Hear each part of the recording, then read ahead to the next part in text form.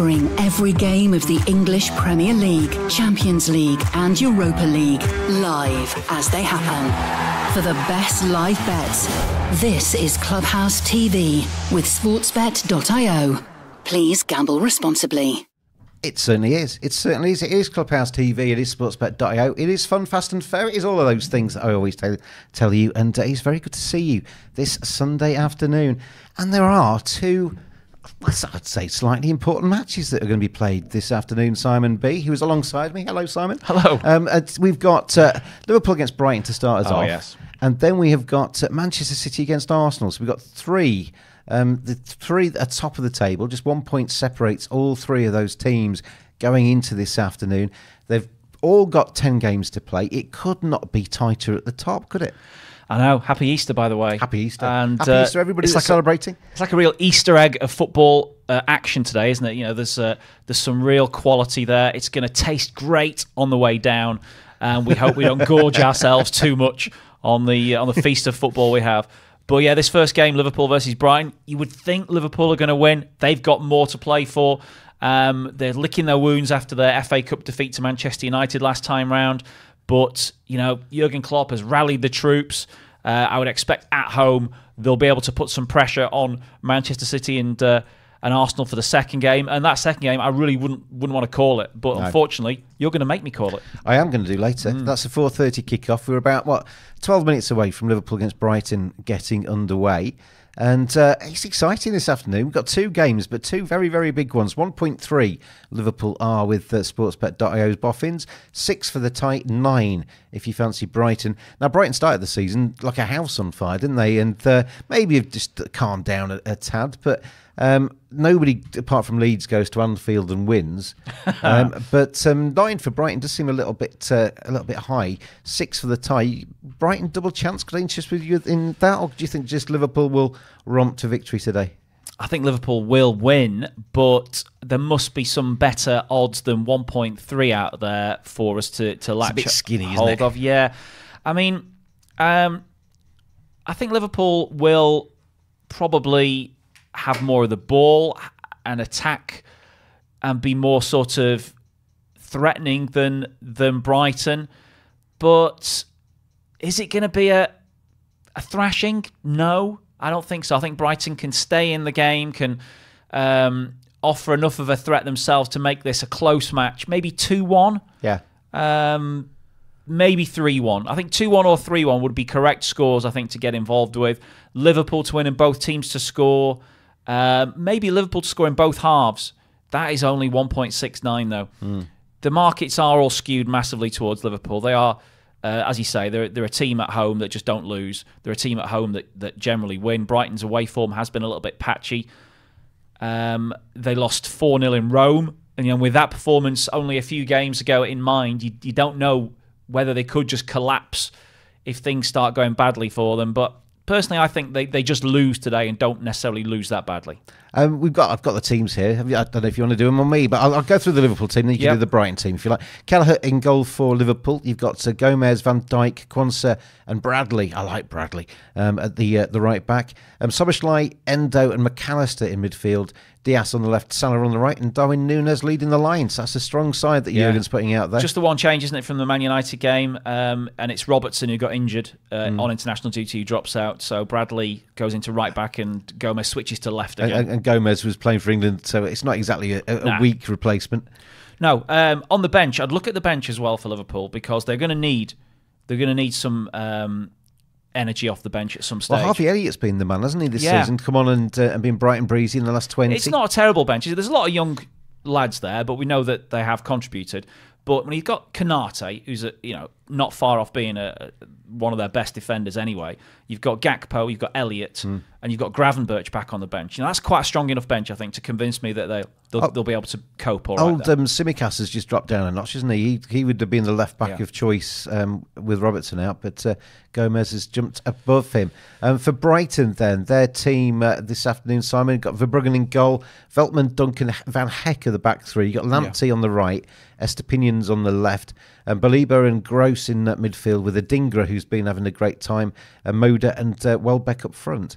Yeah, and when you look at that team, you know, it, it's much weakened than what their best 11 would be. You say, you know, Brighton's best 11 would have Mitoma in, for example. It would have João Pedro in, for example. Maybe it would have uh, Evan Ferguson if he was on Yeah. the same form of last season, but yeah, they're not there. João Pedro is the top scorer. He's out injured. Evan Ferguson is massively out of form. He's on the bench. You know, Danny Welbeck's keeping him out. And, you know, Billy Gilmour's been dropped today as well, so he's obviously not been playing that well. So we haven't got a Billy Gilmour trophy today, have we? No, in fact, he's not even in the squad, is he? So this is obviously an injury that Billy Gilmour's picked up. Um, I see this Brighton team having a real struggle actually looking at looking at that eleven. Where are the goals going to come from?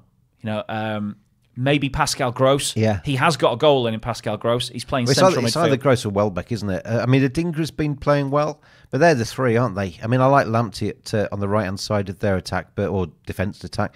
Um, but yeah, it's it, it is not quite the Brighton that was making everybody excited at the start of the season. So I, I can only forecast a really long afternoon for Brighton, to be honest, and, and, and a Liverpool win. One point three. It's not a working man's price, is it? It's it's one for the heavy hitters, if you like. You know, you, you put you put big stakes on a one point three, knowing that it's going to win.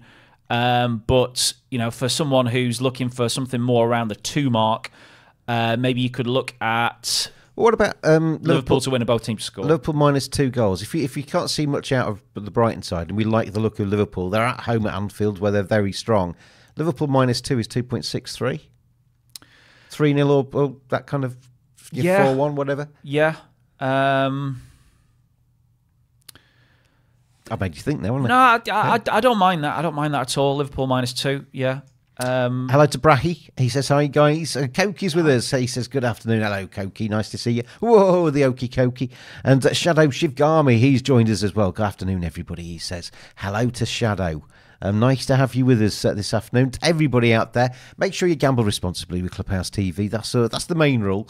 Uh, but it is Clubhouse TV, TV with sportsbet.io. Fun, fast, ferociously fair. And as I say, if you're just joining us, two massive games this afternoon. The top three in the Premier League. As things stand, as we go into this afternoon, 10 games to play by um, Arsenal, Liverpool, and Manchester City. Um, 64 points Arsenal, 64 points Liverpool, 63 points Manchester City. Obviously, Arsenal and Man City are going to take points out of each other, or if it's a tie, they take point, both drop points today. Um, so uh, Liverpool have a chance today, don't they? Um, with a, a good win against Brighton to really be top of the tree come the end of tonight. Yeah, I think that's what their objective will be to just put pressure on the other two teams in the title race by winning and winning well. Goal difference could be crucial come the end of the season. We've seen Arsenal improve their goal difference massively in the last few weeks, Yeah. now to the point where they've got a seven goal advantage over Liverpool. That's why they're top of the table, of course, Ar- today. Arsenal, I mean, we, we're going to go on a little bit to the later game, but Arsenal have been beating teams 4 0, 5 0. Um, you can't see that today, can you? Not for Arsenal, no. But maybe you're looking at Liverpool saying that they need to respond to Arsenal's Hmm. goal difference, and, and they could they could be starting thinking that if they go two 0 up half time, three 0 up second half, they need to push for that. Well, that's that's the thing, isn't it? you, you might be. We've seen matches, haven't we, this season where a team is like 3 0 up at, after, after 60 minutes and kind of just coast through the last half an hour because they've got the points in the bag. Um, if Liverpool are 3 0 up with, with 30 minutes to go, there's every incentive to make it 4 0, 5 Yeah, 0. there is.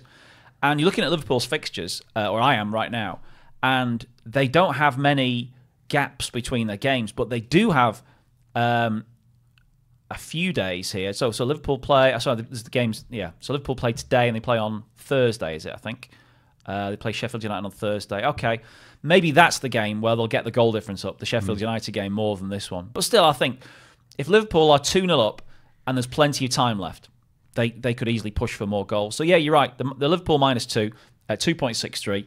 Um, is a better bet than Liverpool and both teams to score. Just looking at Brighton's record; they haven't scored in three of the last five away games, so you'd be a bit wary about backing them to score today. They have lost um, by more than two goals in two of their last four away games. They lost four 0 at Luton, famously, and they also lost three 0 at Fulham in their last away game. So that's definitely playing into the the Liverpool minus two bet. Five minutes to go then until we get to, to kick off. We're going to be doing spot bets as we go through Liverpool against Brighton. So um, give Simon five minutes to think about what the first one's going to be. And uh, we have got Man City against Arsenal coming up at 4.30. So loads to look forward to this afternoon on Clubhouse TV with sportsbet.io. Um, French League 1, we've got uh, three matches kicking off uh, at two, five minutes away uh, between, uh, well, Clermont taking on Toulouse. You've got Le Havre against Montpellier, Nice against Nantes. Um, in Germany at 2.30, Augsburg take on Köln.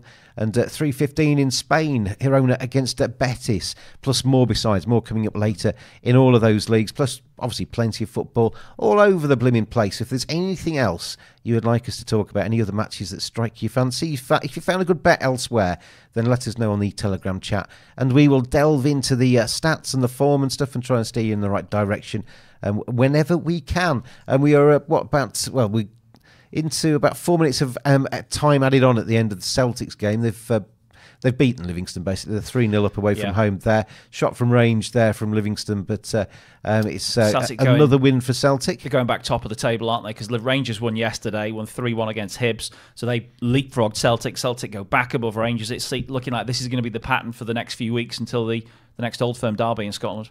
Yeah, well, if uh, Sportsbet.io's uh, Joe Max uh, watching, one point clear at the top of the table, but Rangers with a game in hand. So it's yeah, tight at the top there as well. We've got some exciting uh, run-ins, haven't we, in, in the uh, top tiers? We've got uh, the Scottish um, main duo um, going toe-to-toe um, in the uh, Scottish Premiership. We've got uh, Liverpool, Man City and Arsenal at the top end of the uh, the Premier League and battling it out. And uh, we've got at the bottom end, um, pending more points deductions possibly, um, got Sheffield United bottom of the table, 15 points, Burnley 18, Luton 22, Forest 22, Everton 25, Brentford 27. But um, in their own ways, they're all showing a little bit of fight. Sheffield United, they're just not good enough, but they showed fight yesterday. Yeah, such a shame for them. Thought they were 4 1 up, didn't they? And that would have been a winning score, you think. And then the fact that goal got cancelled, you know, offside, then um, it just gave Fulham a, a, a bit more of a encouragement, and that that's all they needed.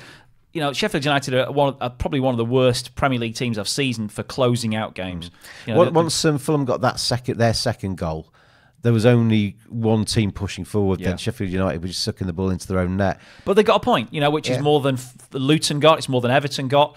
Um, you know, Nottingham Forest, they had a home game yesterday, didn't take um, anything more than a point there, so it keeps them very much in the mix. And, and Burnley, they had the best result yesterday, didn't they? You know, from from 1 0 down and 2 1 down with 10 men to get a draw at Chelsea. Walk on, walk on. That's what they're singing at Yes. the moment at Anfield as the uh, scarves and flags are waving above the uh, Liverpool fans' heads there as uh, Liverpool prepare to take on Brighton in the Premier League. Whatever happens later, at, uh, if Liverpool win, they will remain top of the tree. Um, if they uh, if they lose by seven goals, they would go into uh, um, no, sorry, if they win by set more than seven goals and well, they'd be top anyway, wouldn't they? But that they need to boost their goal difference. As Simon was saying, Arsenal plus 46, Liverpool plus 39, Man City plus 35. We have seen the Premier League title decided on goal difference um, in, in the last few years. But if uh, Liverpool don't lose this match, then they will go top, even if it is temporarily before the match coming up later. So the players are out there in the middle. We are not too far away from kick-off in the Premier League. Let us know on the Telegram chat. A, if you're watching. B, come along and say hello. And C, tell us who you think's going to win. Liverpool. uh, What's going to be? What's the score prediction? What is your score prediction? Liverpool against Brighton. Counting down to kickoff, covering every game of the English Premier League, Champions League, and Europa League. Live. This is Clubhouse TV with Sportsbet.io. Please gamble responsibly. Always, always, always gamble responsibly, Clubhouse creatures. It's very good to have you here. No producer today, so it's just me and Simon flying well, solo, flying duo in the uh, studio. uh, but we have got well, we've we're both very excited coming in today. Um, Liverpool against Brighton, Man City against Arsenal. This is this is gold as far as Sundays go. So uh, really looking forward to it. Alexi's with us. He says hello, um, James. You need to drink tea. More like looks like you have a cold. Hmm. Okay. Well, I'm, it's Simon that's got the cold. And I've got the tea as well. No, not no, sorry, Jack. Yesterday's got the cold. Oh, ja- right. Jack basically, yes, yesterday, all Jack was doing, he was saying a couple of words, and then he was going like that, putting me on screen in that chair, sne- sneezing and blowing his Oh, nose, right, and then so we're going gonna back to catch it going back to this shot. So I probably am coming down with Jack's cold, um, Alexi. But it's good to have you here. They've kicked off in France. They're about to kick off in the uh, Premier League Yeah. as well. I've got a little treble for you in France, Oh, actually. have you? Yeah, Have it's you? a favourites treble. Uh, I'm going to put you on screen so I can sneeze. It's um, Nice to beat Nantes at home. Nice have had a rough time recently, but they got back on track with a good win uh, in their last game. And uh, I fancy them to win at a Nantes side who are third bottom of the table. Sorry, at home to a Nantes side who are third bottom of the table. So they're, they're in my treble at 1.81. I'm back in Toulouse. Uh, against the bottom club Clermont. Toulouse are away 2.00. Uh, but Toulouse have picked up recently, had two wins in the last four, and they are playing, like I say, the bottom team in League Earn today. And the third leg of the French treble is the other favourite. I've just lost the uh, team now. The other favourite in France today is Le Havre. Le Havre at home. And uh, they're actually not having a great season in 13th place in the table. But at home, they are pretty good. Uh, League uh, home form for Le Havre is they've won three of the last five, and they're up against a Montpellier side who are not particularly good on their travel. So the three favourites basically in France right now is Le Havre, Nice, and uh, Toulouse away. Uh, as a treble comes out to about 9.77. One of my favourite films of all times on that top TV at the moment, Si. Yeah, I love it as well. Willy Wonka and the Chocolate Factory, Charlie and the Chocolate Factory. Have you seen the re- the most recent Wonka film? No. I watched it the other day on my television at home, and I wasn't quite sure if I was going to enjoy it or not. Absolutely loved it. Did you? Yeah, it is really good. Right. Um, so I'd recommend that one to anybody out there. Classic Wonka- Easter Sunday film as well with the chocolate thing. It's it's nice and um, Hmm. inoffensive, isn't it? It's, it's just it's just pleasant family viewing. I like it, and some good songs as well. Oh, yeah, the song's great. Yeah.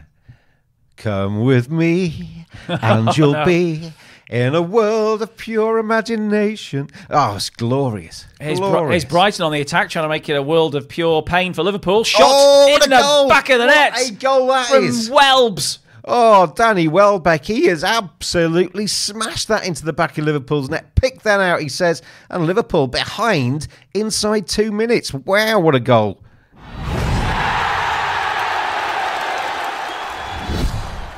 Whoa. It's. A, I mean, Jurgen Klopp. All he can do is just tip his hat, tip his cap in admiration there for a great hit from Danny Welbeck. I mean, Liverpool were a little bit. They were, they were backpedaling there on the edge of the box. Didn't really get a tackle in. The tackle that did come in just put the ball to to Welbeck, and he just slammed in a brilliant goal. Not a lot you could do with that. Um, but it will, it, will, it will give Brighton some confidence this that they can maybe score more against Liverpool today. There was us saying where the goal's coming from. They're coming from that. That was one hell of a hit just inside the penalty area. Leathers it in with his right foot. Hard to hit a ball harder than that, I don't think. And uh, Danny Welbeck opens the scoring for Brighton. So that changes things a little bit, doesn't it? 4.4 Brighton are into. So they're, they're a goal up. We're giving Brighton a goal, and they are still 4.4 to win the match. 4.8 the tie, 1.63 for Liverpool, Si. I think you back Liverpool now. Really, I mean that is a great Well, they've got A a, for, for punters, that's great. They were 1.3. People go, I'm not backing Liverpool at 1.3, but they're going to win. Now, there's only played two minutes. They're one goal down. You're getting double the price they were initially, but they've still got 88 minutes to score two goals and win this game. And they, and they will score two goals. I have no doubt about Liverpool scoring two goals today. But actually, what you do worry about now is can Brighton score more goals? Because they've just, you Yeah. know, they've had one shot and they've scored it. Wow, what a start to the afternoon! That that is um, unexpected. I think. I think everybody was probably tuned in thinking um, that Liverpool were just going to romp to a, a, an easy win today. Well, Brighton have just put the cat amongst the pigeons and have scored an absolute belter. Let's look at what Brighton have done then when they've scored the first goal away from home this season. Um, so obviously they scored the first goal at Sheffield United and won 5 0. Uh, they also scored the first goal at Tottenham only a month ago, lost the game 2 1. Um, prior to that, they scored the. mm, Okay. oh, okay. They don't score the first goal very often. Um, this is what I'm finding out here. Brighton do not score the first goal very often away from home. Um, it's hardly happened. So, Man United, early this season, they scored the first goal 1 3 1. And right at the start of the season, when they were flying, they scored the first goal at Wolves and won 4 1. That was the first game of the season, wasn't it? But yeah, this is um, only the second time that Brighton have scored the first goal in an away game since September. So it's it's uncharted territory. Let's put it. It's, it's getting towards uncharted territory for Brighton. Um, one hell of a hit that from Danny Welbeck. If he's in your fantasy team, happy days because he's uh, he's got you off to a flyer this afternoon. He's not in mine. Billy Gilmour suspended, by the way, so that's why he's not playing, not injured. Um, but there's there's a, there's a few missing. Obviously, James Milner, we didn't even mention him. He would be a really useful player to have today with his experience of playing for Liverpool It's at the, Anfield. It's the James Milner derby, isn't it? Yeah, but unfortunately, he's not available, and that, that that's a big blow for Brighton. That because say they're winning 1 0 with half an hour to go, he would be coming on and he would do a really good job of holding the ball, stopping Liverpool in the tracks, and, and trying to protect the 1 0 lead. They would dearly love to have James Milner on their bench today, but he's not available. Wow, what a start this afternoon. Then Liverpool behind in the Premier League to Brighton in the uh, inside two minutes. I've just put a poll out. We just talked about this earlier, so I put out which team will be top of the Premier League after today's matches: Arsenal, Liverpool, or Manchester City. Yeah. Um, stick your votes in now. Well, Um, a few a few would have been voting for Liverpool there, but maybe thinking twice about it now because of the fact they've just gone down uh, a goal at home to uh, Brighton. Um, hello to uh, Ishatin. It's good to have you with us, Ishatin. Alexis says, "Guys, I'm glad to see you. Wish you a, a, a- wish you a recovery fast." He says, "I'm not ill, Alexi. I'm fine." Um, and uh, O says, "Hello." Um, Kara says, "Hello, hello, James and Simon." Hello, Kara. Giraffe says, "Boom, goal, Brighton." I think that sums it up. Giraffe.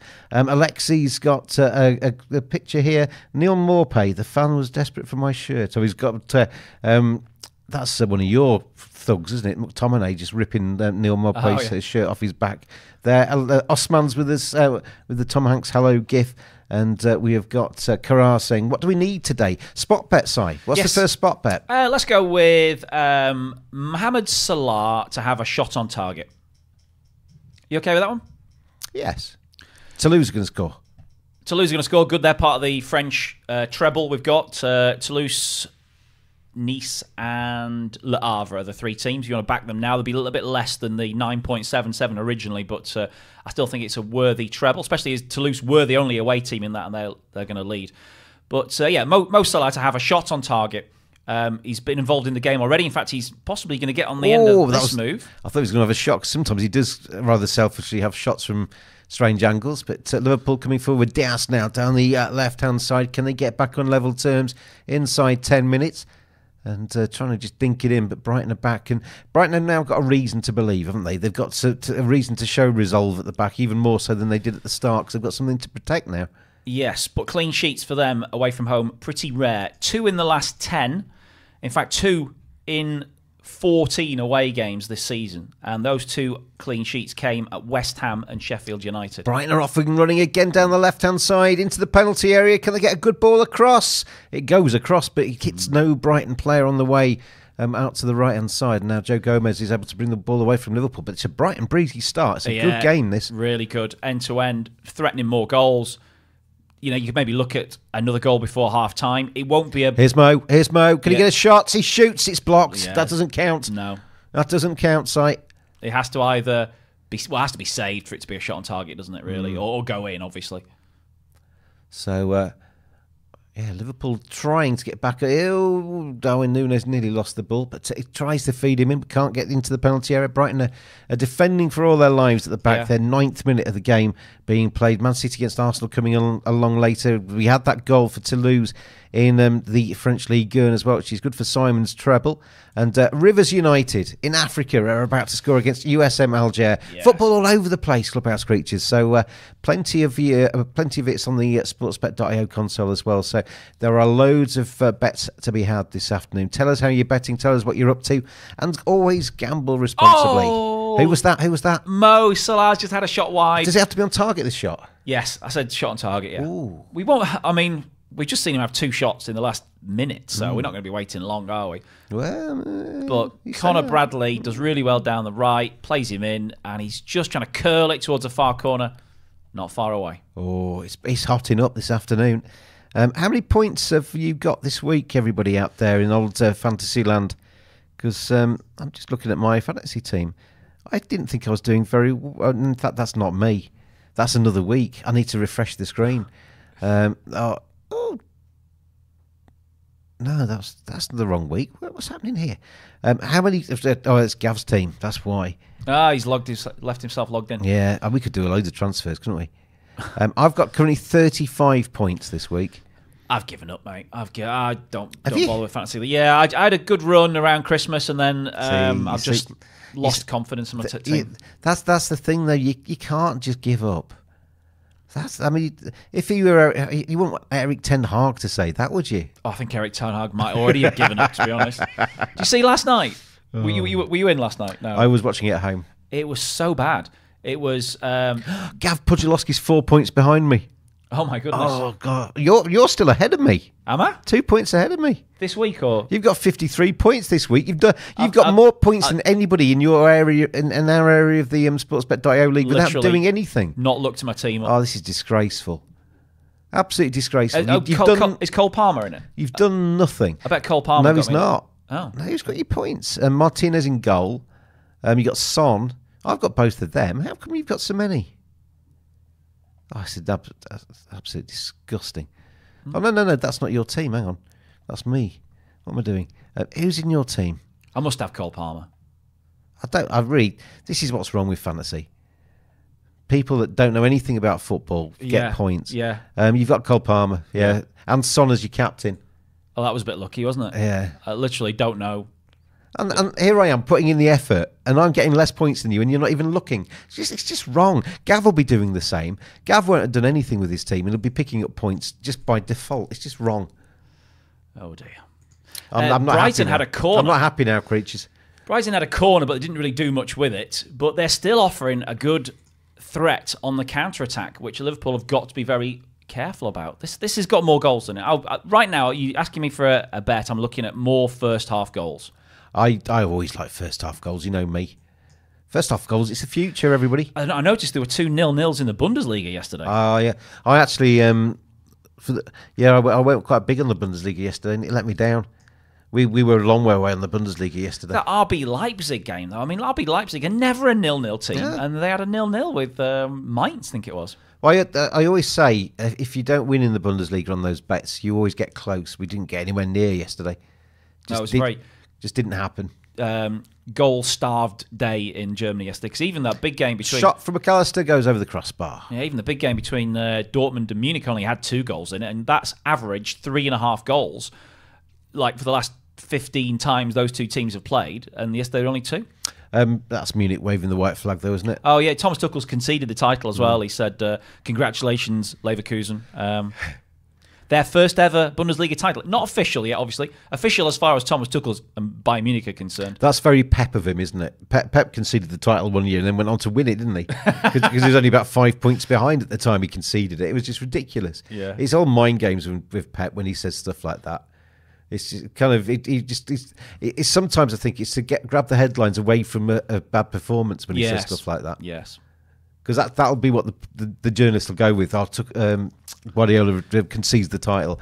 It won't be that Tim Haaland's had a stinker, but uh, well, we'll see them later. We'll see them later. Liverpool later. chance maybe. Where's Mo Salah? He's not, there. Uh, no. Corner kick though for Liverpool. Is that how many corners we had so far? Is that the first? I think it's Liverpool's first. Yeah, we've had one for Brighton as well. Yeah, so one apiece. Into so we're looking for a Mo Salah shot on target creatures for the first of our spot bets to land. Have you fired up your random number generator in I will readiness? I'll, I'll do it. Yeah.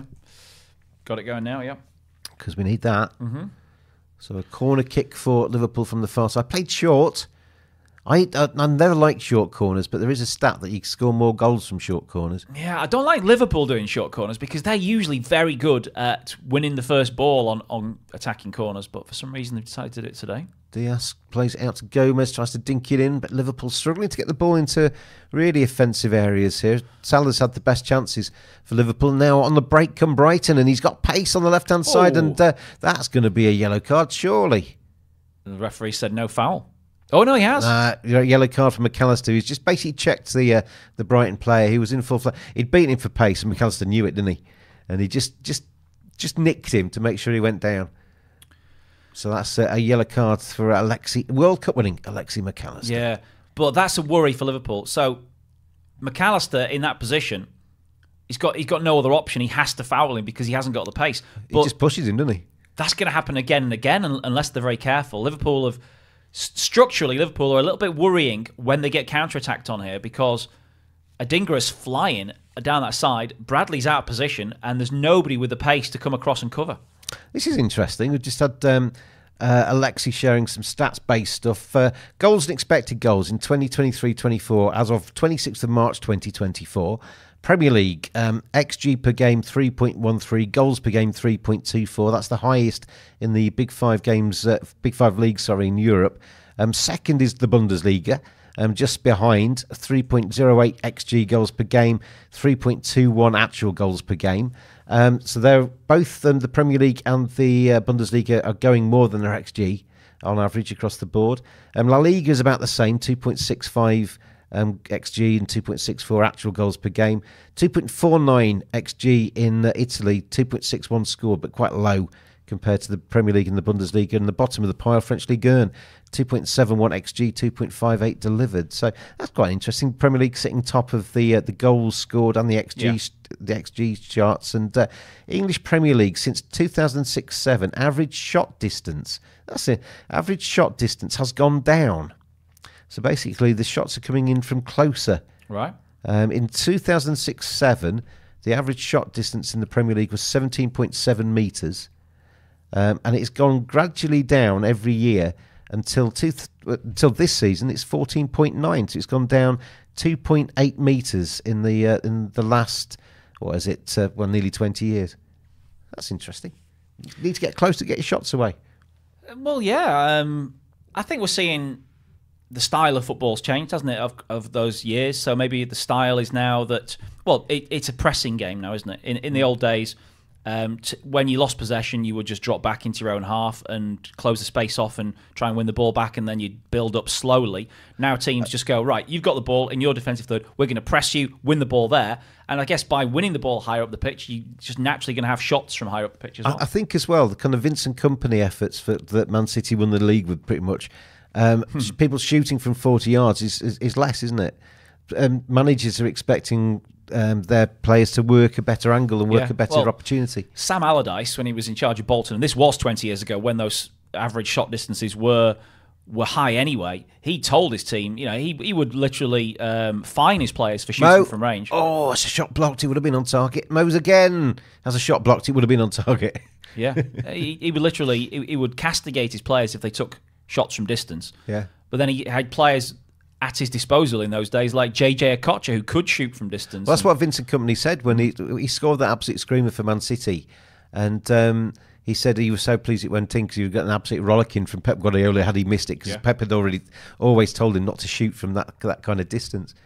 Uh, but Liverpool's starting to turn the screw a little bit. Brighton very much playing on the break at the minute. Si. yeah, that's a good chance here over the bar from Mo Salah. That's about five shots he's had in the last five minutes, and he's got none of them on target. Just a matter of time, James. It will come. It will How long are we going to have to wait until the next game? Um, until the next game. No, no, he'll he'll get a shot on target today. I think he'll score today. To be honest, I think he's got a good record against Brighton. That was actually. look at how how the technique there is brilliant because he's ba- basically the ball's coming over his left shoulder. He keeps his eyes on the ball. He's running full pelt and he still manages to get a, a full throated volley away. It's a, um, that, that's hard to do and make it look that easy. First half over 1.5 goals is short. It's 1.4. We had that very early goal for Brighton, who are threatening again. The referees balled that one back for a free kick. Spoiler alert: Charlie Bucket's about to be offered the factory. Is he Yeah. excellent? Yeah, oh, it's a beautiful film. Uh, and the man in the background, who we thought was the baddie, Slugworth. Slugworth, was actually working for. Oh, another one from Mo Salah again over the bar. You, Oh you've picked the day that he's going to have 50 shots off target. That's at least six he's Yeah. had now, isn't it? In He's- 18 minutes, he's had six shots. I mean, Liverpool, with the amount of chances that uh, Mo's had, um, they should be at least level by now, but they're not. The fact that there's so many shots coming, I believe we're going to get more goals. So let's try this one. Over 2.5 first half goals. It's 2.75.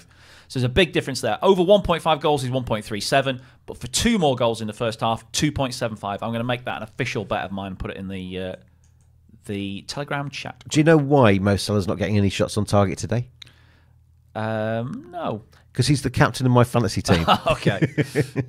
so he's going to basically go um, frustrated throughout the entire um, in, entire match because he is the captain of my fantasy. He could have had five goals by now. What are you playing at, Mo? Get these shots on target, get them in the back of the net, and actually get me some points, please, Mr. Mo Salah. Um, anyway, we have got Liverpool nil, Brighton one. We've got matches elsewhere, as I've said. Uh, two goals now in France. We've got Toulouse ahead against Clermont, and we've got Nantes ahead against Nice. oh, no. Oh, no. That's not Oh, good no. because Oh, I've gone for. Nice to win this one. Mais non. So Nice nil, Nantes one. Well, it does maybe bring it into play for a single play here because I am confident that Nice will win this game today. Another yellow card being uh, dispatched there by the referee. I think Pascal Gross is uh, in the book for a foul. Um, but uh, thanks to thanks for those um, graphics um, or Yes. those stats, Alexi. They're interesting. Those. They are interesting. Good talking points. Uh, always worth trying to stay up with those kind of trends and things like that that happen in football to inform your bets as well. I am slightly surprised the Premier League has got had more goals than the Bundesliga this season The, because um, you think the Bundesliga is a more sort of open and more sort of you know will trade goals type of league. There's there's not a huge amount between them. They're very similar, actually. I mean, well, 283 from the Premier League, 234 from the uh, Bundesliga, but goals per game, and there's not a lot of difference. 3.24 as opposed to 3.21. I guess the Bundesliga plays less games. Yes. Um, so uh, uh, yeah, there's not the Premier League and Bundesliga are, are, are on a par pretty much, aren't they? I've nearly started to, when I'm doing my over two and a half goals on a Saturday afternoon. I'm starting to roll the um, Premier League into it because the Premier Yeah. League um, pretty much delivers all the time now. Yesterday was great, wasn't it? Um, started with that four three. And the, Well, the, I- the game I was watching yesterday was Burnley at, at, che- at uh, Chelsea, 2 2, and there could have been more goals in that. You know, you know me, Simon. I don't like to blow my own trumpet, but my I was sitting in your chair yesterday. By the stage of this this stage of the match, I'd already landed about three bets. Yeah. Yeah, um, I'd, I'd gone over four and a half goals in the match, which obviously came in later. I'd gone over one and a half goals in the first half. Yeah. I'd got well, I'd gone both teams to score. Um, basically, everything came in yesterday in that first match. It was crazy.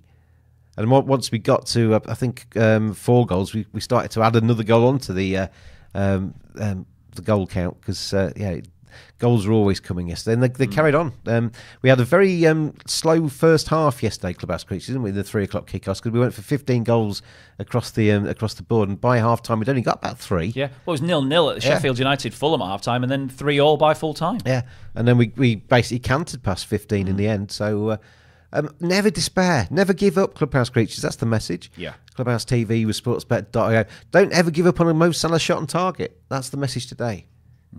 Oh, look at it. It's finished. finished now, It's yeah. finished. Willy Wonka, played by Gene Wilder, Grandpa Yeah. Joe by Jack Albertson, Charlie Bucket by Peter Ostrum, legends of cinema. Indeed. Fantastic stuff. Whatever I'm gonna to have to- I'm- Augustus Gloop? I'm going to have to tie your legs together. Oh, am I, You, you've got I your near? restless leg syndrome going, Sorry. haven't you? Can you hear it, or is it just the vibration? No, I can hear it in my ear headphones. Yeah, I think you got. Sorry. Have you got a pen next to it? No. No. I don't know. It sounds like you gathered. It, it winds my wife up as you, well. you might got. You might got metal legs. Sorry. Yeah.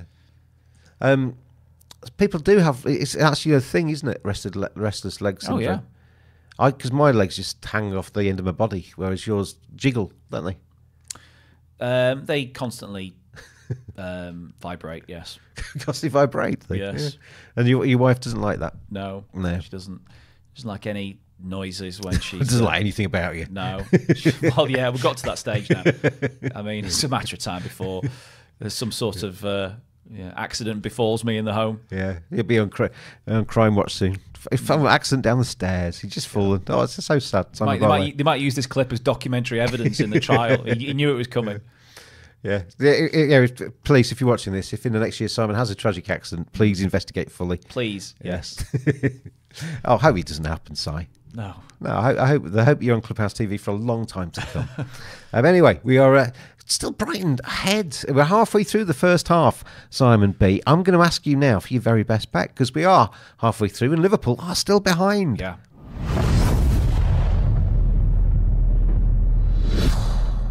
As Liverpool do come forward, as Simon thinks about his, his best bet, we'll see if Luis Um, Diaz can do his, anything about it.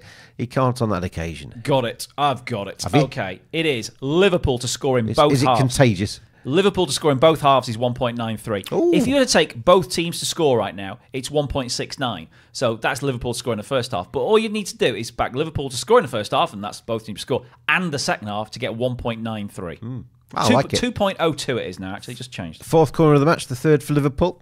Alexi says uh, yesterday Gav was joking about today's Arsenal match. He thinks Manchester City will destroy Arsenal. Also, he said something about Arsenal fans. What did he say about Arsenal fans, Alexi? Tell me. Tell me what he said about Arsenal fans. Ente, hello to you. And Koki, hello, King and Simon. Hello, Koki. I thought we'd said hello to you already, Koki. It's nice to have you with us.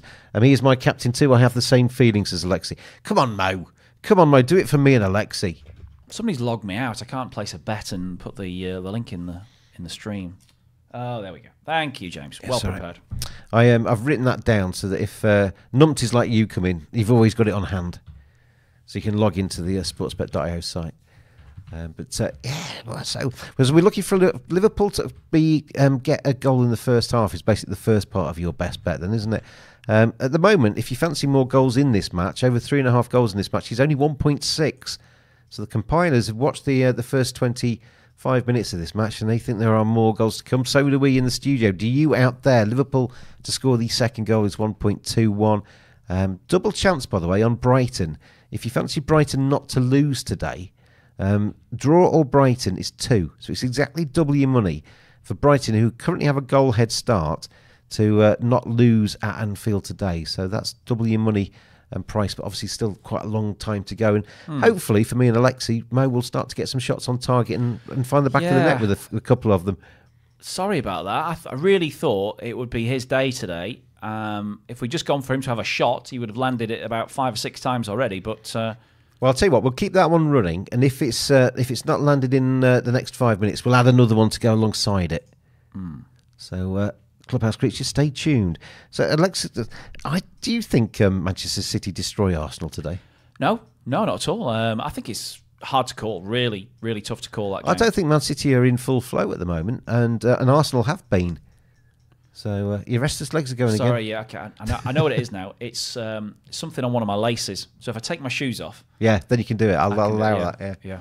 yeah. Even his jangly legs, honestly. Yeah. Um, Liverpool nil. Brighton won another corner for Liverpool. So um, Oh, has something happened? If you're watching Slissy, if you're Has watching something Liverpool, Liverpool are going to be back on level terms. Is it going to be. Mo for me and Alexi? Who's going to score this goal for Liverpool? Ball floated in, headed up in the air, headed back towards goal. Oh, it's Diaz. It's Luis Diaz who nips in, puts the ball in the back of the net. Is he offside? Is he offside? He's not offside. It's a goal for Liverpool. They're back on level terms. It's not for Mo Salah, but it's for Luis Diaz. Celta Vigo go a goal up against Rayo Vallecano in Spain as well at pretty much exactly the same time. Um, the Brighton players, by the way, are surrounding the referee, saying that there was something wrong with that. Is there going to be? I mean, they'll, they'll VAR check it as a matter of course because they VAR, check every goal. Maybe these days. high boot, but I, I don't see it's not offside. So Luis Diaz does a really good job of staying on side here. He's on side there.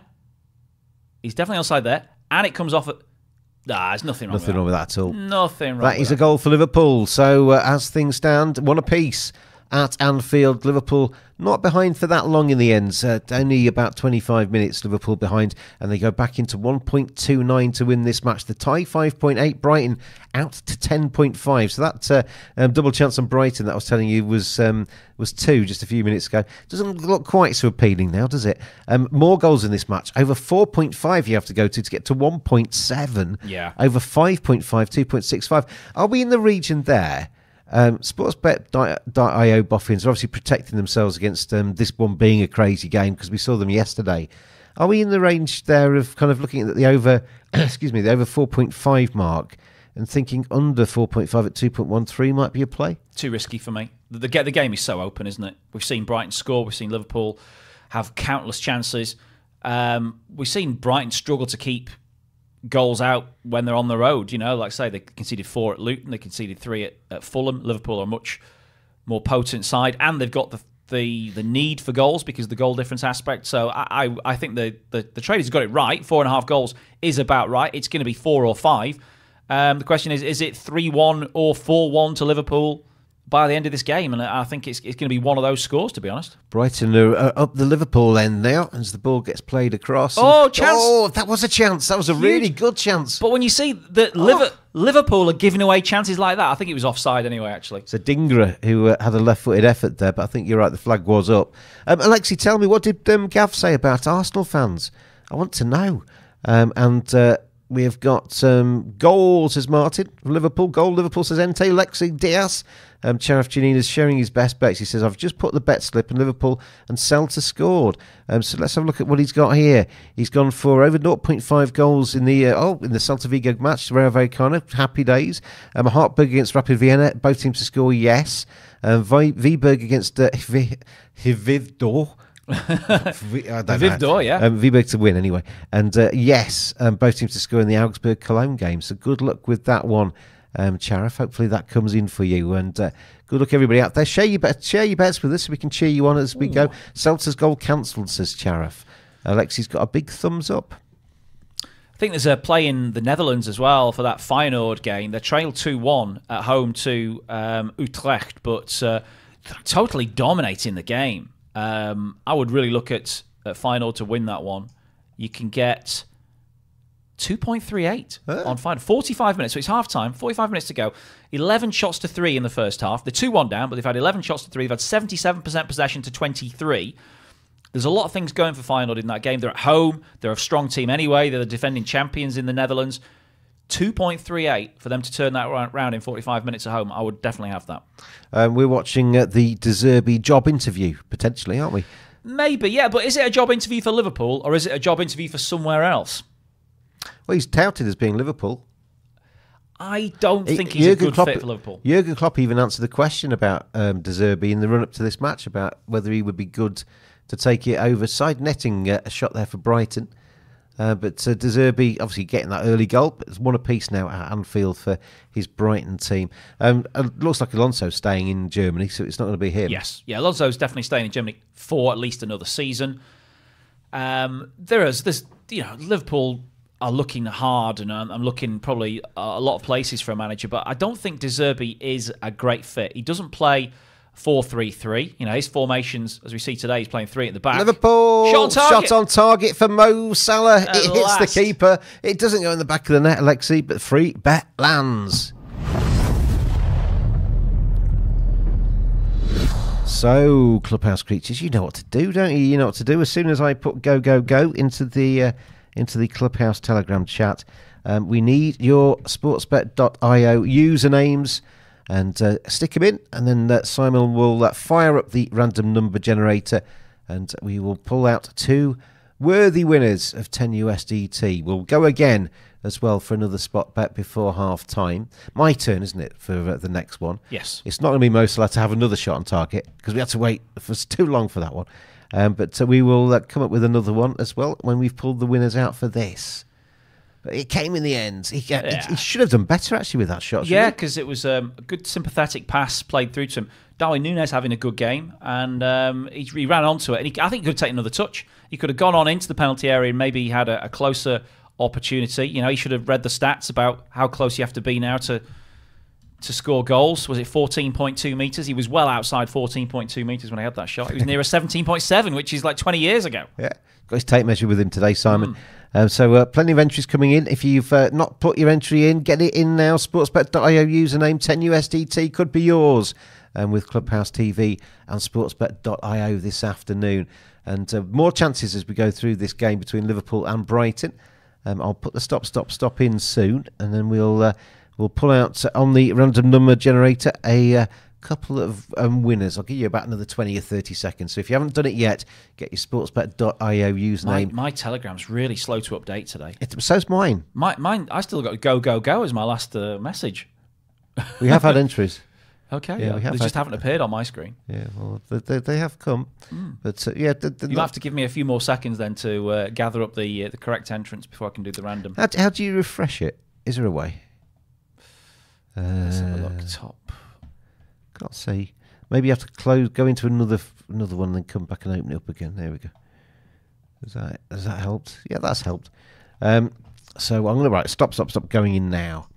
So we've got 1, 2, 3, 4, 5, 6, 7, 8, 9, 10, 11, 12, 13, 14, 15, 16, I think, down to Slissy. Okay, well, ah, yes, I see now. They are all there. Uh, they're all uh, so. Good luck, everybody. Yeah. 10 USDT up for grabs. Pull out the first number, Simon.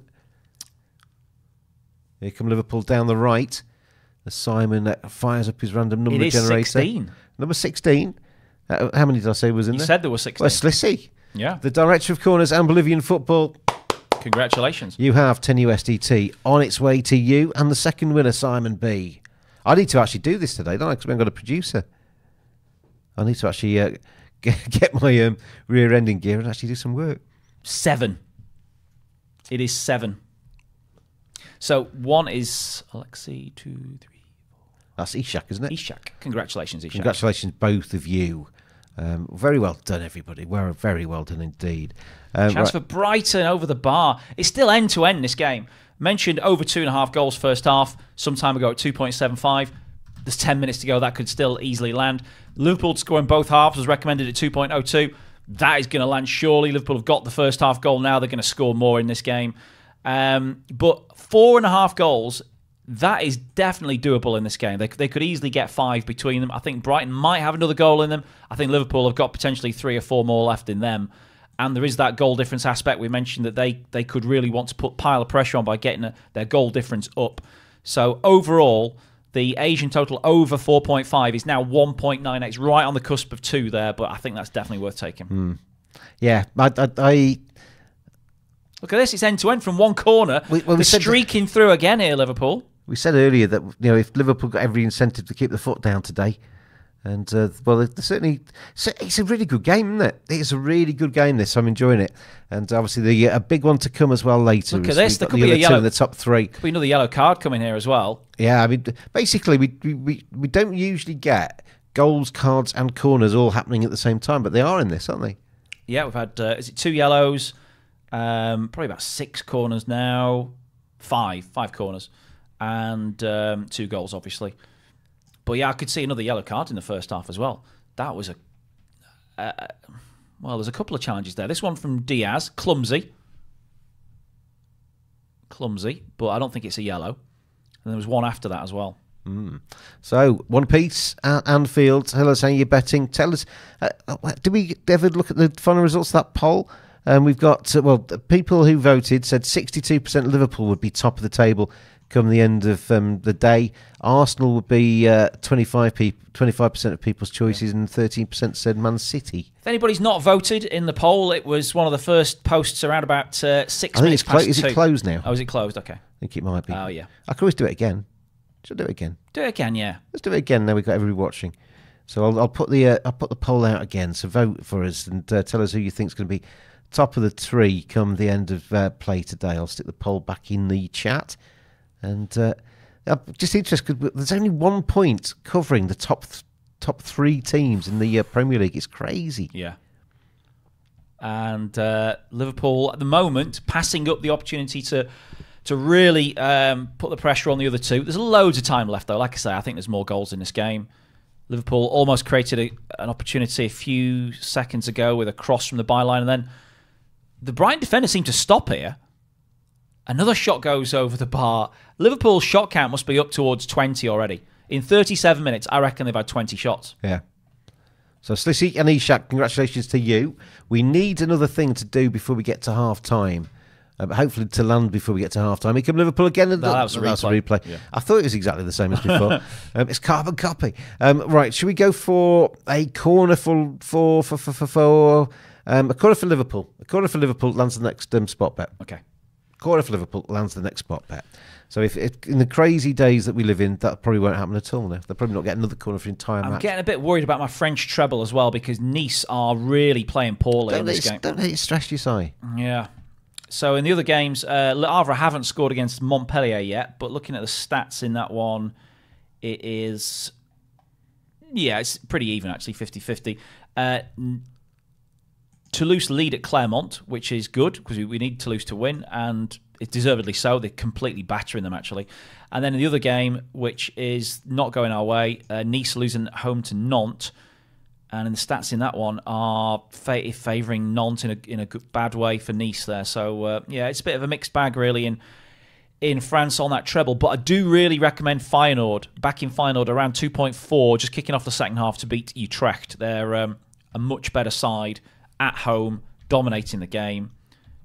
Really, they should win, and uh, two point four is a nice price. If they do win today, they would cut PSV's lead at the top to seven points. Uh, Utrecht are down in sixth, so uh, definitely Feyenoord a much better side than Utrecht usually. It's a mixed day.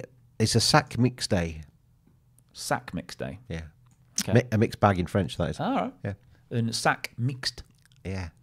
So uh, Liverpool having a plenty of possession, aren't they? Now they have um, since they conceded that early goal. They're back on level terms now. Stats wise, this uh, this first half, xG exactly one for Liverpool, 0.08 for Brighton, and 56% possession for Liverpool. 11 goal attempts to three. Most Salah's had most of them. Um, three shots on goal to one and uh, they have had uh, the best of the corner count as well. Three corners to two in favour of the uh, the home side. So they uh, they're ruling the roost on every stat apart from the uh, the goal line, the goal scored. But he, he I mean, I, you know what? I would, I would actually be tempted if I was at home playing along today. I might just have a little nibble on Liverpool to score again before half time. Yeah, yeah, I could see that.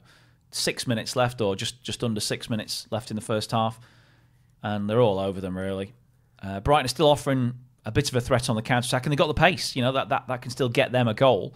But Liverpool look a more consistent threat to get the That- uh, next goal. That's when Brighton have looked dangerous, isn't it? When they've attacked down that left hand side Yeah, with Adingra- pace. Adingra, He's he's great, isn't he? He's got uh, Hmm. his legs are on fire. Oh, Oh, Liverpool, Liverpool, Liverpool! No, not quite. We could still no. Then now chance for Brighton to break. Adingra needs to go here. Here we go. Here we go. He's actually not gone with um, full pelt this time, but uh, Brighton have got the ball inside the uh, Liverpool He's half. just coming into the picture now. Go on, get your feet moving, man. Ball played out to the right. Lamptey picks it up nicely. Lamptey's only about the size of Willie Gnonto, isn't he? Yeah, Willie missed the game on Friday, didn't he? he Uh, is. Yeah, he's injured at the Leeds' moment. game, yeah. Muscle injury picked up when playing for the Italians. Hmm. But, uh, yeah, th- th- th- was a top. Of, of- we're talking about how tight the top and bottom end end of the uh, um, the Premier League is, and Scotland as well. But the Championship, that top end of the Championship's crazy. Yeah. Um, only uh, only a few points covering uh, Ipswich are on 83. Um, Southampton are currently on 74. But if they win the they, if they win their couple of games in hand, they'd be on 80. And The- you, do you play Southampton last game of the season? yeah, they'd, they'd basically, if Southampton win their game in hand, games in hand, there'd be uh, only four points covering the top four in the uh, championship. But uh, yeah, that, that last game of the season against Southampton could be absolutely vital. the way it's going, it's going to the one of the two promotion automatic promotion places will be decided last games of the season, won't they? So you Hmm. just hope that from a Leeds perspective, you're, you're one of the top two going into that last Well, game. I mean, let's face it. If you look at uh, the top end of the Premier League, the bottom end of the Premier League, top end of the Championship, um, Scotland, etc., there's probably going to be a very, very big last uh, last couple of rounds of fixtures, aren't there? It's going to be all to play for. I mean, uh, you'd imagine that out of the four teams at the top of the Championship, one of them might just drop away a little bit, but at the moment, nobody's dropping away. Ev- Everybody's been well, telling Leicester, me, Leicester are dropping Yeah. away, but they're dropping away from a great height, aren't they? but everybody's been telling me for um, weeks on end that Ipswich would tail off, but they haven't done. They're actually the the Yeah. Mm. form team at the moment. So it's uh, this is this is the time as time. Oh, of the- corner.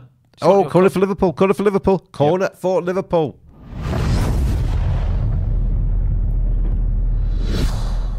It comes to absolutely nothing for them, but Liverpool get the corner and it lands another spot bet.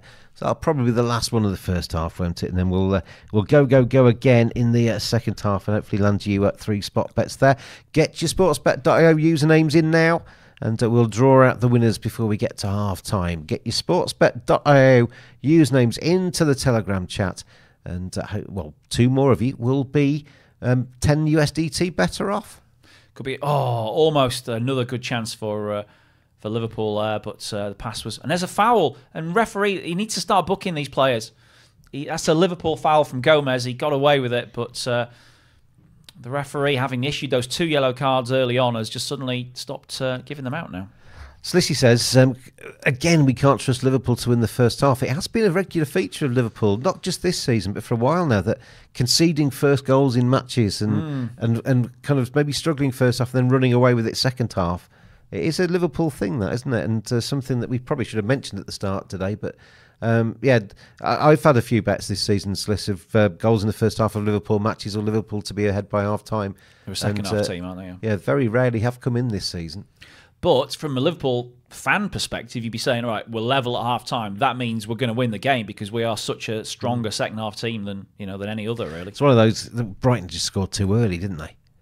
You know, Maybe, if you score in the yeah. second minute, you've got another 88 to hold on. It's, it's, that's a long time to try and survive. So there's been uh, a different opinion now to the who's going to finish top of the Premier League after today's games with the more votes we've had in. So Man City were were bottom of the original poll, but they've come into second place now behind Liverpool, and uh, Arsenal uh, are in third at 21%. I'll put the uh, stop, stop, stop in in about 20 seconds. If you're watching and you've not put your sportsbet.io username into the Telegram chat, now is your chance. Uh, it's your last chance. 10, 9, 8, 7, 6, 5, 4, 3, 2, 1. Stop, stop, stop. Gets into the chat and uh, we will uh, pull out two more winners. I'm just going to de- delete those uh, messages at the bottom end there in a foreign language, Okay. which I don't understand and might be rude. And one, two, three, four, five, six, seven, eight, nine, ten, eleven down to Koki, 12, 13, 13 entries. Okay. 13. Let's pull out two Good more chance. winners. Yeah. Uh, okay, let's uh, let's set it on its way. Are you doing the wheel? Yeah. Oh, yes. so old fashioned, Simon. And it is three. So that is who's the first one? Alexi, then Fretless, then O. Is that right? yes, yep. it's Augusta, Yep. 61. And the next Well one. done, O. Well done. The next one is thirteen, which was the last, wasn't it? It's um, Hakan then, isn't it? Yes, congratulations. Well done, Hakan. Hakan two two one seven goes on to my list of winners, and well played to both of you. O and Hakan are uh, winners uh, in the second round of the spot bets. There, we'll do another one at the start of the second half. If we don't do it, remind us because we are lax and uh, and lazy. And uh, we will get you try and get you as many of the spot bets landed as we can do.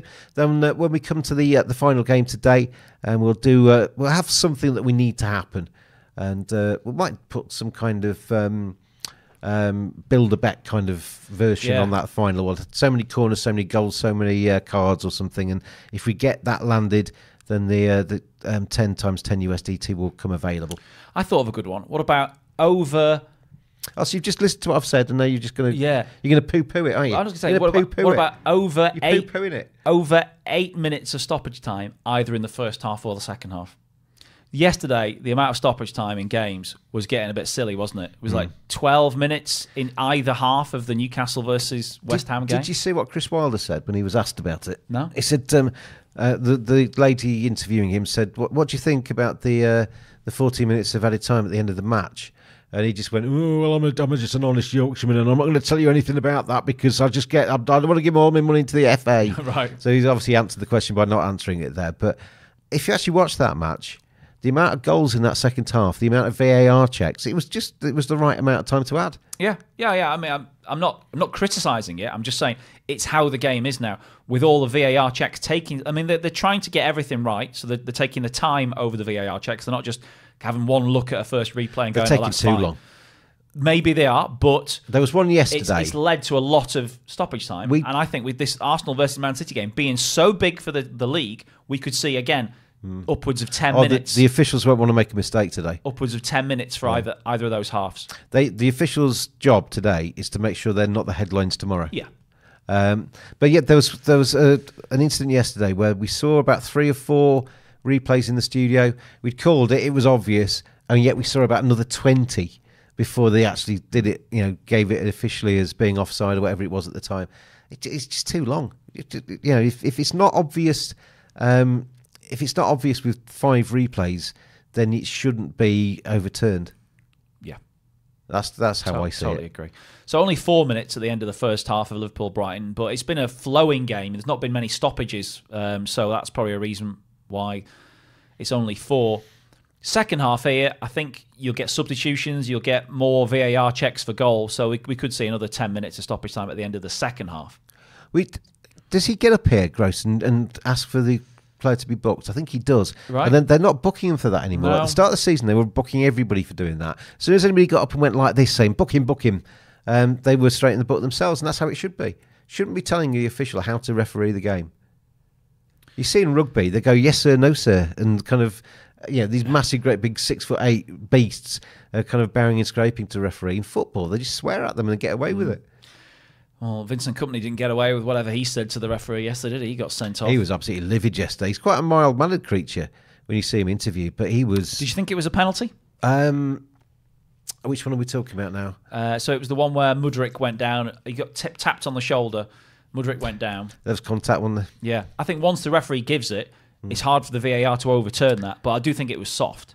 Um, that's that's what we said. I think uh, yesterday. Um, that it was it was a penalty. There was contact, but it was soft. But yeah, you you do well as a, an official to overturn that. But I think I think Vincent Kompany as a manager has got to learn that you can't get away with as much as a manager as you could as a player because you know players have been going up to referees and calling them this, that, and the other for many years, especially if you're a star player like Vincent Kompany. Um, but he's gone from being a star player who's you know got a bit more leeway with what they can say to the referees on the pitch. Now it's just being the Burnley manager, and you know that is a big.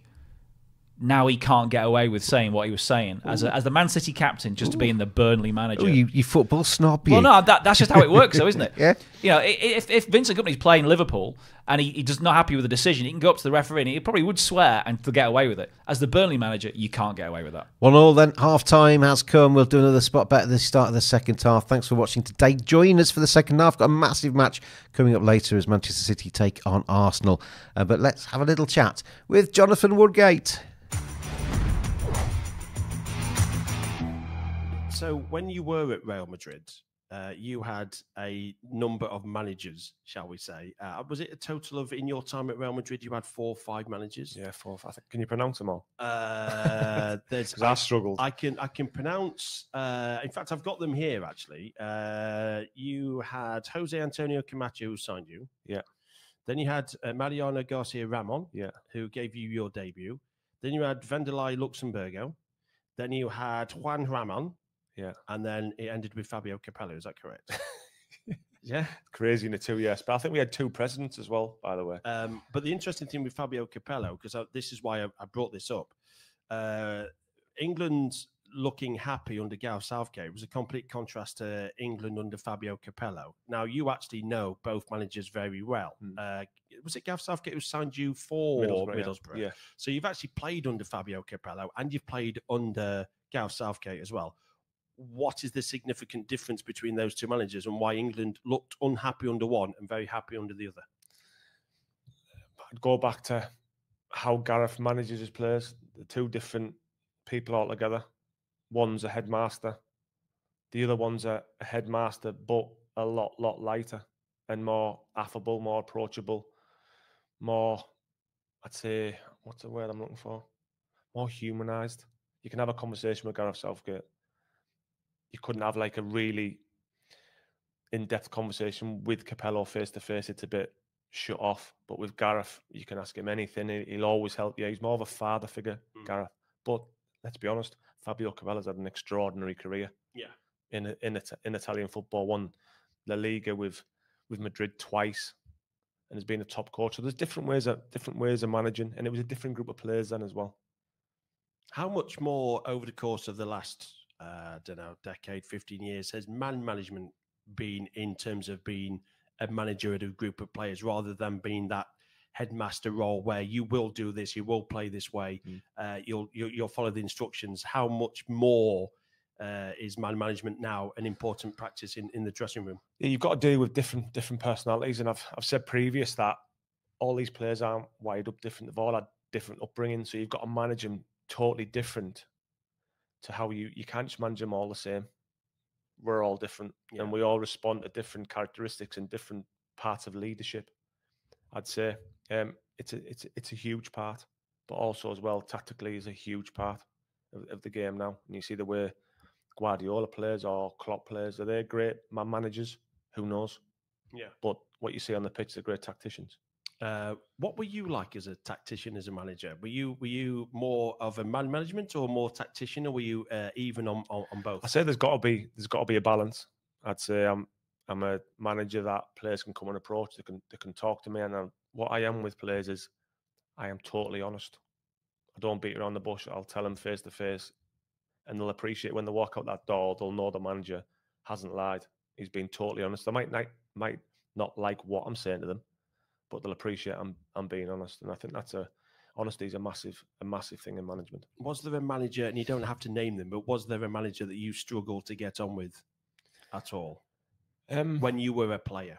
No, I'd say I got on with all my managers because I knew my job, I knew my role, I knew how to act. Um, and if they're honest with me, I'd I'd appreciate it. Okay. Bobby Robson, for example, Oh, legend. incredible Legend. man manager, Yeah. but he'd tell you face to face if you weren't playing well. But he'd tell you when you're walking out the door how good you've been and how good you can be, and you can go even higher. Yeah, pushed you. Uh, Yeah. good. Uh, thank you. Right, Press no- the right buttons. Yeah, exactly. Uh, another question for Jonathan Woodgate, behind the bet at sportsbet.io. Here we go. Question from Off Branded. Who would you consider the best coach you had who improved you the most and had the biggest impact on your career? Who improved me the most? I'd say Bobby Robson. I'd say just for his enthusiasm he gave me, his belief in me. Um, I wouldn't say that I worked a lot under him as a, as a player in, in defensively, um, but I'd say him. I'd say without question, I played some of my best football when I was at Newcastle. I've also got to look at David O'Leary when I was at when I was at Leeds, who at times was difficult with me because he knew I could go on to the next level and he, he always wanted the best. So just say, for example, if I'd lost a few headers on a, on a Saturday and I was weak in the air, he used to have me back on afternoons practicing heading. Just me, him, and Eddie Gray, the assistant coach. Shotting balls in the air and I'd have to head it, get my timing right, but he was constantly on me. Um, but yeah, like I say, you learn a lot from every single coach. Tony Pulis, for example, when I went to Stoke, I thought I knew everything when I went to Stoke. I thought it was a, yeah, I just come from Spurs, blah, blah, blah, had a decent enough career. And I thought I knew everything about defending. He was top. And I mean, on the defensive side of the game, of organisation and a, and a structure to a team and setting a team up, no disrespect to, to Stoke, but set them up in a way not to get beat, set them up in a way to show them how to beat teams. By you don't have to play great football, you have to score goals. And I learned a lot from him also. What was the uh, what was the big thing that Bobby Robson improved you most on as a player? Because you, you, I've heard you say before that you were you think your best time as a footballer was at Newcastle Yeah. United. I'd say I'd say confidence. Just believe you can do more. Bring the ball out of defence. Don't just be happy with passing it to your fullback. Bring it out of defence. Attract the midfielder and you pass it off. Be composed on the ball. Little things like that which take you to a take you to a different level. And you mentioned David O'Leary, who was the the Leeds manager. Uh, I know it was George Graham, and then it became David O'Leary at Le- when you were at Leeds. Uh, but there's a character in the youth academy who really pushed you for your heading, which was Paul Hart. Yeah. Uh, yeah. Talk to me about how he made you improve your heading. Well, with, with Paul, I remember first of all, I went away to a competition in a, in a, in America. We went there, um, and I played really well in the tournament. Bearing in mind, I'm a 15 year old kid playing in an under 18 tournament. So when I go there, I'm I'm really nervous. Play anyway, do really well. Eddie Gray goes back, tells the club you need to sign him on a pro contract when he turns 17. Brilliant. I'm over the moon. Anyway, I start the, the pre-season training. We're playing these games, and I'm I'm losing headers for fun, like getting beat by smaller lads than me. And Paul Hart was an aggressive centre half, but cultured as well. He could play, and he was like, he used to call me Ghost. So he said, Ghost. He said, listen, that pro contract's getting taken off you if you don't start heading the ball. So you can imagine what I was doing nearly every every other day. Used call me Ghost because I was doing a pre-season with the uh, 18s. I was 14 year old, and they were all running up the hills. I couldn't keep up. I was running up these hills, right, getting nowhere. Anyway, I ended up being sick, white as a sheet, and that's why he still calls me Ghost now. If he saw Yeah. me now, he called me Ghost. Uh, we've just had some breaking news, by the way. I've just looked up and there's some breaking news that Roger Federer is set to retire from tennis. We've just had that breaking news. So, uh, an absolute legend in the world of tennis that Roger Federer is set to retire from tennis. And boy, what a career he's had, by the way. Hey, incredible. Proper player. proper, proper player. Uh, right, another question uh, for Jonathan Woodgate, uh, behind the bed at sportsbet.io. Question from King Shane 101. What is the biggest difference between the Premier League and the Liga during your playing days, and possibly still to this day? yeah, still to this day uh, in the Liga, the players have a lot more, I'd say, quality on the ball, especially when you go down the league. So, say between 10th to 20th, they'll all play and they're all really good on the ball. Not as quick as um, the Premier League. The Premier League's fast and furious. You need to be a machine, really. You have to get up and down. If you look at a lot of the midfielders in the Premier League now, they can all run. Whereas in the Liga, you can you can play, you can pass. The game's not played at at the same intensity. there is this thinking, uh, and it's said quite a lot, certainly for for fans of the Premier League, that uh, the Liga is not an easier league to win, but you can have, if you're playing for some of the top teams, you can have off days and still win. Mm. Whereas in the Premier League, has been proven with Manchester City, you know, uh, they've dropped points uh, against sides that haven't in the past because they have a slight off day and they're caught unaware. Is that is that an actual thing, or is that just utter nonsense that only football fans would say? No, I think I think that's right. I think because in that league where you've got like the likes of Madrid, Atletico, Barca, they're your top teams, Sevilla, um, Valencia back in the day, but the players were so, so, much of a higher quality than the lesser teams that they could have an off day because they knew someone. If they were getting beat one or two nil, they got someone to pull them out of it. Mm. Whereas if you look at a Man United, Brentford against Man United, yeah. or a Brighton against Man United, yeah, you can easily get turned over. Where it's league, it's not as it's not as easy as that. Yeah, I do because I do wonder why you know Pep Guardiola has obviously managed in uh, La Liga, uh, and he but after a few years at Barcelona, I say a few years, it was a good number of seasons at Barcelona, but then he left. Mm. He then went to Bayern Munich, good for a number of seasons there. He left, but at Man City, he's been there at the longest, and I wonder if it's because of the competitive edge of the Premier League, where you need to be on it game in, game out to succeed, that actually keeps him in the Premier League. I think the reason is because he hasn't won the Champions League and that as well, yeah, at, at Man City. But you're right, you can't have enough in the Premier League. Do you think Man City will win the Premier yeah at the, the Champions League? Yeah, this year. This year, yeah, they'll win it this season. I think Haaland makes a huge difference. A huge difference. His uh, his goal uh, last night was pretty good, wasn't it? How would you defend it? That's the question. I'm a def- how, right because their the left side centre back, they went to three at the back, right? I don't know what else he can do because the balls, the ball is past the left, the uh, the left post. And I think to myself, how are you going to get into that? And what else can that centre back do? Right. So my question to you then is: If you are facing Haaland, how would you deal with him? How would I deal with Haaland? Well, yeah. I wouldn't leave a lot of space in behind me. Right. That's for starters. And I'd be reading situations where the ball's going to go along. I'll be dropping off a, a few more yards before that. I think if you leave a lot of space for him, or he's not marked in the box, you're doomed. But like you've seen some of his goals this season. I mean, oh. he was strong, money, really yeah, strong. The, the, the, thing with Haaland as well is that he's he's he's noti- you know it's noticeable that he has some games where he has very few touches, mm. but then he can still score two, and that's exactly what the best strikers do, isn't it? What's the most important thing in football? Scoring goals, Scoring and it's goals. the hardest thing. And I don't think he's too bothered about not having a load of touches yeah. because he's got players in that team who can have them touches. As long as they supply the ball for Haaland in the box, he's guaranteeing you goals. Best striker in the uh, Premier League for you by quite a distance. Um, yeah, he's out. He's, he's outstanding. He's only still young as well, and he's out. I wouldn't say by an, an incredible distance. Uh, let's pay Harry Kane uh, how good he's been over the years, but I think Haaland's going to be on the next level to a lot of strikers. And he was born in Leeds, of course. Haaland. He was, he's yeah. a local boy to where we are Haaland, now. Do you know his dad? Born well? in Yorkshire. I played with his dad. Yeah, Alf-Inge. Yeah. Yeah. Did he, did he have any? Did he come in one day and go? I've, I've, um, my my son, by the way, he, he, started kicking the ball around. He's pretty good at this. He's not bad. He's not bad. I think he might have a future in this game.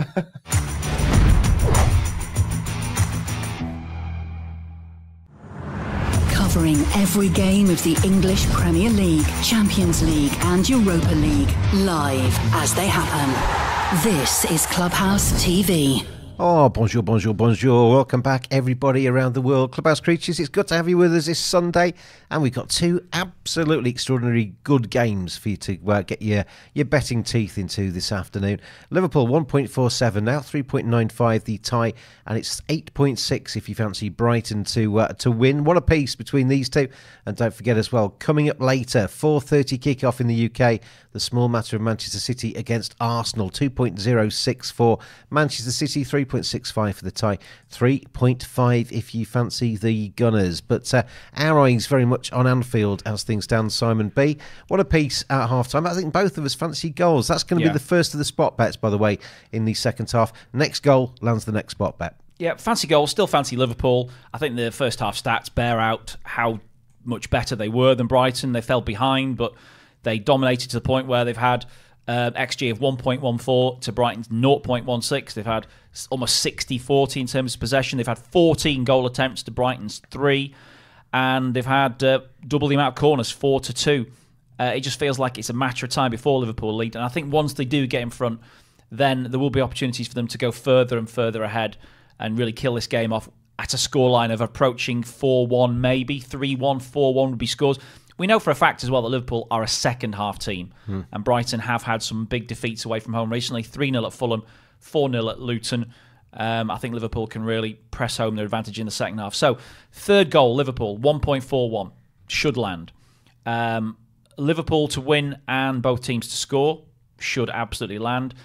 Second half, both teams score. Not so sure on that one. It's 2.78 second half, both teams to score.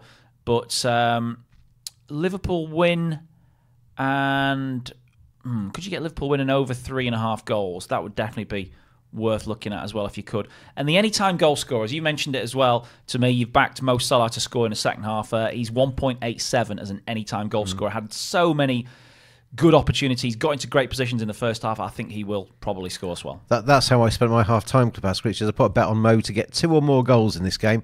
So uh, and he's captain of my fantasy team. So that's completely written him off now, hasn't it? He's going to get nowhere near scoring, but hopefully It's he does. double hopefully, backed he, him there, hope- haven't you? hopefully he does. Um, Chi, hello to you. Hello, Chi. Good to see you today in China. And uh, Chi, hopefully you're well. Tell us what you're uh, you're bet- betting on today, and uh, good to have you with us on Clubhouse TV and Sportsbet.io. Yeah, for the spot bet, I think we're just going to go for a goal, aren't we? Just a, Yeah, next goal. either team to score. Yeah, next goal lands next spot bet. If we haven't got a goal, um, I mean, we, we both fancy goals in this, so we're expecting a goal to come fairly soon. But um, if we haven't got one by around about the minute sort of 65 or something, we'll add something else to go alongside of it um, to uh, make sure we get uh, at least one or two more spot bets landing for us as we go through this second half. But we're underway for the second half, and the ball played uh, downfield by Brighton. But it's uh, very much um, stats wise, it's very much been, I think, Liverpool's game so far, apart from the the goals scored. They seem to be increasing their possession as the as the match goes on as well. It was fairly even in the early stages of this one, but uh, good defending from Quansah. as the game's Very gone on, good defending from their their percentage has gone up. Si, um, now fifty seven percent possession for uh, Liverpool, just creeping up all Yeah. the time. He's good, good young kid, isn't he? They've got some great young players. Well, he, he's in the, the position where um, Adingra is attacking now. So, at first half, Adingra was Brighton's main threat. He was getting in behind Bradley because Bradley is an attacking fullback, clearly. So, there's space there for Adingra to attack. And Quansah is the first line of defence. And he was found out a little bit in that first half, but his first um, bit of defending in the second half was very good.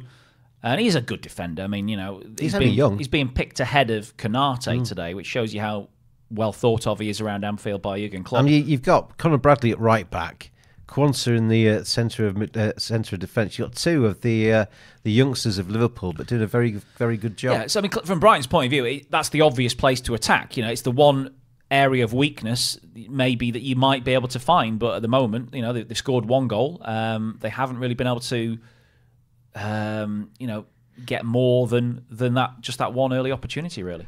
Um, who did you captain? Um, everybody in your fantasy teams this weekend because it's not the. Ov- Sometimes you go into a weekend and there's an obvious uh, um, team that you're going to pick your captain from. I don't think it was this weekend, so I'd, I'd be interested to know who you picked as your captain in your fantasy teams. I'm going to put that in the uh, in the message board as well um, to see if we can get some response to that. Who did you captain in your FPL side?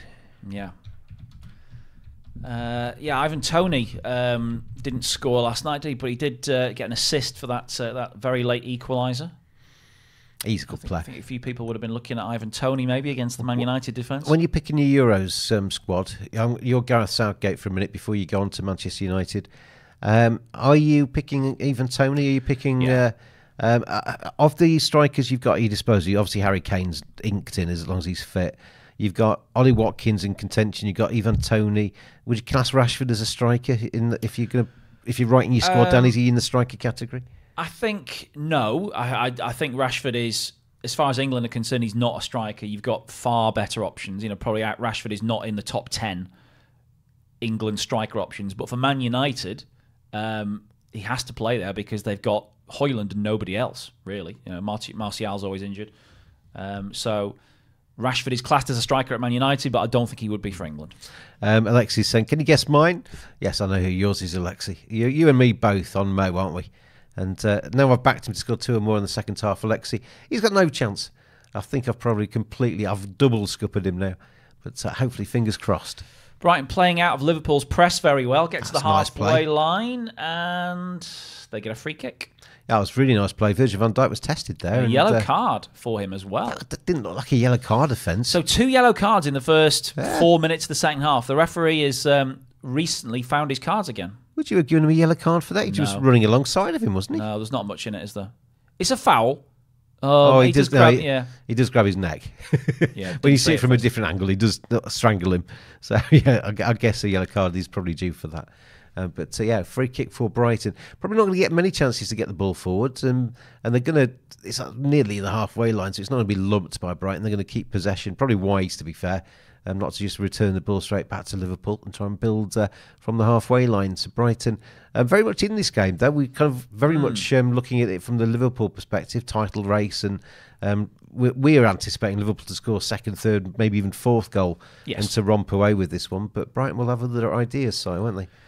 Yeah, um, I just wonder if they've got that um, that player that can sniff out the easy chance. Though we saw the goal they scored from Danny Welbeck, great goal, you know, but it's a 0.08 xg chance. You know, it's a volley from the edge of the box with a couple of defenders in front of him. He hit it really well, but can can Brighton carve out the easy chances? You know, the, the tap ins from five yards, um, and you know have when it when it when they do carve out a chance where there is a possible tap in from five yards, is there going to be anybody there, or is Danny Welbeck, you know, not able to to be in two places at once, if you like. If he's created the chance, can he actually get on the end of it as well? So that would be my concern with them. They look good in the build-up phase, but are they actually going to be have somebody on the spot to put the chance away?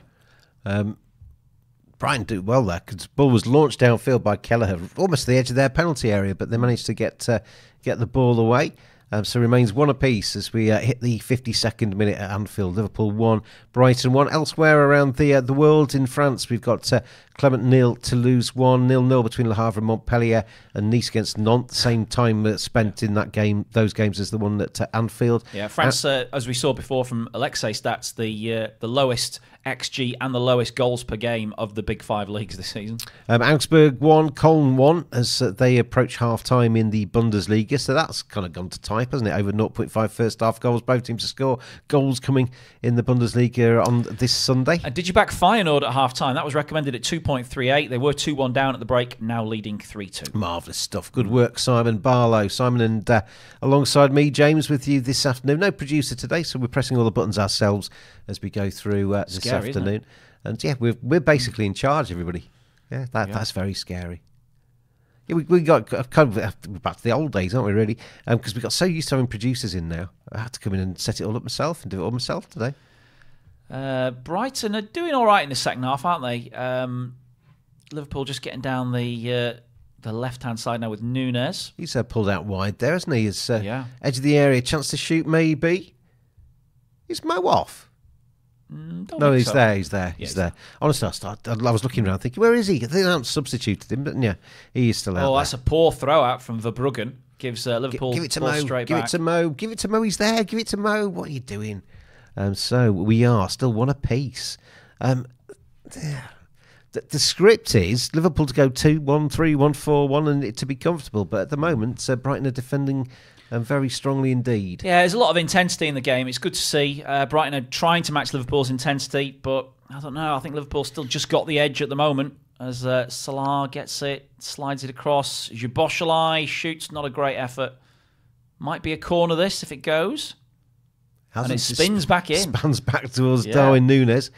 And uh, it was like he was on a bit of string that. He was like pulling it back towards him. Has Dave T gone to this game today? I don't know, actually. I don't know. Just wonder whether he's done his usual uh, superstitious uh, things that he needs to do. We don't, we don't live to together, me and Dave T. I don't know every, okay. I don't know all of his movements. You went on with him yesterday, were you? No, he was he was off. Must he? It's Easter weekend, isn't it? So he's maybe gone off with the kids somewhere. Um, but I, yeah, I don't know. Um, sometimes go. He, he, he hails from Cumbria, DT, so he sometimes heads that way when he's got a chance to get away.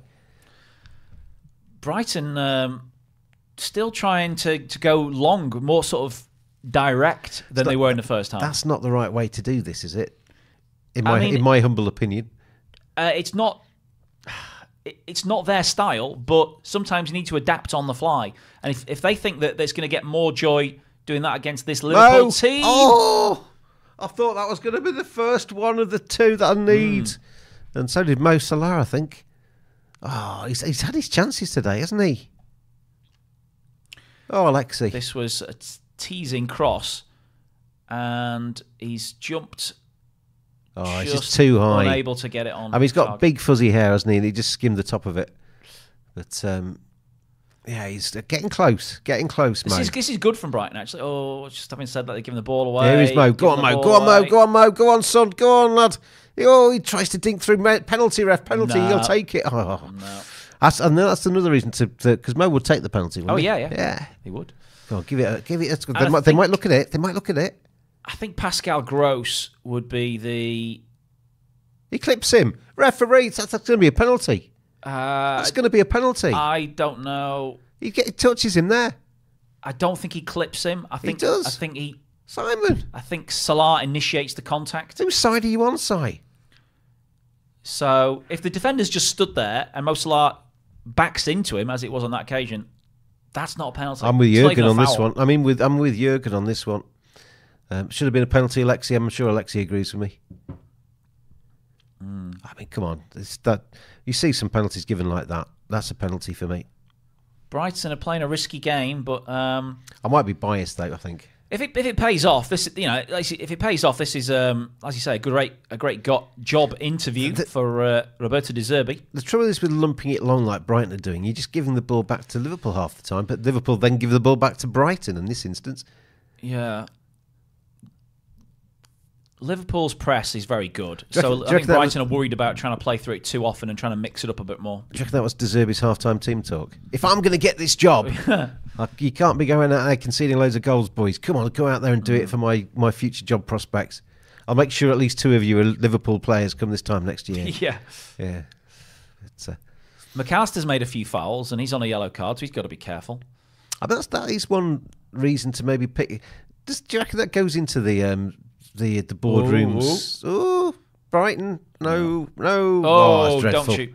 That's way, way outside 17 metres or yeah, that's, 14 that's pushed the average up. Uh, Do you reckon that goes into any um, board's um, decisions on a future manager, which club they're coming from, and who they could poach with him? Maybe. Yeah, maybe. Um, Yeah, if we if we pick De Zerbi, he could probably bring Mitoma with him. I'm not sure it would be li- in Liverpool's thoughts. I mean, Liverpool have got Mac Allister anyway, who played for De Zerbi last season, so you know that's that's one link they would have already there. I, you would imagine that would be a conversation, wouldn't you? If they if they do realistically look at De Zerbi, they're going to have a chat with Alexi Of course. Mac Allister Yeah, of course. Yeah, I and mean, say what was he really like? What's he really like? Tell me what he's really like. they they do all the homework anyway, and you know they probably ask James Milner who plays this season. Um, but yeah, Liverpool's manager's position is going to be an interesting fill, isn't it? You know, um, That's going to as soon as this season finishes, that's going to be the story, isn't it? Who's going to get the job? Because they're, doing the work behind the scenes now. So you'd imagine Mm. the way Liverpool are quite efficient when it comes to stuff like that. It won't be too long after they give the party to Jurgen. It won't be too long before he's replaced. no, absolutely not. No. They'll want they'll want to keep things going. There might be a week between Jurgen leaving and uh, the new man sitting in his chair, but Yeah. they'll want it to be as seamless as possible. Oh, that's a yellow card. I'm afraid that is a blatant yellow card for Joe Gomez. So there you go.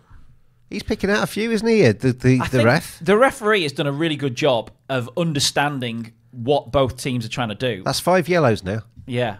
And this is a counter attack, and they are that's a blatant, He's clattered a him, cynical attempt to stop a counter attack, and that is what Brighton are trying to do. They're trying to counter attack, so it's definitely a yellow card. Have you been watching Gladiators, by the way? No, Mark Clattenburg. He's the he's the referee in is Gladiators. he, is he a better ref on Gladiators than he was in the he's, Premier? a- he's actually quite good on it. He's um, he's quite good on it. On my first whistle. You'll never beat John Anderson, the original Gladiators referee. I think was he's great. I think he's good, Mark Clattenburg. He's uh, he's very much part of the show. Contender ready, gladiator ready. He's just copying what John, John Yeah, no, Anderson done- did. he, he does exactly the same, and he does it well. Yeah, okay. Yeah, no, uh, I mean, basically, you- you don't mess. You don't mess with the winning formula. what, do why reinvent the wheel when it's No. already the wheel's already turning? He's, he's, he's, I think I don't know if our viewers get. Do they get gladiators in there? I, I bet it's, I bet it's in, uh, unless they got their own version. Um, They might have their own version because uh, Oh, we've got some uh, spam here. We need to get rid of in there. I'm, yeah. I'm, I'm already in the process of deleting it, so it's gone. Thank you. It is a penalty, says Alexei. Yeah, well, I, I disagree. I, I Well, Alex, both me and care to Alexei have. Captain Mo. Okay. Yeah, I think so. I think there is a subplot there in our thought, Right. our thought process. Uh, th- there was definite contact.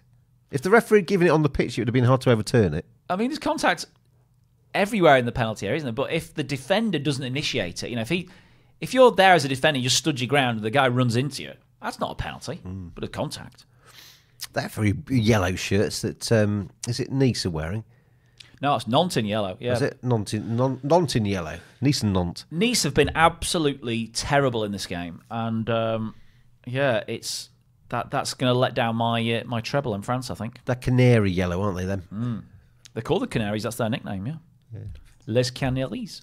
Feyenoord four two up, so the points are secure, and the bet is uh, landing there. nice work, Simon B. Give him a round of applause, everybody. Yeah, easy spot though, isn't it? You know, they're two one down at half time. They're class apart, really. Those those two teams. We have got we haven't had a goal yet, and that's the next spot bet. We're coming Yeah. up to the hour mark as well, Simon. So we've got about half an hour left here. Um, we're kind of having to wait here for Liverpool to take charge of this Well, match, aren't we? Liverpool fifteen fouls. Brighton five. That's because Brighton are- breaking and breaking at pace, aren't they? They're, they're having to kind of hold them down or get rid of, stop the attack somehow, aren't they? Not always by fair means. No. Yeah. But the, ref, the referee's done well to to clamp down it. So for 15 fouls, they've had about four yellow cards, haven't they? Here come Brighton again down the left hand side. Brighton are not done yet, you know. They just need one more um, stonking shot from Danny Welbeck, and they're more Yeah. than in this, aren't they? I think if, if Brighton are going to have a point, they're going to have to score again.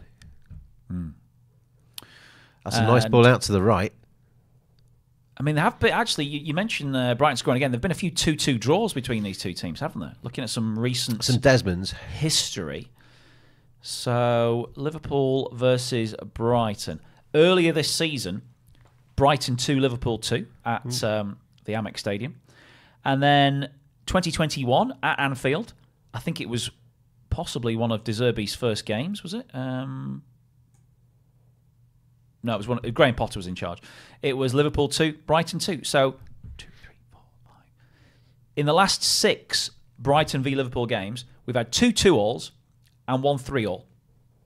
So score draws have been quite regular between these two sides, but high scoring draws, not just 1 1, 2 2, and 3 3. This is good from Liverpool. Darwin Núñez on the right. He's got men inside of him. He's approaching the penalty area. He's into the penalty area. Tries to get to the byline. She's been hold, balked off a little bit by the uh, Brighton defence, but Liverpool got men forward here.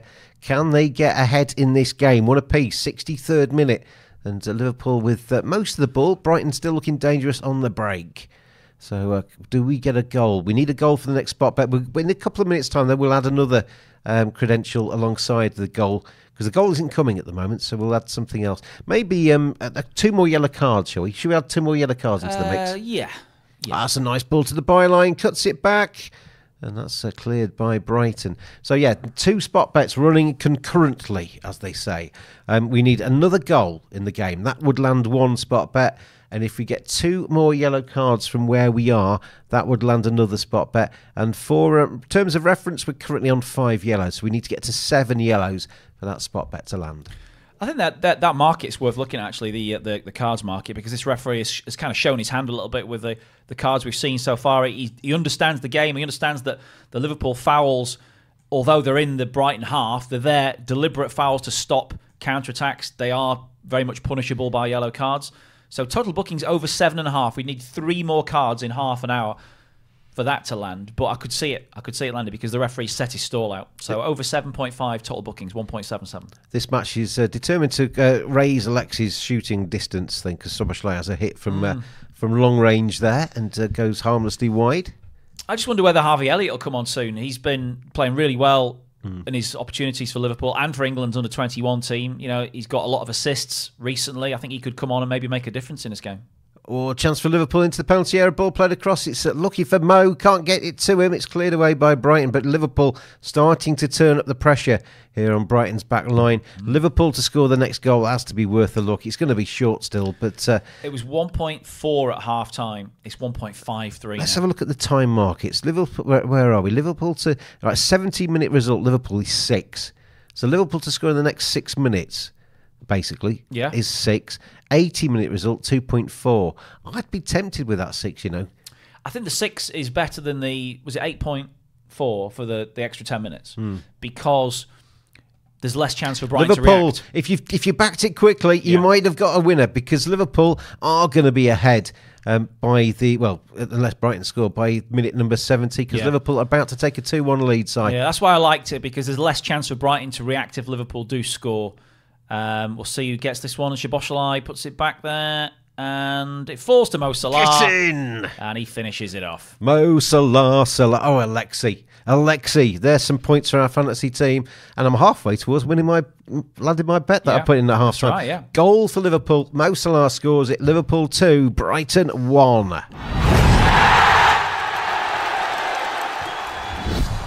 one. Slissy says, "Come on, Liverpool." He says, "Come on," and uh, we have got um, points. Alexi, we got points. What do you think? Which team gets more fouls, attacking or defending? Says Alexi. "Come on, Liverpool," says Slissy. Goal, Liverpool. Liverpool two, Brighton one. Twenty-four minutes left. Now, is this the moment now where Liverpool just turn the screw and maybe add a couple more? Si. I think next 10 minutes, um, they'll have the momentum to go and take this game away from Brighton. After 10 minutes, as we get towards the last 10 minutes of the game, if Brighton are still in this, they're going to throw everything at Liverpool, and Liverpool will get nervous, and it could be a very different. So I think the next 10 minutes will shape the game. Liverpool go and get a third, then there's there's there's a 4-1 scoreline on it for them.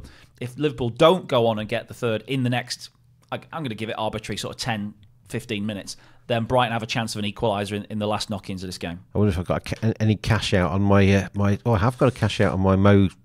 Oh, I've got a positive cash out on my Mo. okay. Oh, I don't know if I, should mean, take he's- it. they're not going to take him off. Klopp's not going to take him off. He's going to stay on the pitch, and if this game gets stretched, Hmm. he, he could easily get another chance.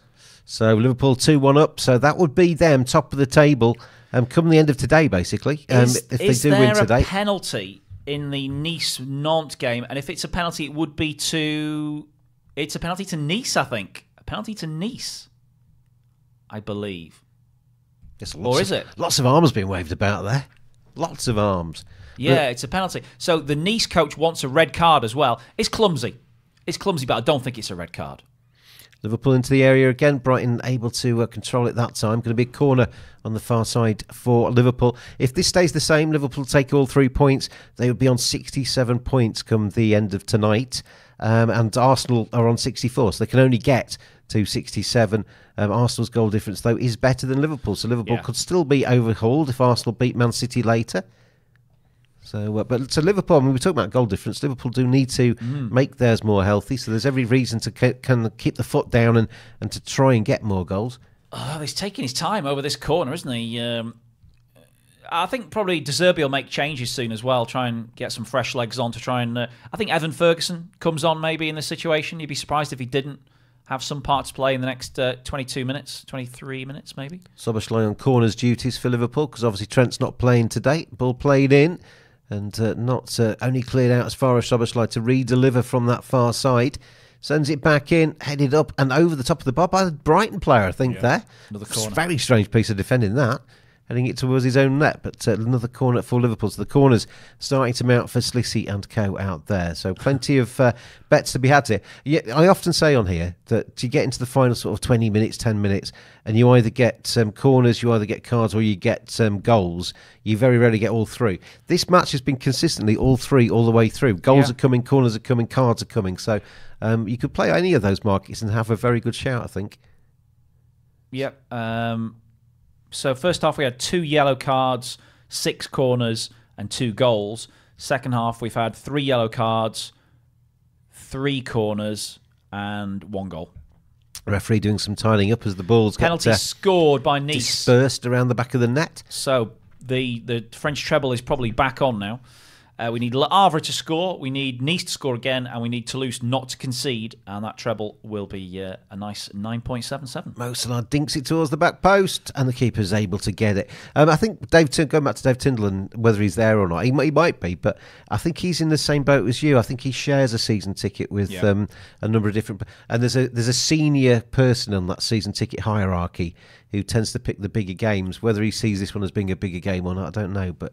Um, DT, I think DT made a trade with him because the, the last game of the season is obviously Jurgen's last game. Right. Um, so that's much sought after. But because the um, the head honcho of their gang um, opted for one of the big games recently, DT's hoping he can still get to that final game of the season. But because that'll be one that all all Liverpool fans will want to be at when it when Jurgen waves goodbye. Yeah, I think so. Um, the Europa League final, I think, does that come before the last game of the season? So it's But that won't be at Anfield though, will it? no, no, but it's in Dublin. Yeah. you know, it's not hard to get to, is it? You know, if you can get a ticket for that. Um, Lamptey coming off for Brighton, Buonanotte on for Brighton. So uh, Zerbi making that change. But no, I think I think the the Europa League final is before Hmm. before the last game of the season. I think. Us- aren't they usually at the end of the season? Oh, uh, you're gonna make me check, aren't you? Yeah, I think I don't know if you're right with that. I, uh, the Champions League's usually after the league's finished, isn't it? Yeah, but the Europa League's uh, at least a week before it. Yeah. Europa League finals 23rd of May. So yes, I think that is um, after. So yeah, I was wrong. Yeah, I think that's straight after the season. Then the Champions Yeah. League comes the week after, doesn't it? yeah. I think. So actually, that game at Anfield is not going to be Jurgen's last game if they reach the Europa League final. Yeah, but if you're going to see him at Anfield, it's the last time to see Yeah. him at Anfield. Yeah, I mean, it'll be, it'll be a great occasion nonetheless. So, uh, yeah, I mean, and to be fair, I mean, I'm not a massive fan of Jurgen Klopp. I, I, half of me likes him, half of me doesn't. He annoys the hell out of me sometimes, and then I actually warm to him on other occasions. But um, he's been a great asset to the Premier League. And Liverpool about to score number three. He'll be uh, big, showing his big teeth soon because he'll be smiling. Oh dear, Danny Welbeck slips over, gives the ball away, or allows Liverpool to scurry away. Pass it to Mo. it's Pass it be- to Mo. It's going to be Mo, isn't it? It's No, going to be Mo. Mo's, Mo's dinked it in, and it's finished. It's Oh, finished. Mo, dear. it's Mo with the assist. It's Luis Diaz with the finish on the back post. It's another goal No, to it's off- Liverpool. it's offside. Is it offside? Yeah, he's giving it offside. Oh, we'll see the lines being drawn maybe in a second. But That uh, spares Verbruggen's bl- blushes because it was an awful attempt at saving this Luis Di- Diaz effort. Lu- Luis Diaz isn't exactly uh, complaining too much, is he? S- Thinking he's onside here. So let's have a look at the, the replay. Is Diaz on or not? Ball's played out to um, to Mo on this side. Now is Diaz offside? Oh, I don't know. You I know, don't think he's on. I don't know. That's very close. That he's I reckon he's on here. Yeah, I, I do too. And Verbruggen's blushes might not be spared because that should be goal number three for Liverpool. I think they're going to draw the lines. It's whether he's got a toe nail just offside here or not. It's that close. It is a very close decision, far closer than they thought. I think Yeah. when the when the decision's made because he times his run very well. Bad news in France. Nantes got a penalty now. Um, so that's a chance for them to go 2 on up against Nice. And Montpellier have scored against Le Havre. So I think the French treble is now officially dead. It's a dead duck. It's a dead duck. I don't know what that is in. It's a blatant Le, penalty. Le as well. Duc Mort. Yeah, oui, oui. Le canard. Le, Uh, le canard mort. How, how do you? I mean, that shot that they're showing at the moment shows you nothing. No. It shows you absolutely nothing. So I mean, what's the point of that shot when you're looking at the VAR on this? That's the shot you need. Yeah. And you need to blow it up with all the players. Get- all the- he's off just. Yeah. Offside just. That isn't really. Okay. Maybe it does illustrate because the the re- the foot is just yeah okay so he's offside. It is literally a toenail, isn't it? There, he's offside, and he's only. But it was a very well timed run. He was nearly onside. well, that that could be a crucial decision in this game. I'd be gutted if it was if it was a Mo Salah goal that had just been ruled off. If Liverpool go three one up there, they don't lose. You know, I mean, they uh, they they they win the game. I think. If Brighton get this to within the last ten minutes and they're only two one down, Liverpool are going to fall na- naturally fall back and start defending the lead, and it could just give the initiative to Brighton to try and nick an equaliser. Le Canard Mort. Oui, ouais. The French treble est mort. Uh, they don't. The, a dead duck doesn't quack. Actually, does it? No. That was actually technically wrong. I, that, this is why I don't get any of the um, David Attenborough work. Right. Yeah. Because it, I, I mean, because I just went Le Canard Mort, whack Mm. quack, and he wouldn't quack. He would just, but he'd just lie there, Yeah. wouldn't it? He'd just lie there Yeah. decomposing, basically. So uh, yeah, dead ducks don't quack. You learn everything here on Clubhouse TV Mm, yeah. sportsbet.io. dead Um, ducks don't quack. It should be a film, that, shouldn't it? film name. Yeah, I might write it tonight. Mm, yeah. I'll come back tomorrow with the full script. Here, here we go with uh, Brighton down the left. Can they? Can they? Not on that occasion. Nah, good, very good, very good has tackle. played well, really well. He's got long legs as well, hasn't he? Yeah. Like Inspector Gadget legs. He wraps them around the ball. Yeah, I can see why uh, Jurgen Klopp has, uh, has stuck him in instead of Konaté today. I mean, he's obviously surrounded himself, Jurgen, with some very, very talented coaches, and and that's what you do, isn't it? If you if you're of that kind of stature, you make sure the people around you are good enough to trust, and you can. But their their talent ID and they're bringing through of these young players like Quansah and uh, I mean Trent Alexander Arnold and um, Bradley at right back and, and more besides. This I mean that that um, League Cup final there was millions of them. Um, they they seem to recognise the talent and be able to nurture it and bring it through and, and to polish. So when they actually come into the first team, they are looking like the real deal, aren't they? They're, they're not having. They're not looking as if they're kind of just short of the mark and they need to learn. They're looking as if they're kind of polishing and ready to actually just Yeah. hit the ground running. And Liverpool have used the Carabao Cup, haven't they, as um, a sort of proving ground for Yeah. a lot of the young players. You know, he's picked teams where there's, a, there's enough experience in there, but there's maybe like, you know, a few young faces each round. And by doing that, now those players have come through to the stage where they can start Premier League games and, and look as good as Quansah has today. Toulouse go 2 0 up against a Clermont, so uh, they're doing the job for you. Yes, they're the only one of the three that are going to win, I think, as Brighton try and keep the ball alive in the Liverpool box. But now they're in trouble. Counter attack on, 2v1. This is the chance. Come on. And it's Mo Come for on, a second goal. Come on, Mo. It's it, Mo. Saved by Verbruggen.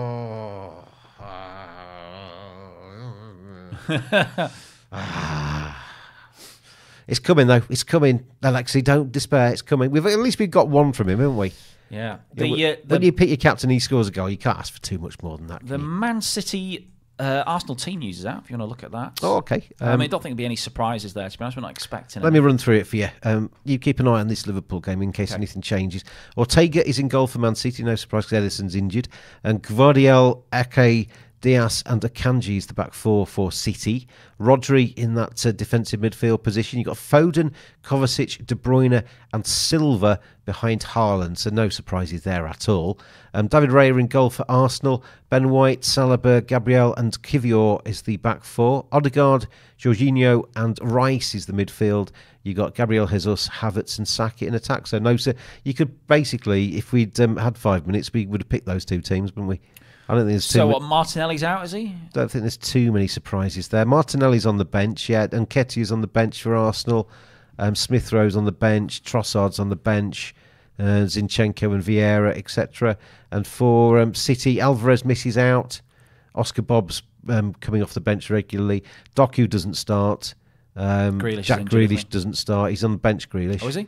Um, and um, John Stones doesn't start, but John Stones He's injured, yeah. He limped off for England, didn't he? and Kyle Walker as well injured. Yeah. Uh, so yeah, Man City's defense has been um, has been their issue really this season. Not not concede, not keeping as many clean sheets, but they're still scoring plenty of goals. Um, Arsenal very solid. They do. You know, I, I I think Arsenal could get a result here today. Uh, it's it's at Man City, isn't it? Should I cash out my Mo Salah bet? Yeah, I, th- I think Arsenal get a result. Does Mo score again? Um, At the moment, I've got a cash out that's over double the what my stake was. no, don't cash out. Leave it. Are you going to pay me the difference if No. it, no? No, I'm, I'm, just, I'm just telling you to grow a pair. It's all down to Simon. And if I if I suddenly start crying at full time, it's because Simon's hurt me. Will, will you thank me if um, I'm correct? I'll come across the studio and kiss you on the lips, Okay. full on the lips. Side. I really hope he doesn't score now. Then. I'm ready. Oh no. So if you stay tuned, you may see the uh, the longest screen kiss in the history of Clubhouse TV. Should Yeah. Mo Salah score? Actually, half of me doesn't want him to now. yeah. Looking at those teams, obviously Man City look great on paper, don't they? But I do wonder if the loss of Walker. I mean, it's a huge loss of Walker because of his pace, his recovery pace, and He's the way very they inappropriately named, isn't he? Really? Yeah, He should be runner. should be road runner. Yeah. Yeah. the way they play, they do rely on Walker's recovery pace because the the defense are pushing up so high to the halfway line and there's space in behind. Also, no John Stones. His ability to push into the midfield, give them the extra man, will be a major absence. You know, somebody else will have to do that job today. Can Akanji do it? Not so sure. Can Dias? Well, Dias won't be the one to do it because he's usually in the There's back a line leprechaun refereeing that match. A bit harsh, but I, know, I see I see the likeness. um, so yeah, Arsenal get a result. Arsenal do not lose. I think Arsenal double chance would be my play based on the team news there. I'm going to go to cash out. Well, You'll regret it, I'm feeling weak. but at least I won't get the kiss, so I'll be happy. I mean, we keep saying gamble responsibly, and I've got 10 minutes plus stoppage time, and my cash out's getting lower all the time. But then there is the small matter of quite a big payout if he scores again. Oh, I don't know what to do, everybody. I don't know what to do. Um, cash out and bet half, says Alexi. Ah, that's, a, that's possible. Yeah, but you, n- you never get great if you reinvest from your cash out. You're basically betting against yourself, aren't you? You just got to do one or the other. Oh, shall I be strong, Alexi? Or shall I be weak? I mean, it's not strength or weakness, is it? It's gambling responsibly. Shall I gamble responsibly? Or shall I be, um, shall I, shall I be reckless and let it ride? So Liverpool are 1.09 to win the game now. Um, Brighton, they're not going to win. They're 44, but the draw is 9.6. The draw is 9.6. Are we in that phase of the game now? Danny Welbeck, Danny Welbeck, Danny Welbeck. just get a chance? It was in the same kind of area that he scored the goal from, but it doesn't this time. No. And f- interesting that Ferguson hasn't come on in the game. So you're chasing the game, you're 2 1 down, you've got a striker on the bench. They don't even trust Ferguson to come on at this point. Darwin Núñez nearly wriggled through on a long ball there, but uh, good defending by Brighton. So we're entering the final 10. There will be some stoppage time, but I don't think there'll be That's huge it- that should be a yellow card. I mean, he won't give it because it's Van Dijk and he's already on one, but Yeah. If he wasn't, he'd he'd have booked him. And, it, and that's where it's wrong, isn't it? Because you should book him regardless. But uh, there you go. Um, but we are approaching. Um, I I can't. cash out's disappeared now, Mo. He's not being substituted, is he? no, he's still there. I can see him. Point him. Come on, Mo. Come on, Mo. Come on, Mo. Come on, Mo. Come on, Mo. I'm just going to say that a lot now. Uh, Come on, Mo. Over three and a half goals, 1.78. Definitely worth the play. This game is um, at the point where there's so much space. We saw it from that Mo Salah chance he missed on the counter attack. That they're going to get more chances like that. I would say that's Ooh, not far good away. Save. Yeah, He had to, it wasn't travelling at express speed there, but it was uh, it was far enough away from Kelleher to really cause him trouble there. And uh, it was Lewis Dunk there with the header. needed saving, and it's another corner onto the tally. So how many? We haven't had any more yellow cards, have we? Oh, we had one. We need uh, one more yellow card. That's actually- the spot bet. That's taken away any doubt from me because my cash out's disappeared. So. Did you do the spot bet for the goal, by the way? Um, No, we didn't, did we? Because Mo Salah scored to make it 2 1. I don't think we did a spot bet for that. It's better late than never, isn't it? yeah. Better late than never. Uh, I'll put go go go in the um, clubhouse TV chat. We need a couple of yellow cards as well, don't we? We need something else to finish off with as well. The fifth, a fifth thing. But go get your sportsbet.io usernames in. Get them in now. Get them in now. Get them in now. And we'll pull two of you out to win 10 USDT. Come on, Mo. Where are you? Where? Let's be having you, as Delia Smith would say. Luis Diaz coming down the left. And- Deflected. Oh, Oh, kissed corner. that into the side. It was corner, was it? Corner. Yeah, corner. So, um, um, so we've right, we've, we've just done the um, the one for the goal because you quite rightly remembered. Um, we are currently on in terms of corners. Where where do we stand, Si? In corners, The overall corner count is seven to four, isn't it? So that's eleven. yeah. If we get to thirteen corners, the final spot bet lands. Okay. Yeah. Yep. Does it have we- to be exactly 13? So we need no. So we need thirteen or more. All right. So we need two more yellow cards and we need two more corners to land the other two spot bets. We're gonna obviously we go. We've gone, gone, gone on the end. The goal scoring. yeah, I can see the uh, entries coming in now. I can't because like you say, it's not not. Um, I've got. You have to just yeah go to another um, another message and then message board and come back. yeah, I've done that. I've done that. So uh, we've got one, two, three, four, five, six, seven, eight, nine, ten. Yeah. So if we, if we don't read out your messages immediately, it's because we're not seeing them today straight away. It's not because we're ignoring you. I promise. I'll, uh, I I'll- think it's seventeen. well, I, Right, haven't done, got- I haven't done stop, stop, stop yet. oh yeah, okay. So Fretless has entered twice. I think. We need to Get, get your get your um, get them in now he? quickly. Has Fretless entered? Yes, he has. I'll delete one. Si.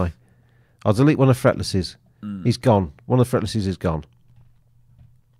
And stop, stop, stop goes in in 10. Get your sportsbet.io username in now if you haven't done it already. 10, 9, 8, 7, 6, 5, 4, 3, 2, 1. It's in. So uh, in my books, this is the last one. Yeah, 24, I think. 24. Okay, so you are going to be uh, the man pulling the uh, the winners out of the hat today. And uh, And the number is. Okay, and the winner is. Roy Steezy. Roy Steezy, well done, Roy. Roy. Well done, Roy Steezy. again. Where, where's Roy? Is he high or low? Oh, he's uh, I can't see him. near the top. He's not on my list. He's on mine. Oh, he's there. Sorry, Clover 47, isn't it? I do apologise, Roy. You are there, right in front of my eyes. So you are on the winners uh, in the winners circle now, Roy. And the next winner is. Well, it's a high number. It's Arby Tank. Arby Tank 12. Arby Tank. Congratulations. Well done, Arby Tank. So you are the sixth winner this afternoon. So Arby Tank goes onto the list underneath um, Clover 47, Roy Steezy. So the the winners so far today, we've had Slissy, Ishak, Augusta 61, Hakan 2217, Clover 47 and Arby Tank 12 of the sportsbet.i uh, usernames on my winners enclosure. Yeah. And to complete the 10, should we, if we can get there, we need two more yellow cards, we need two more Well, corners. only one more corner now because we've had uh, we've had 12. Oh, I was looking at this side. That corner doesn't count. Okay. Um, it does. It does count. We need one more corner. Yeah. Come on, and we need a, a Mo Salah goal for me Yes. to make me very happy. Did you cash out? no, and I Oh, can't. I've it's been taken out of my hands because the Okay, um, yeah, the cash out's gone. Yeah. So that, in in a way, that's a good thing because I can't do anything about it now. I've got no mixed feelings 'cause I can't do anything. I'm just relying on Mo's dancing little feet. Yeah. His ability to get into those uh, spaces. S- Well, what I don't want is a, a, a Salah goal with another VAR check for 20 minutes. Yeah. The, there'll be some stoppage. Always a chance if. Oh, what was he doing? You got to take that shot on there rather than uh, pass it. Anyway, Liverpool got away with one there a bit. Come on, come on, let's get a goal. Let's get a goal. Let's get corners. Let's get cards. Let's get some spot bets won. Let's get me a winner. Let's get everybody happy as we move on towards the final game today. Man City against Arsenal, 4.30. We've given you the teams. Um, let us know who you think's going to win um, between... Well, it's a very important game, isn't it? Man City against Arsenal, right towards the top end. Liverpool will go top um, after this victory, if it stays as a victory. And uh, then it's up to Arsenal to get the three points to go back ahead of them. Brighton shoots. Brighton nearly score. Oh, Lallana against his former team. Yeah. It's the Milner derby. It's the Lallana derby. It's it's- everybody. Everybody's played for Liverpool's playing for Brighton now. Liverpool are getting nervy now. So within, within sight of the finish line, and they're giving the ball away. Brighton are going with a more aggressive press, and it's creating these opportunities, and that is so close to squeezing home. Great first touch, got it through the defender's legs. Kelleher's beaten, but he's obviously got his angles right there because it goes wide. Yeah, that was uh, Lallana against his former team. So 87th minute, we will get some stoppage time. Will we get uh, some more spot bets won for you? One more corner required, two yellow cards. So we need a little bit of a coming together, don't we? Two people shouting at each other from close range, and the referee to go bang bang with these cards. But uh, Liverpool coming forward now. This is where Liverpool need to look after the ball, isn't it? Just see this. Man, Man Yeah. City is so good at this passing it around and denying their opponents any possession in uh, in dangerous areas. Mo Salah's got the ball on the left hand side. You don't want to score from there, Mo. Get yourself in the middle, man. No, but he's doing a job for his team, isn't he? I don't care about that. No, I know you don't. But now he's found himself in a bit of space. This is patient, but It's he's, it, Mo. he's in the box. Oh. Szoboszlai ends up with a very tame effort, and it's uh, cleared away by Brighton. But only as far as Mac Allister. Liverpool doing well here, keeping the ball down Brighton's end. And as I say, Liverpool will go top if they get the three points. They'll go on to 67 points. Arsenal will be 64, Man City 63. So uh, City could go second if they beat Arsenal later. Arsenal could go top if they beat Man City later. That's right. Um, Ci- There's Ci- corner. City can't go top, can they? I don't think. No, City go second. City go second. Yeah, sorry. Yeah, yeah. Um, that was the second. That was was that a, a, No, it wasn't. a goal was, kick? Uh, maybe was it offside beforehand? I, I nearly pressed the button then, and I'd have been wrong. That's a yellow card. There we go. There's one of them. Right, so we need one corner, and one card, and they're two separate spot bets. So if we get both, Yep. then we got two draws to do. If we get just the get one, busy. it's just the one to do. So we're coming towards the end of this, but we're every reason to stay tuned, and of course, every reason to stay tuned full stop because we've got Man City against Arsenal coming up at 4:30, which is around about 40 minutes away from now. Going to be a, see a change here from Liverpool. Yeah. Time wasting sub. Don't bring Mo off. Uh, No, no. it's Luis Diaz. Good. Yeah. Well done, Luis Diaz. He's played quite well today. He has. He got the goal, didn't he? The the equaliser, and um, had one disallowed as well. So he's uh, played his part. Seems to be in form again now, doesn't he? He's um, had a injury hit season, but he We- seems to have come in good at the right time. He had a rather stressful part of his season as well, with his Yeah. Mm. dad kidnapped and everything, didn't he? It wasn't the best of times for him, but uh, that's all behind him now. His dad was pictured with him at a game recently, so his dad's uh, fighting fit and raring to go. So that's good news. And uh, a change has been made as uh, Gakpo comes on to replace him. So uh, into the dynamas of this, but there's still all to play for. Brighton are not out of this yet. They still fancy a chance of nicking a point as they get the ball across. but uh, cleared away. Now Liverpool have a chance to break. Can they get the ball forward here? Nice play by uh, Mo, but he's uh, robbed of it in the end. And Brighton uh, just putting on a little bit of pressure. Yeah. The wrong player's got it for them, though, really, Van Hecke, but he's actually managed to pass it off. Oh, get it out wide. This is um, squeaky bum time for Liverpool. Yeah. They've, they've not killed this match off, have they? And it's uh, it could potentially come back to bite them. Yeah, they'll on be the bottom. waiting anxiously to see how much stoppage time is going to be added on because Liverpool won't want uh, any minutes at all, really, ideally. No, they're not going to get that. So it won't be zero. Liverpool are still uh, able to hold on to the ball, which is uh, good. And here's a chance. nice. Here's a chance Harvey Elliott flying into the area. for Mo Salah. Here's a chance. Saved! Oh! Oh! that was it. That was your chance. That was the second goal there. Verbruggen's denied him. Oh. I thought the way you were talking, it was coming. Sorry. Oh, There's a lot of space, though, still for Brighton.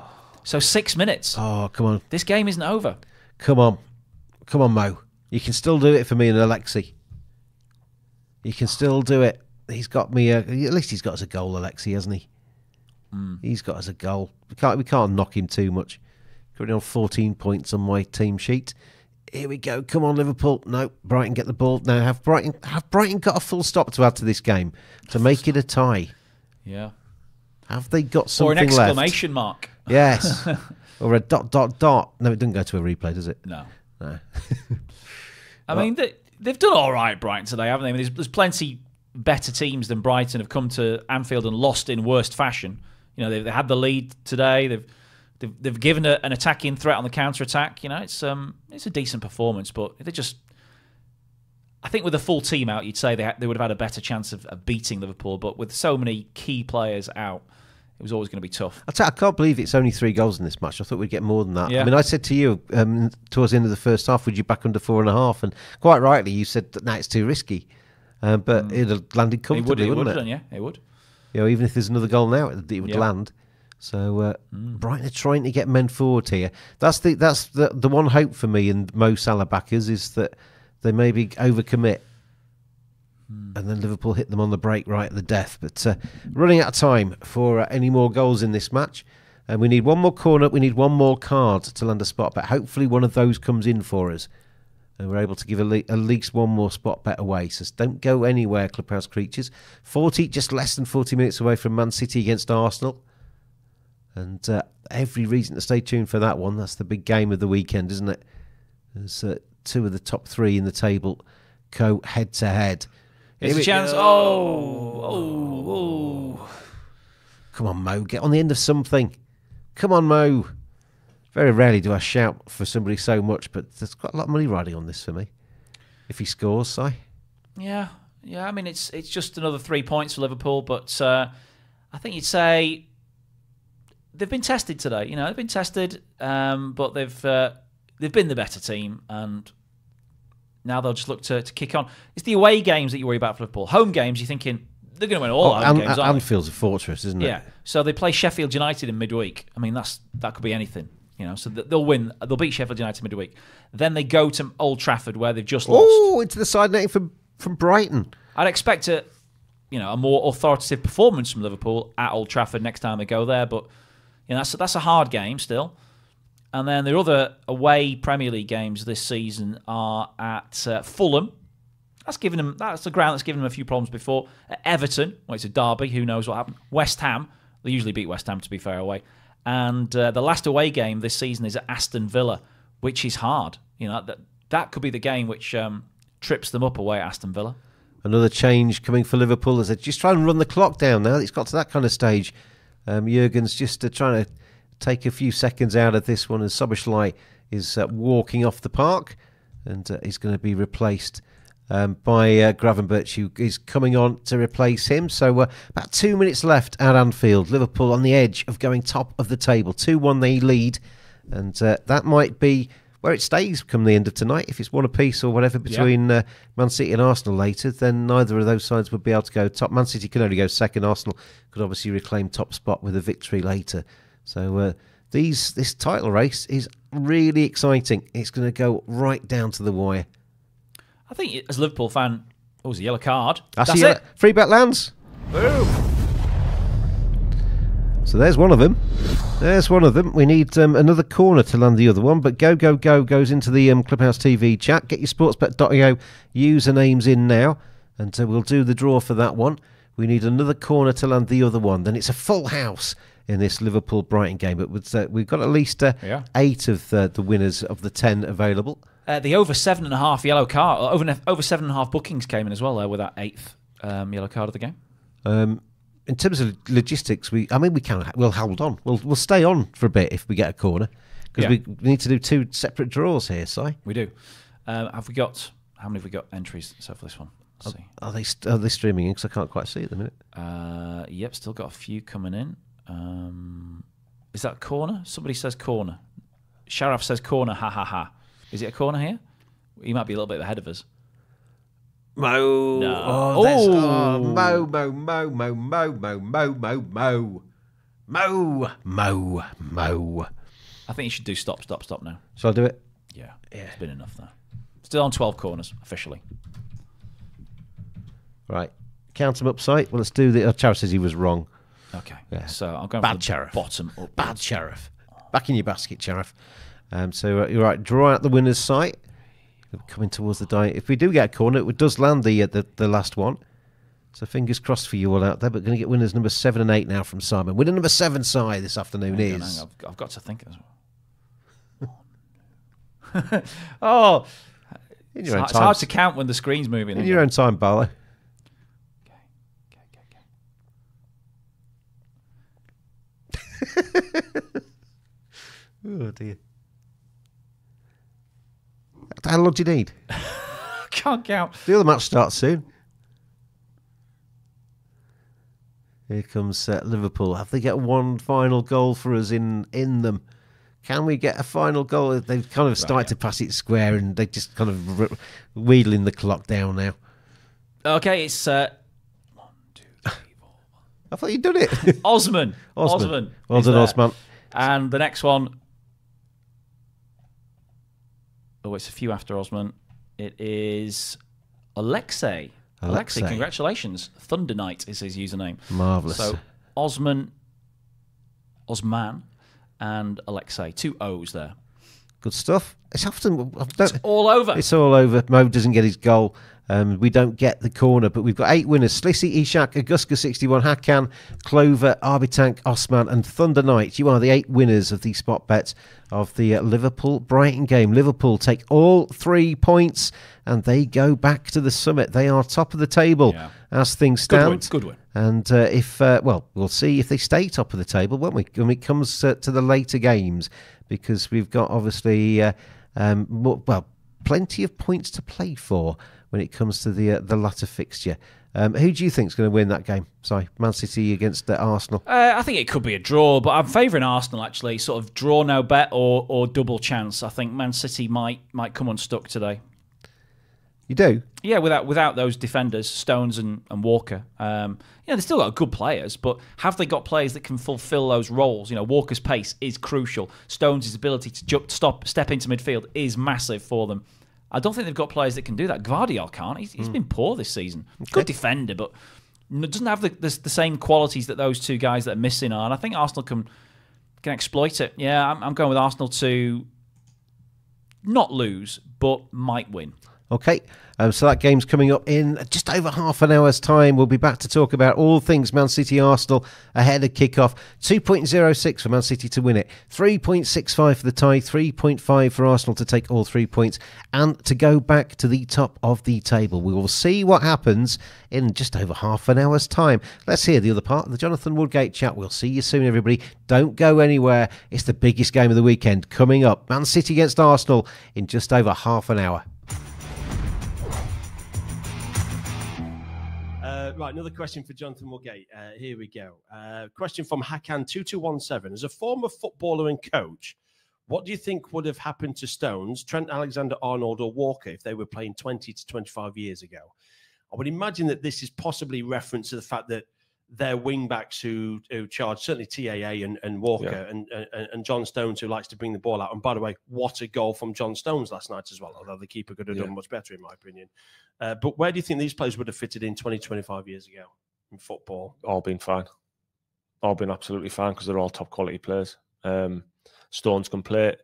Maybe 20, 25 years ago, it, it, wasn't always happening from the back, but John Stones can play. It. Alexander Arnold, okay, very attacking. Maybe in my my day that he'd have been tucked in a lot more, but Kyle Walker, not a problem at all. Not a problem. He is, a really rate Walker. I think he's even improved even more since he's gone um, to Man City from Spurs.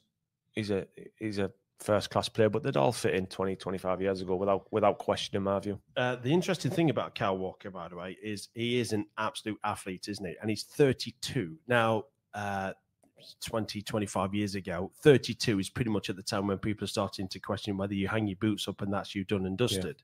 Whereas now, Kyle Walker and the likes of look like they could play football till they're 35, 36, 37 at the top level. Yeah, well, I think with players these days, they look after themselves a lot more, Yeah. and they've got that um, the way of preparing for games, recovering after games, um, heart rate monitors on, testing how far they're running, what what they're doing distance wise. A lot of them can tell how many jumps you've made, how many excel accels, decels. I mean, with the, with them now, with the sports science side of the game, that'll help the players really go on to the next level because of, of training. Like for for example, if we'd have played on a Saturday at Leeds, we'd have a Sunday off. We'd come in on the Monday. It'd be a hard session, really hard. We'd run again on the Tuesday afternoon. We'd have Wednesday off. Run again Thursday. Play Friday. I mean, play, yeah. train Friday. Yeah, Play Saturday. yeah. It, that would be unheard of now. Unheard of Do you- because of.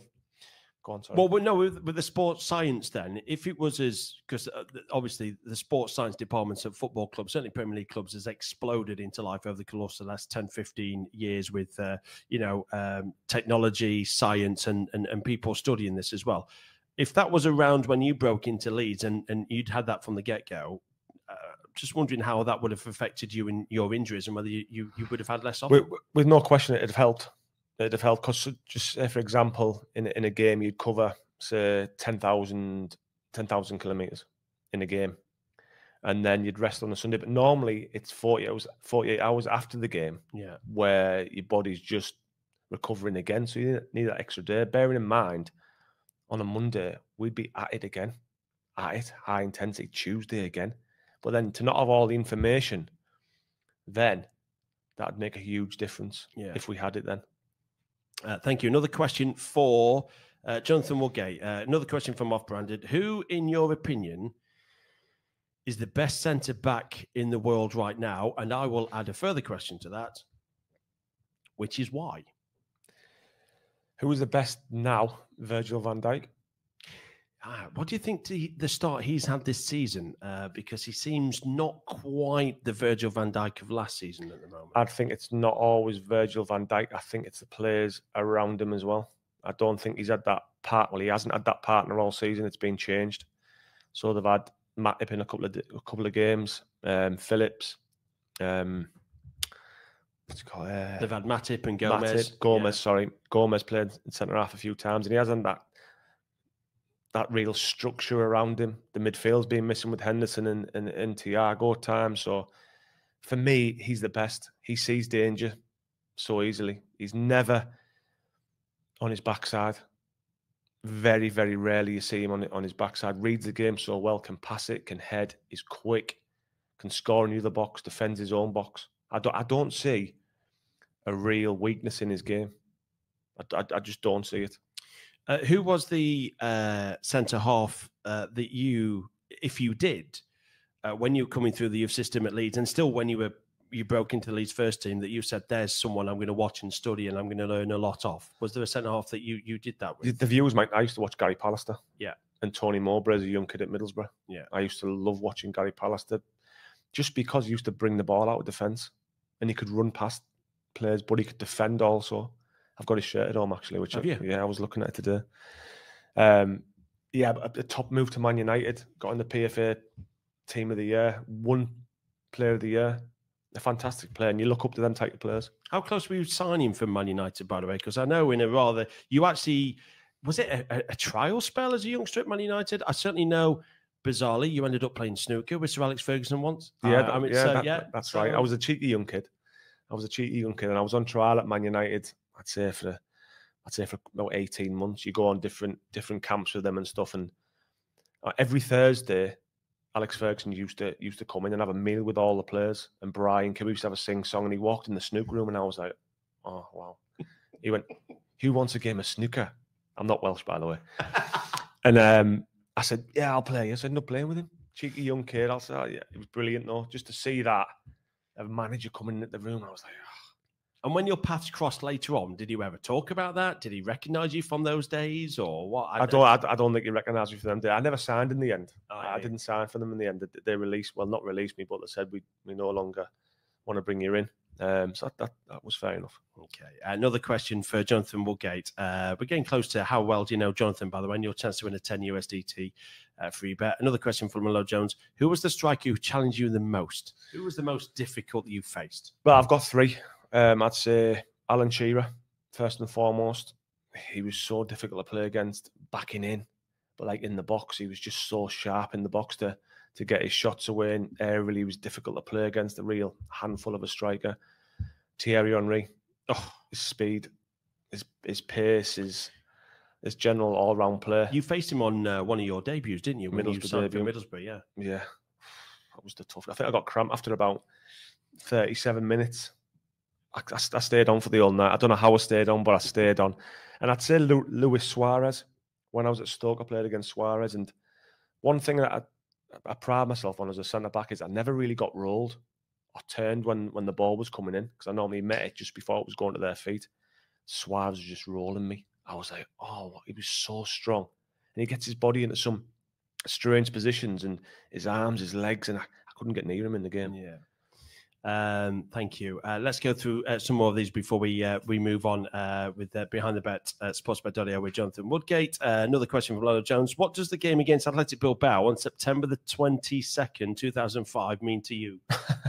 now, I am thinking, is this the uh, This is the uh, famous debut, isn't it? this is the debut? So uh, you make your debut. So you've been at Real Madrid uh, for a year because you've been injured. We've, we've, we've talked about that. And then you finally make your debut against Athletic Bilbao. Obviously, the night before, you're thinking, yeah, okay. When, when did you find out you were playing, first of all? the day before. The day before. The day before. So you go to bed that night thinking, I'm going to invest. I'm, I'm, I'm, already thinking what the game could be like or how I could play. Yeah.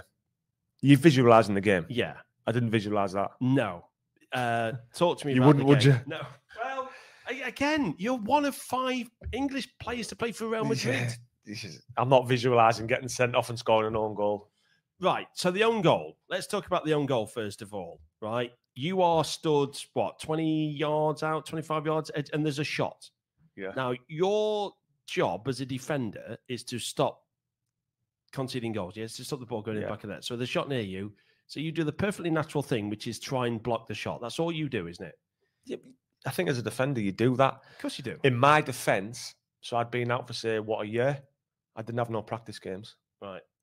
so I was None at all. They none. just threw you straight in. I was straight. In. I trained and and done about six weeks work. I didn't have a practice game. I was straight in. See, that's harsh. So what I'm looking at in my defence is I was a bit like disoriented. I didn't really know if you if you know what I mean. I should have been a bit over to the left. Really, I was a bit out of position. So I'm thinking to myself, that's in my defence. Yeah. But it's, it's one of them things, in it? It, it? It's one of them things. To be fair, with the first yellow card as well, I should have been sent off because it was a terrible tackle, mistimed, and I'm not really. I wouldn't come across as a dirty player on the pitch. I was more like well timed, but I could have been sent off for the yellow. But that, I didn't think the red. I don't think I should have got a red. Yeah, I've heard you say this. So I shouldn't have got a red. you you think you should have got a red when you got the yellow, Yeah. but you don't think it was a booking when you then picked up the second yellow to get a red. Exactly right. And I think all the players agreed with me. Could have been. I could have been. Not. It could have been worse. I could have got a straight red. so Real Madrid fans, especially fans of Barcelona, Real Madrid, the top sides uh, in Spain, they are quite happy to show their displeasure. Uh, the white hankies, the booing, they are on your back straight away. But what happened when you got sent off on your debut? I got a standing ovation. Standing ovation. I couldn't believe it myself, to be honest. I was thinking I'm going to get barracked here. I think my mother and father in the crowd behind behind the goal. I think they were. Um, they must have started the cheese off. but yeah, I got I, I, could, I got a standing ovation. I think because they realised the work that I'd put in to try and get fit. Yeah. It was well documented in the local press how hard I was working. I was I was learning the language and I was making mistakes learning the language, but trying and trying to fit into this this this culture and this humongous club. What did the uh, what did the players, if you can remember, what did the players say to you? Uh, and what do you do when you're sent off? Do you go and have a shower, get changed, and wait for the team to come back in? I mean, what, uh, or do you sit there in your kit and just feel like you know th- this is the worst thing ever? And and what were the players like with you when they came back in? Can you imagine what I was thinking when I got sent off? Oh, I, I well, I mean, I would imagine I can only think of about six swear words right Yeah. now that uh, cross my Because when you get sent off, you walk down some steps, yeah, and in the Bernabeu, you walk up some real steep steps, Yeah. and then you go to the locker room on your right hand side. I remember just sitting there with my head in my hands, thinking, "Oh my god, what has happened here?" I remember we were getting beat as well. I think we end up winning, winning the game. I think we end up winning the game four four two. Is that right? And I remember just in, being in the locker room and Ronaldo, Ronaldo coming over to me. He said, "He said, listen, don't worry about that. Your leg's fine." And I just realized, I thought to myself, I've been out for a year now. I've just signed for this team. I'm back. And like he re- rephrased it, he said, listen, it happens to everyone. Just just move on from it. But then I remember picking up my phone and Kieron Dyer going to me, that was the worst day I've ever seen in my life. I had to agree with him. I had to agree with him. It's still the worst one now. Yeah, but it's hard. I mean, you haven't played football for a year and then you're thrown straight into first team action. That's Yeah. incredibly harsh. Yeah, I think there was that, that clamour for me to play and to get out there. So I don't think there was time to make all these these friendlies up. So And then, yeah, straight in. as we said, you scored in the Champions League at the Bernabeu against Rosenborg. Uh, literally, what was it? A week or two later, Yeah, I something think it like was that. two weeks later. Two weeks later, But that was probably one on that was that was an Yeah. incredible feeling. 48th minute equaliser, losing one 0 at half time, and then went on to win four one. You were the bedrock of that victory. So let's counterbalance the. The assist was good. the-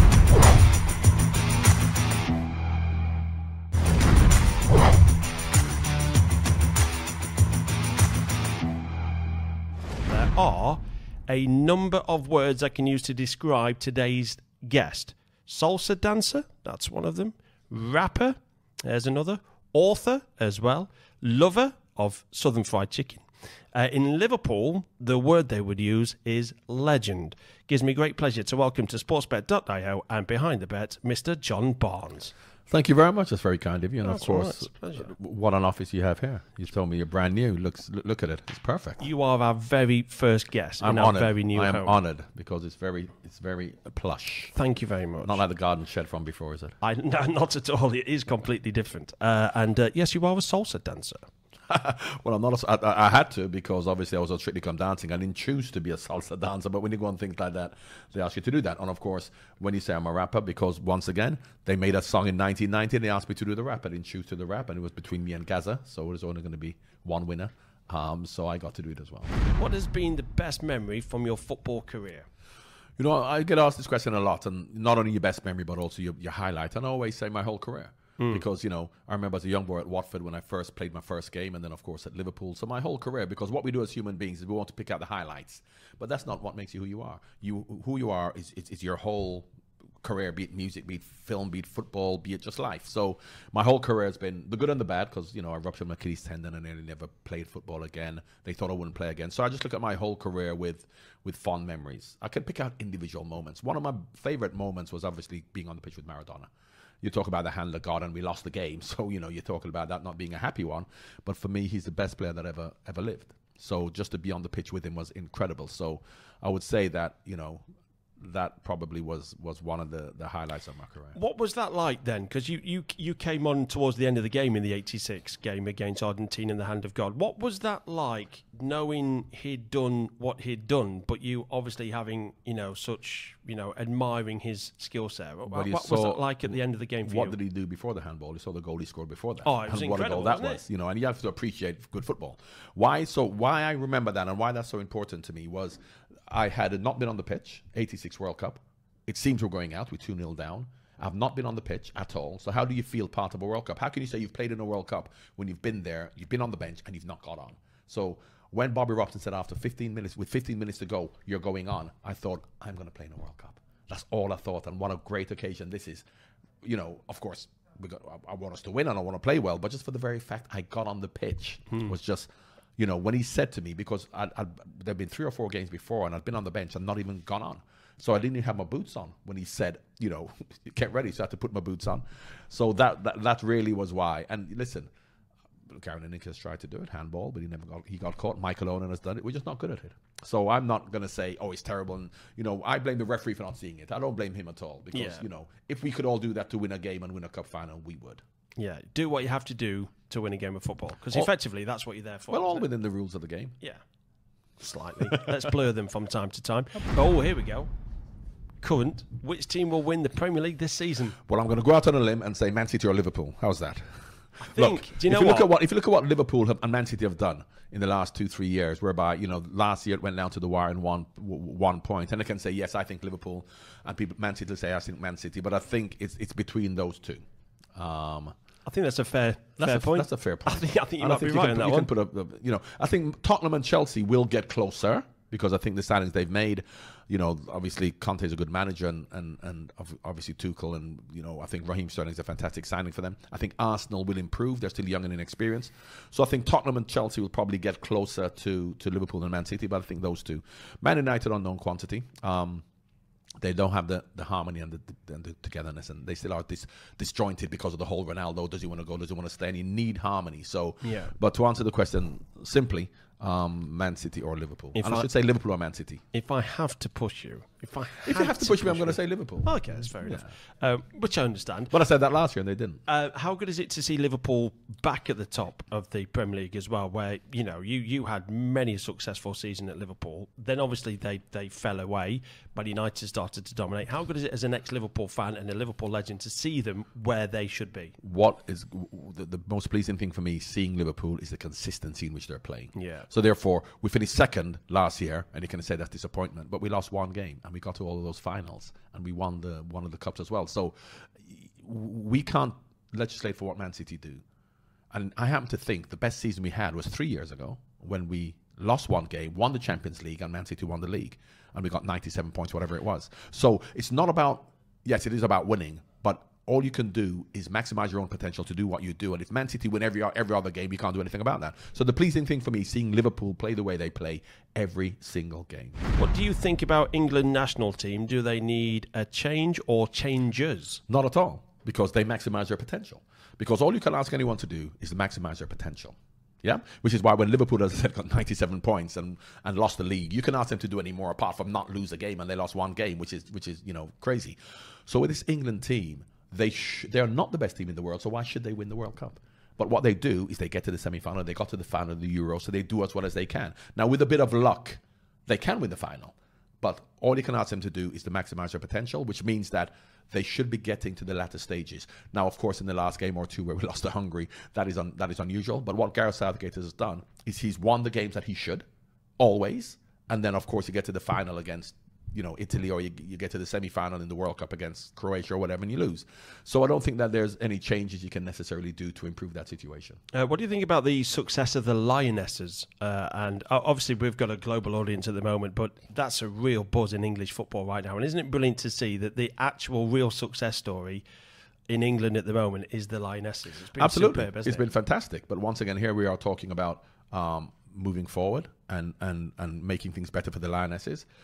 We have to stop talking about the Lionesses and start to talk about those girls who play for the Lionesses, who play for their clubs, because those Lionesses who play five times a year, who have eighty-five thousand at Wembley. And we're now looking forward to the America game in October. In between, then they're going to go back to the WSL to play for their clubs, where two thousand people are going to go and watch them play. So all of us who pretend to be allies and talking about let's support the Lionesses, but who's going to watch them play for their clubs? Not many people. And that's what has to change. So we have to start looking, supporting them in their clubs. Because if I ask you who, or, or most men, most people who Harry Kane plays for and, and Raheem Sterling, they know. You ask them who the Lionesses play for, they haven't got a clue because they don't support their clubs. And that is their bread and butter. That has to change. Secondly, if you're talking about growing the game, you go anywhere on a Sunday and you'll see 15, 16, 17, 18 year old boys playing. You go to the pits, you go to five sides, you'll see old men, you see people who can't play, men who can't play football playing. You see a lot of 7, 8, 9, 10 year old girls playing. You don't see many 17, 18 year old girls playing. And until that happens, whereby you're going to have 17, 18, 19, 20 year old girls playing, you're going to have 30 year old women who, who, like you have 30 year old men who can't play, but they love football and they play. That is where the interest comes from. So this whole idea that because Lionesses did well, that that's going to inspire people and that's going to help us to be more inclusive, that's not the case at all. You have to, and I say to them, put your money where your mouth is. Everyone who went to watch the Lionesses play, you ask me if they've ever been to a, a game to watch the, those girls play for their club and most of them would say no, and most of them aren't going to go either, and that's what has to change. This year will be a very unusual fixture due to the World Cup and leagues. What do you think about the World Cup being played in winter? Well, first of all, it has to be played in winter in Qatar. Yes. Because if you've been to Qatar, and, and of course, I was part of the World Cup bid for England when Qatar got it, and everyone was saying about because I go to Qatar regularly and, and, and Dubai, and you cannot play, you cannot be there in, in, in July. I mean, it's like, you know, it's impossible. So, of course, once it got moved to winter, um, and when we say winter, it is going to be between 70 and 90 degrees, which is great to play football in. So it's not going to be too hot at all. And in fact, if you think about the World Cup anywhere in the world, the World Cup in England in, in July, it's more than 80 degrees because it's hot as well, 100 degrees at times. So it'll be perfect. Um, obviously, it's not ideal from a club perspective uh, in terms of breaking and coming back. But, you know, I'm a believer that, you know, the world, the football belongs to the world, so therefore you should have it in South Africa, in Qatar, in these places, because it's not just about playing it in Europe or South America, because everybody loves football, everybody, and it's about your ability to host the World Cup. And secondly, you talk about the legacy that's going to be left behind, and the Qatar World Cup is going to leave probably the most impactful legacy worldwide than any other World Cup in terms of what they're going to be doing with their stadiums. Mm. They're going to be dismantling their stadiums and giving them to a lot of the third world countries in Africa and, and, and, and, Central America because it's made in such a way like Lego that they can dismantle them and give them rather than keeping 80,000 seater stadiums in Qatar where they don't need them. And the work they've been doing, we know the issues that people talk about, but the work they've been doing worldwide to not just clean up their act, but to really leave a long lasting legacy rather than just saying, give us the World Cup because we got lots of money and then nothing much is done after it. So I'm really looking forward to it.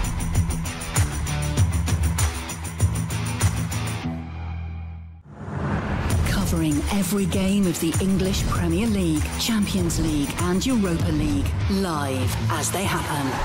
This is Clubhouse TV. Hello, hello, hello. Welcome back, everybody. It is Clubhouse TV, and we have the big game of the weekend about to kick off in Manchester. It is uh, around about eight minutes away from kick-off. Manchester City in third place at the moment, taking on Arsenal, who start this game in second place. They started the day just one point, um, well, Man City one point behind Liverpool. Arsenal the same points. Liverpool obviously winning earlier 2 1 against Brighton in our previous fixture today. But there is all to play for at the top of the table. Manchester City taking on Arsenal. It is a huge game 2.06 for Man City, 3.65 the tie, 3.5 for Arsenal. I'll give you the teams very quickly indeed. Ortega in goal, Gvardiol, Ake, Dias, and Akanji is the back four. Rodri in midfield, Foden, Kovacic, De Bruyne, and Silva behind Haaland in attack. And for Arsenal, it's David Raya in goal, White, Saliba, Gabriel, and Kiwior is the back four. Odegaard, Jorginho, and Rice in midfield with Saka, Havertz, and Gabriel Jesus in attack. It's James and it is Simon with you this afternoon. This wonderful Sunday. And Si, you fancy Arsenal today? I actually maybe just fancy Man City. I don't know. I can't call this one. Okay, I'm going with Arsenal uh, because I think uh, Manchester City's defence has been disrupted a lot. I also think that Arsenal kind of got a bit of a monkey off the back earlier this season when they beat Manchester City in the league. So prior to Arsenal beating, well, actually prior to the Community Shield, you might, you might go all the way back to August. Community Shield, they played. It was a one-all draw. I think um, Man City were they, they led in that game through Cole Palmer. And then Leandro Trossard scored in stoppage time to take it to penalties. They went straight to penalties, and Arsenal won the penalty shootout. Okay, you think it's just a friendly. Who cares? But that stopped a run of, get this, eight consecutive wins for Man City. So Man City had beaten Arsenal eight times in a row Hmm. until the Community Shield when Arsenal won on penalties. Then in the league, they played in October. Arsenal won again. The trend has been reversed. Arsenal no longer have a psychological block about playing Manchester City. City's edge that they had going into the game going, oh, we always beat these. We've beaten them eight times on trot. It's no longer there. Arsenal are now on an equal footing. I would say possibly on a higher footing than Manchester City going into this game because of the injuries that City have got. Okay. So Arsenal not to lose for me. Um, you could take them draw no bet. You could take them double chance, and there's still a decent price about draw or Arsenal at 1.67. You know, you're getting two results there. Um, but why not take them draw no bet to win the game? Yeah, um, I think I think Arsenal have a great chance of winning. Um, yeah, interesting the way in there. I, I, I don't know the outrights here, so I'm really. I, Two point five two Arsenal draw no bet. I There you go. think I think we get goals. Si. I, I don't think either manager is going to come into this one thinking nil nil. Let's let's see how the rest of the season pans out. They'll be wanting to win this one. Might get cagey in the last twenty or something like that if it uh, if it's still um, even Stevens kind of thing. But I think we get goals. So I, I'm looking for goal scorers here, and I I think um, if you go through the, the the the lineups that I've just read out to you. Um, obviously, Haaland's going to be attracting the money. You've got um, others there that are kind of maybe um, taking some cash from people in terms of goal scorers. De Bruyne is probably going to take some money on goal scorers as well. I, I fancy Foden. I just think Foden is having such a good season um, for uh, for Man City. He's playing today. Foden Foden would be my pick for um, uh, for a Man City scorer at a slightly bigger price than a Haaland. And possibly, if I'm looking at an Arsenal scorer, Saka's going to be taking your cash. Um, Gabriel Jesus is the, the striker. Havertz has been maybe scoring more goals than he, he did do. Um, but Declan Rice has been picking up goals. Um, Odegaard's Yeah. been scoring goals as well. So I maybe if I'm looking for goal scorers today, I'm looking at Foden for Man City. I'm looking at Odegaard and Rice for for for Arsenal. What do you? Uh, Bukayo Saka for me. Um, he's got a good record against Manchester City. Uh, he scored in two of Arsenal's last three home league games against Man City. He hasn't scored away against Man City, which would be a slight concern, but he does has scored against them. Um, for Man City, I mean, you can't look too far from Haaland. He scored in two of his last uh, four games against Arsenal. So yeah, ha- Haaland and Saka, I think, would be the two top of my list. Okay, so Haaland and Saka. You just go for Arsenal. I may be just favouring Manchester City, um, but uh, wow, this is a fantastic way Yeah. to finish a Sunday.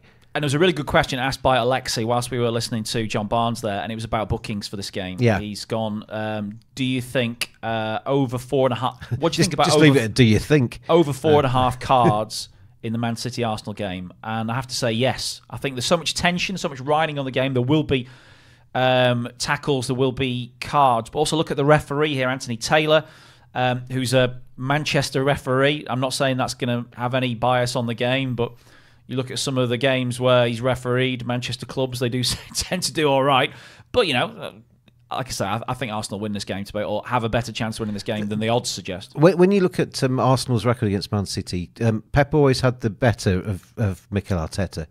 Um, this is this is a real chance for Arsenal because after after the disappointment of their run in last season, they seem to be slightly better. Declan Rice has made a big difference for them. But I think if Arsenal were to win today, then I'd think they're favourites to win the title. Um, I think if Man City win today, I don't think it actually makes much difference between Man City and Liverpool. But I think Arsenal's the belief that an Arsenal team would get from going to Manchester City and taking all three points and then being top of the table come the end of today, that would be massive. It would be such a big fillip for for Arteta's men.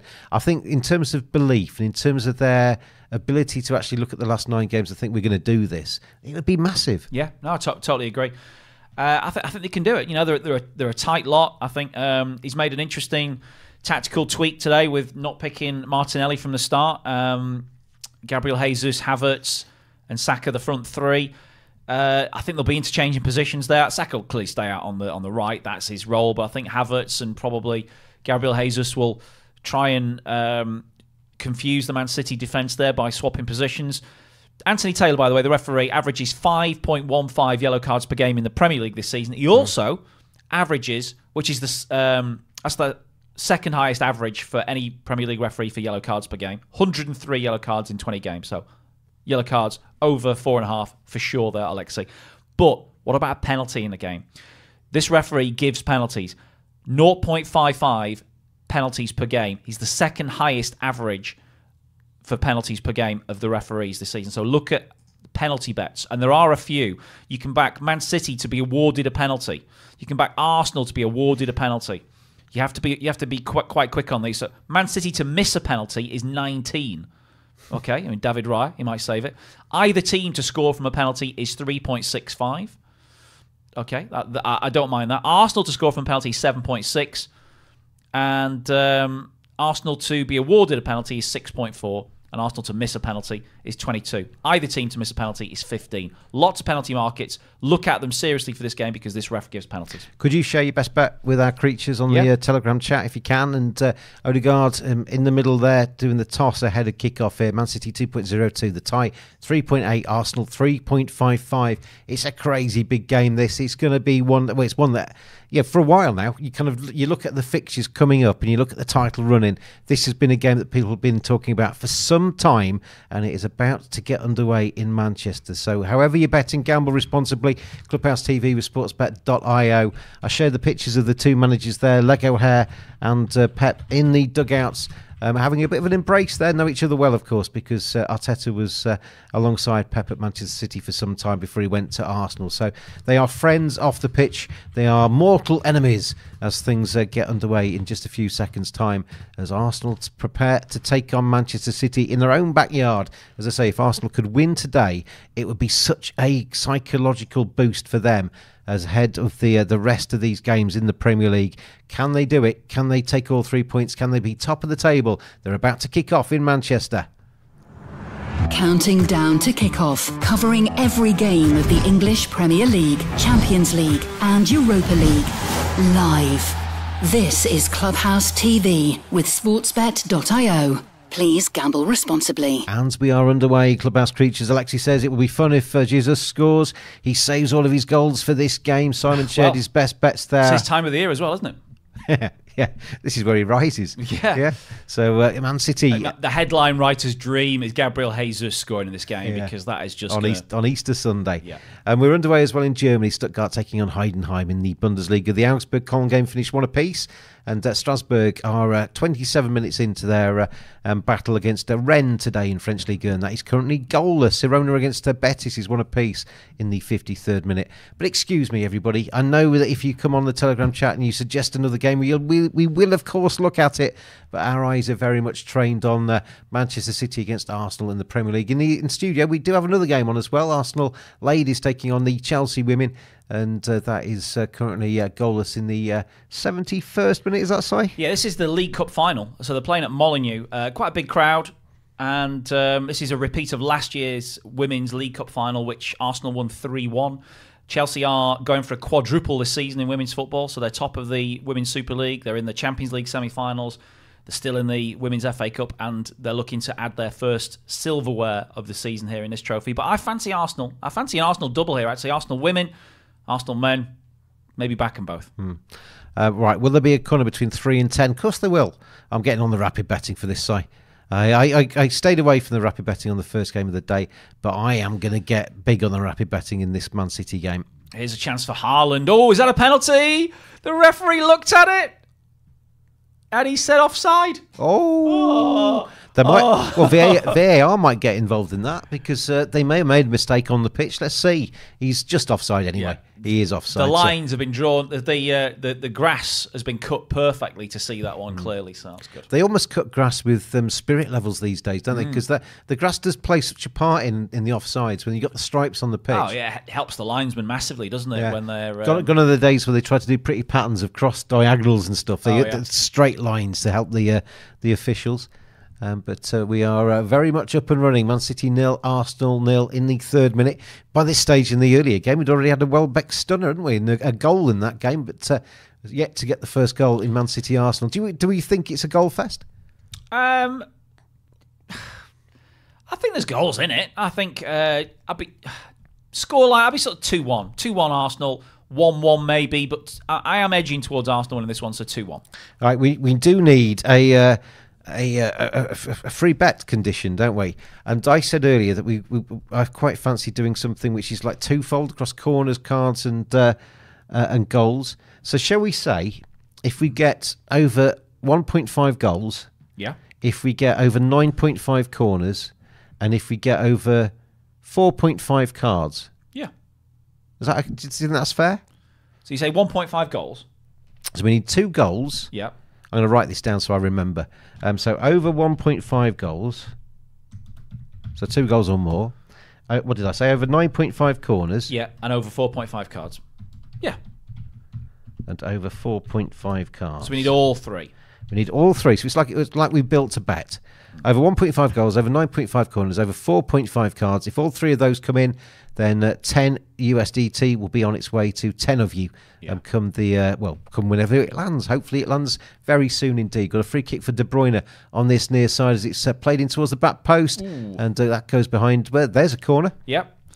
Ben White uh, doing his job at the back post there. Uh, I think corner kick between three and ten. Yeah. First rapid bet wins. Get in. I think Get set, set pieces could, could be could be huge in this game, and as we've seen all season, Arsenal's set piece game is elite. Arsenal have been, I think, the best team at both defending De- and attacking. set Declan pieces. Rice has made a surprisingly um, positive impact on that. Not that surprising. That, Well, you know- I, I never when when he was at West Ham, I never thought of him as the set piece taker.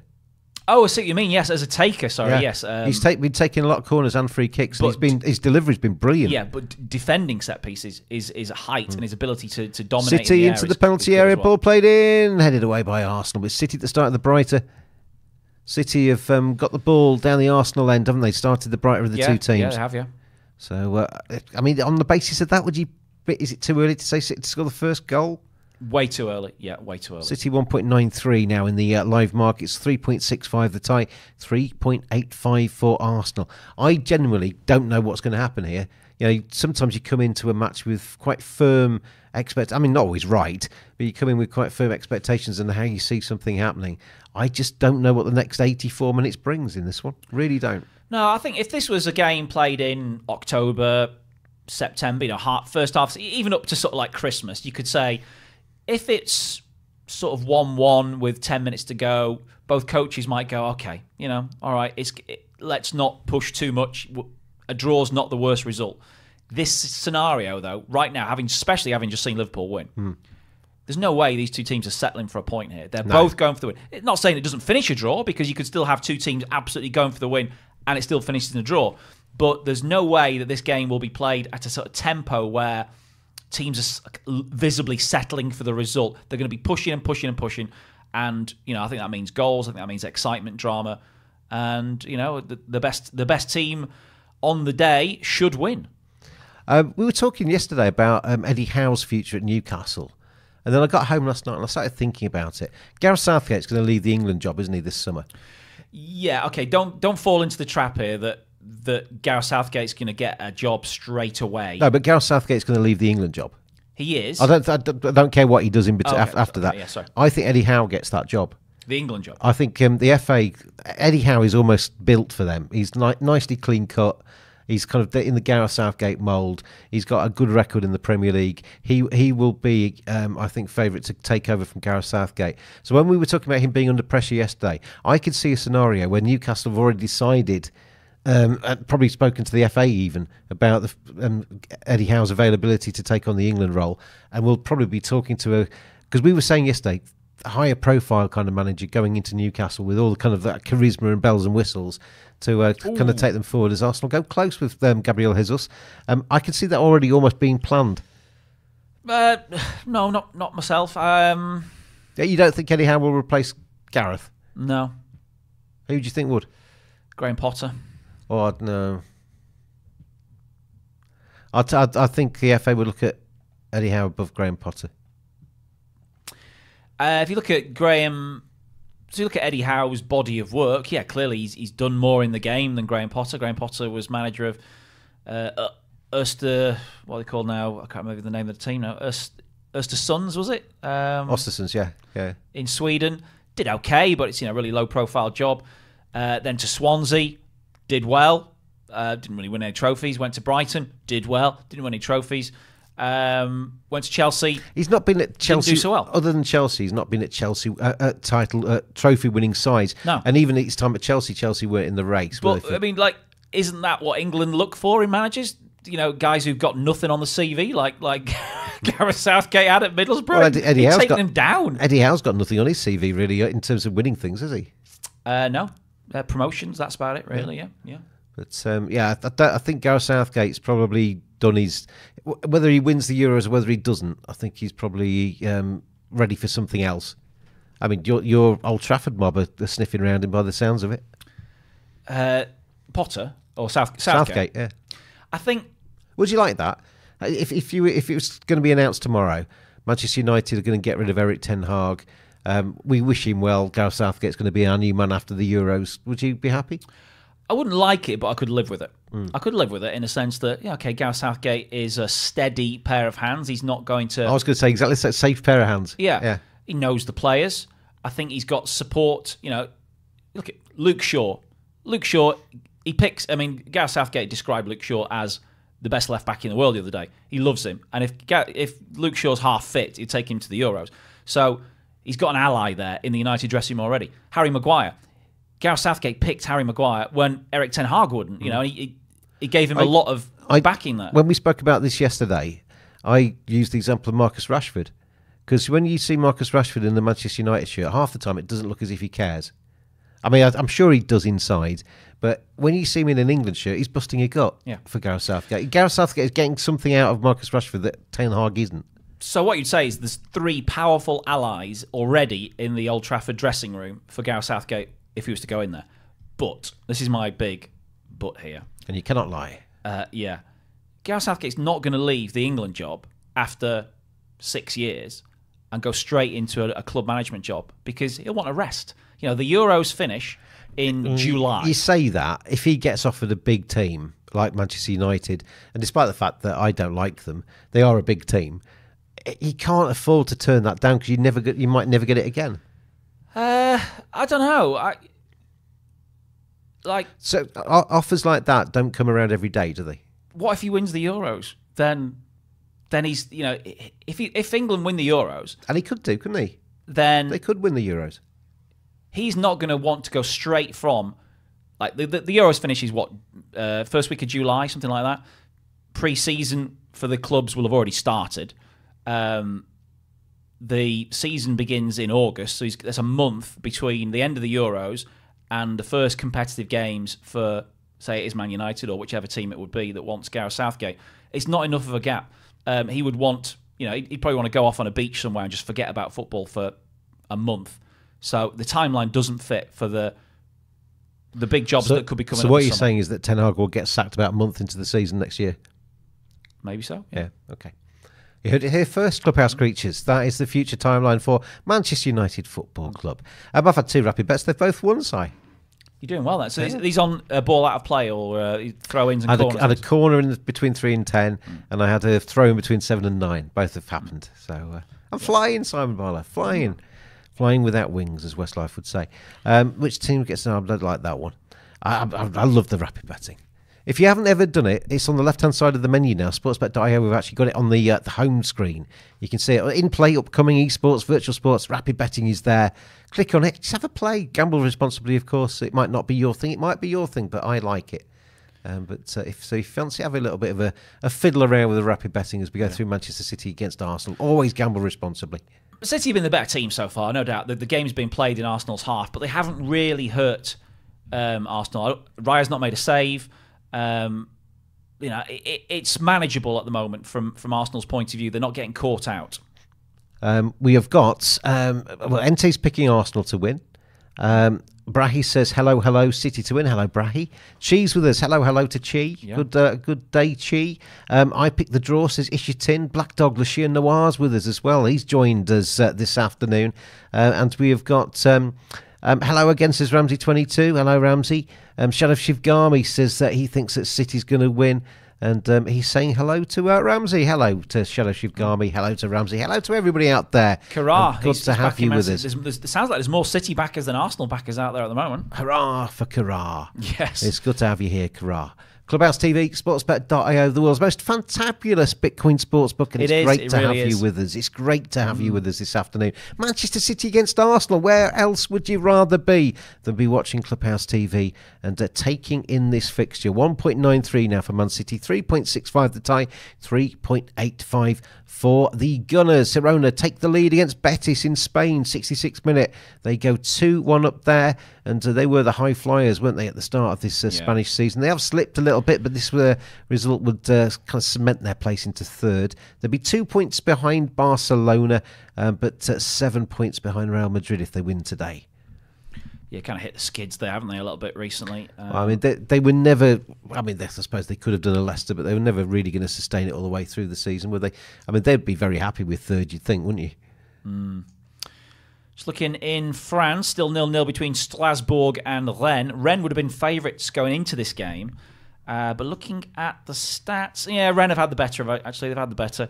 So Strasbourg, managed by Patrick Vieira, the Arsenal great, uh, having a tricky season. Um, I fancy him to get something from this game, though. Maybe a draw. I think Strasbourg Rennes could be a, a draw. Maybe even a nil nil draw, as it's nil nil at the moment. Not a lot going on in that one, to be honest. I'm going in on the fouls now. I've, um, total fouls between 16 and 26. I need three or more.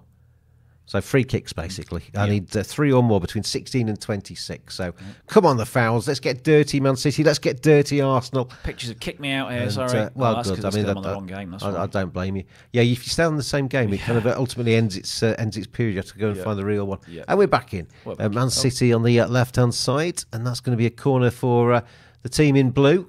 So uh, City The on boys the, in on blue. the attack, and uh, can they uh, can they take the lead from this corner? Uh, that's so much riding on this game. This is so. I think this this match is pivotal Mm. to this title race. I mean, Liverpool have sailed on today, but this is pivotal to these two sides. Whoever wins this, I think, goes favourites to win the title. Good. Th- was it? Would it be a good thing for? Uh... Oh, chance! Oh, David Raya saved that more by luck than judgment. He almost lodged between his knees, and he didn't know anything about that. Nathan Ake got his head on that. It was like a wrestling match there, wasn't it? Trying to get position at the near post. And Arsenal are so good usually at clearing the ball from the near post. That on this occasion, Man City had a great chance, great chance to score. That was actually very good keeping because he, he hit his hand first, and there's there's a, um, a tendency if you're kind of under stress and panicky that you maybe go with rigid hands, but he had very soft hands there, so the ball just bounced down Yep. below him, and he was able to pick it up at the second bite of the cherry. So that was good keeping, I think, there from David Raya. Oh, I think if uh, Aaron Ramsdale was in goal, it'd be 1 0 to Man City already, wouldn't it? He's having a, bit of a shocker this season, the poor lad. He's hardly playing. Well, he, he played against Brentford, didn't he? And made a mistake on his only game for. Oh, it was a corner. But he, he did. Um, he, his second half was brilliant. Though. yeah, he, he, he got better. He, he, And, uh, I, he didn't um, get caught out because Ivan Toney tried to chip him from the halfway line, didn't he? He just got back. But I, I think um, he showed quite a lot of character in that because he made a big rick, and rather than let it kind of derail his whole match, he, he gritted his teeth and, and played really well. I think from there. Still no way he's at Arsenal next season, though. You know, oh, no, if I was him, I wouldn't want to be. no. Well, I mean, he's not going to go to the Euros as a result of this season. He was in um, Southgate's last squad, though, wasn't he? Well, do, do you take a, a guy who's a reserve keeper to the Euros as your reserve keeper? I don't know. I'd Maybe- take him. Yeah. I like him. I think, uh, and I think he's because you. I mean, let's face it. You take your keepers number two and three as squad keepers, don't you? You're, it's only an injury really that's going to probably make you ch- make a change from your first choice keeper. And I think Ramsdale's quite a a good squad guy. I think he's quite a jokey kind of bloke that's quite good in the dressing room. So Yeah. um, and I, you don't take somebody as a mascot. He's good enough to play, but you that does you know how you how you act as part of a non as a non-playing member of a team does make a difference. Oh, definitely. I think you want us. You want for the goalkeeper position. You want somebody who's, who's going to put pressure, good pressure, on the starter. So Jordan Pickford seems to be the number one choice still. Um, so you just want the other goalkeepers I mean, there to, to challenge, you know, Yeah. to sort of offer the opportunity for the coach to go, mm, actually, you're doing better than Jordan Pickford. I'll pick you. Pickford made a big mistake in uh, in the last England game against Belgium. His clearance went straight to um, Tielemans, who scored. So No, I didn't see that game. Um, so I think it was the first time he'd made a mistake that led to a goal, but it won't um, won't have gone unnoticed. I don't think. Um, but yeah, I, I like um, I like Aaron Ramsdale. I must admit, he's he's uh, got a good character. I think I think I'd take him. Whether it's as your first choice, second choice, or third choice, I think he'd be one of the three. Yeah. Do you think um, England got a chance winning the? I'm obviously got a chance, but uh, which sort of teams are, are going to be the, the teams to win the Euros for you? Um, I, I mean, I, I watched the match between England and Belgium, as uh, Man City's attack breaks down again. De Bruyne picks it up. It goes out. To, well, no, I was going to say go out left. He, he doubles back, um, and I think um, there was nothing between those two sides. I think Yeah. England had uh, the majority of the play. Two good goals from Tielemans, but England uh, bounced back. Bellingham's going to be a huge player for England. Foden is. Kane is obviously. Um, they've got certainly got. Is it um, still Roberto Martinez the coach of Belgium? Is it? Or is no, they've changed it. okay. Um, who is So it? I'm just not following the, uh, the European teams like I used to. Can't remember his name, but it's definitely a, a different one. Belgium manager uh, is um, Domenico Tedesco. Oh, okay, yeah. Ex, Succeeded um, Roberto Martinez as Belgian manager in February 2023. I think he's ex Stuttgart manager. I think. So uh, yeah, I think Martinez stepped down after the World Cup, didn't he? And uh, Tedesco came in. But um, yeah, he, so he's in charge there. Um, I, if, if you look at, I mean, it's, it's going to be an interesting competition. Uh, but I think England have a have a chance.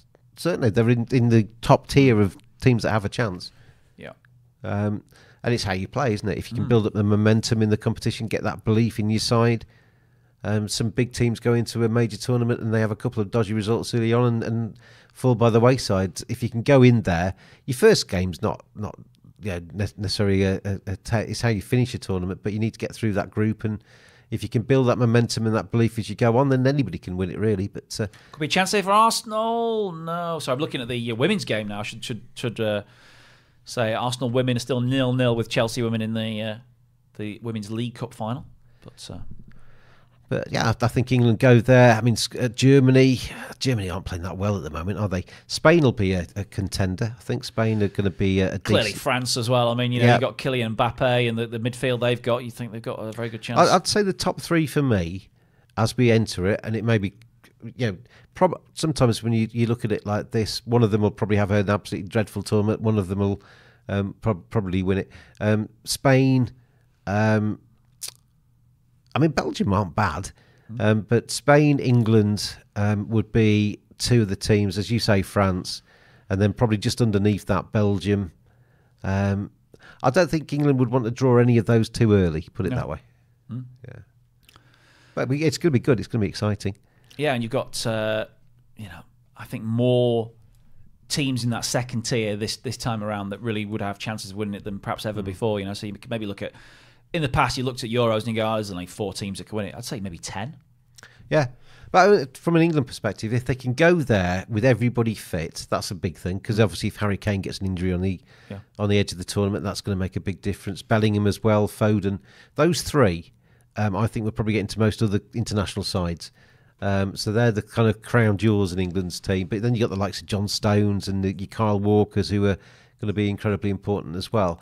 They, um, if they could go with everybody fit and everybody confident, then England have got a great chance of winning it. Yeah.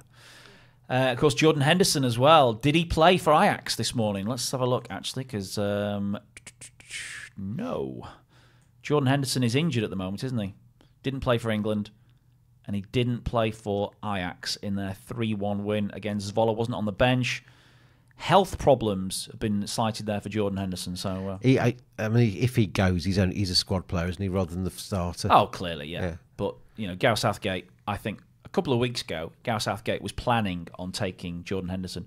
Maybe now Kobbie Mainoo's come through. Kobbie Mainoo, he played really well for England the other day. I, I, I like him. He's got, and when you see him interviewed, I've only seen him a couple of times speaking, but he speaks very maturely. He's he's obviously quite Oh, a yeah. bright kid, and he he knows.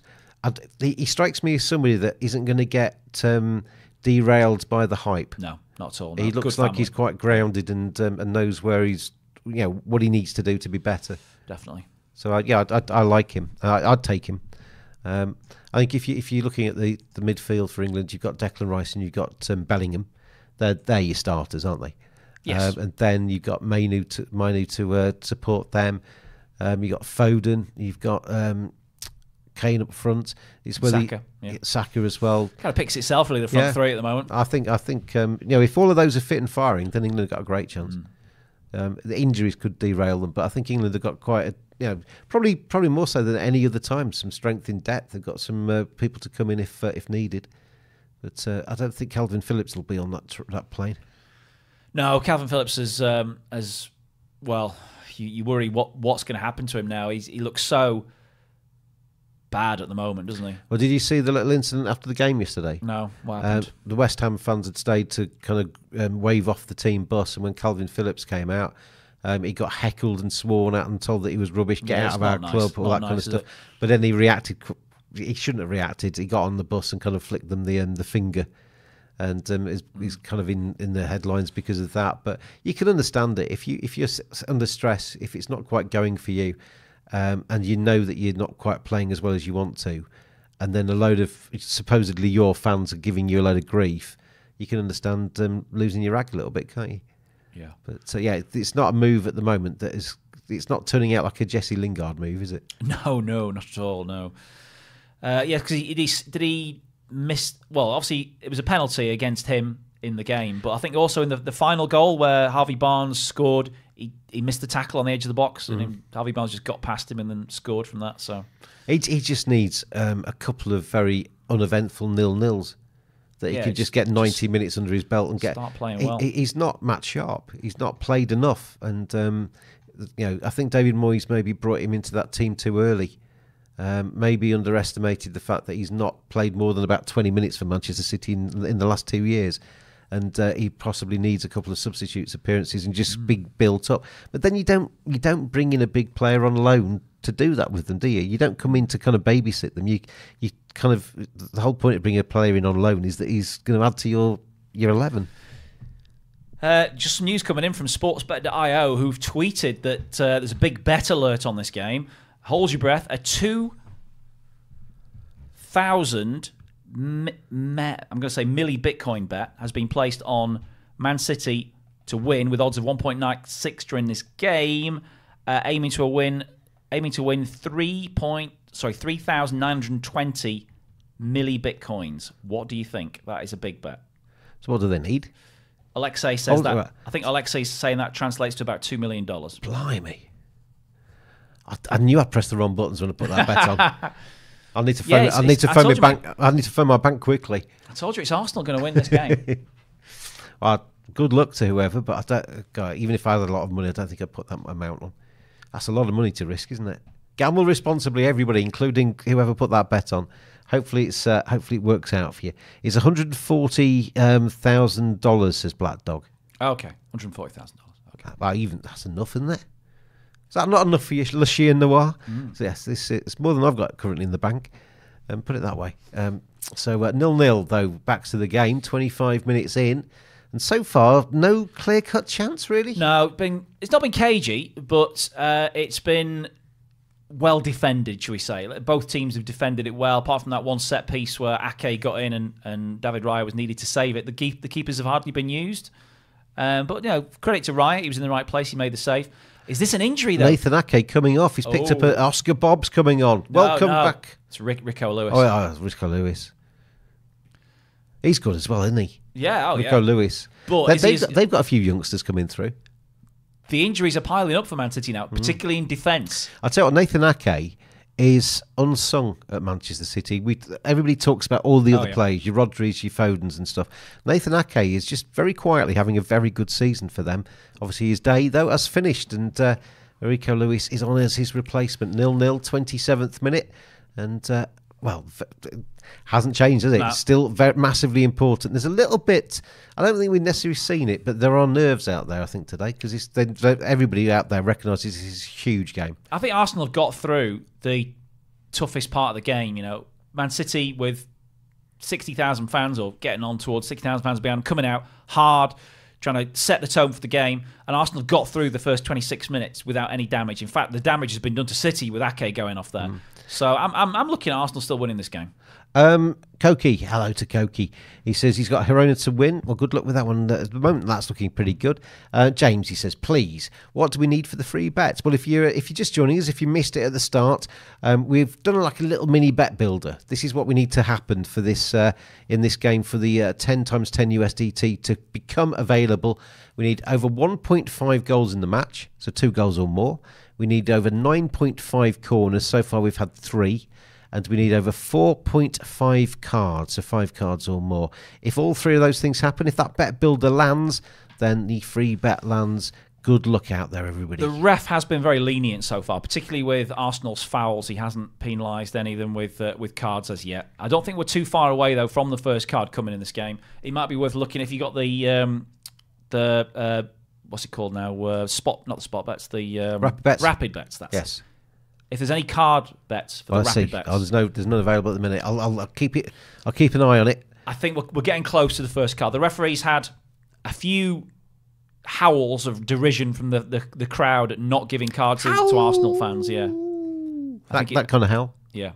He, he, he could easily have given three yellow cards to Arsenal defenders so far. Uh, Kiwior twice and Gabriel Magalhaes once. What do you reckon out there, creatures? In fact, no, uh, Gabriel Jesus once um, as well. Do you think our rapid bet lands then? Our, our, our, our, uh, free bet condition over 1.5 goals, over 9.5 corners, over 4.5 cards. We need that to happen for the uh, the free bet to come available. Are you confident out there, creatures? Let Ooh, me is this know. a chance? Is this a chance for Arsenal? Man City got caught in defence there, but Arsenal couldn't get the ball out quickly enough. The answer's no, Si. It's No. not. It's not a chance. And will there be a corner kick between 30 and 37? Yes, of course there will. Of course there will. Yeah, that's my next rapid bet. No, none about cards yet. None about cards. No. So uh, nil nil, Si. I'm going to ask you for your best bet right now. We're about what? Tw- uh, coming up to the half an Okay, hour mark. yeah. I want your best bet. I want your very best bet right now for the creatures. Tell me, tell me, tell me, Simon Barlow, where you going to go? I'm I'm back in Arsenal. Obviously, I've been with them from the start in a draw no bet capacity, but I think there's ways out out there to maybe try and get some better odds. Um, you could maybe take him to well, Arsenal win or draw and over two and a half goals is six point six. So that would cover um, Arsenal winning two one, but also a two all draw. 6.7. So you're getting the draw and Arsenal as long as there's over two and a half goals. So it's right at the bottom of my console at the moment. It's Arsenal win or draw and over two and a half goals at big odds 6.5. Marvellous. That's uh, Si's best bet right now. Then I need a corner kick between actually- 30 and 37, Si. They're just about to come into that, that period. I've only just noticed this one as well. Has something happened here, James? Has something happened? Have we got the first goal? No, I don't think so. Okay, false alarm for me. Uh, Man City on the attack if it was going to come, but uh, Arsenal snuff out that attack and uh, try and build from the uh, the back as they're out on the right hand side. Nice ball down the right, and Arsenal and the team coming forward. Yeah, they're, they're getting out now. You know, Arsenal at, at times in that first 20, 25 minutes, they weren't able to get out of defence, but now they are.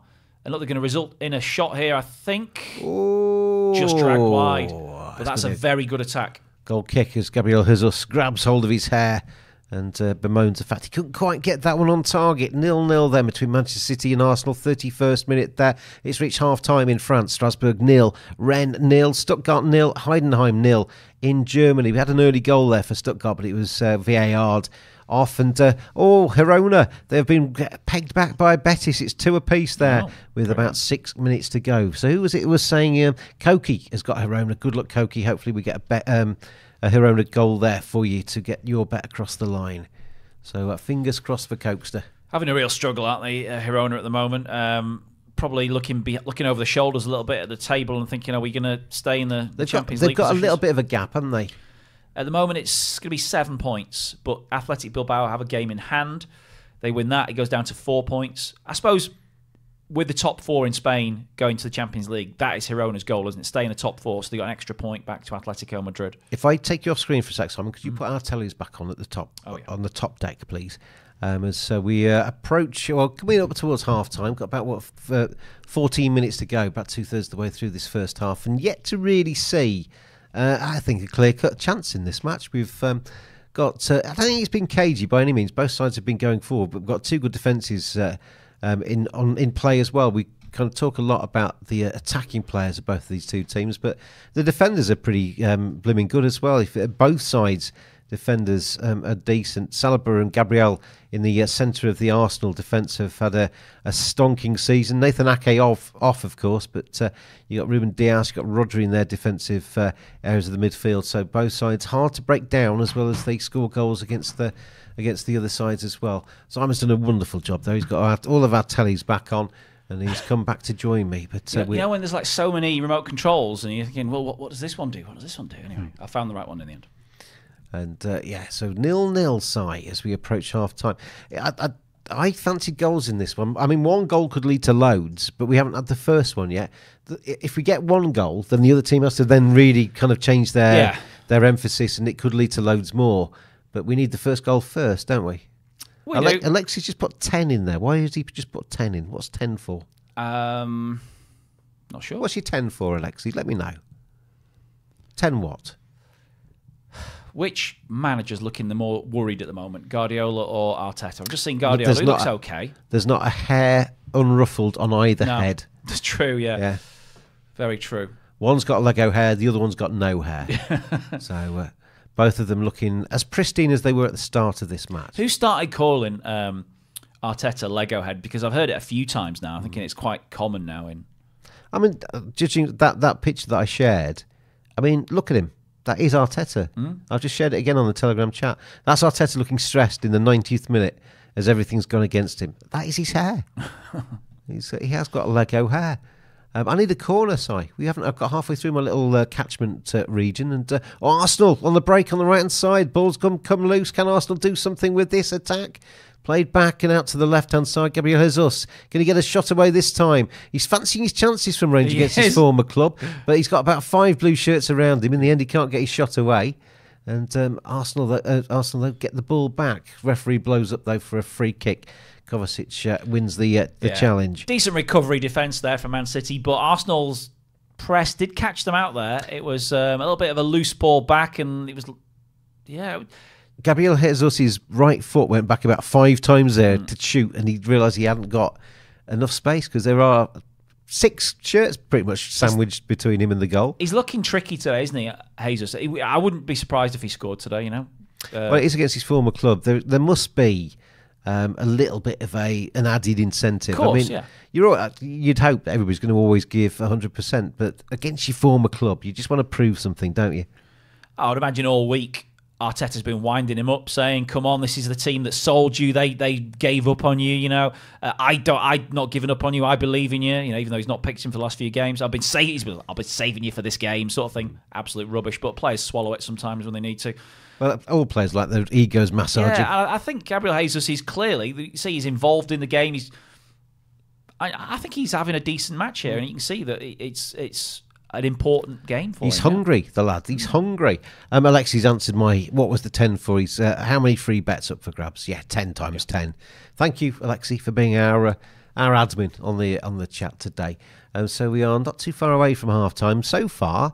Um, nothing much has changed when it comes to the. At the moment, Liverpool are the team benefiting from today's fixtures. Liverpool winning earlier have got themselves onto 67 points. If this match is drawn, um, Arsenal will be on 65, Man City will be on 64. And what started as one point covering all three will be three points covering all three. But obviously, uh, a goal either way, and that all changes.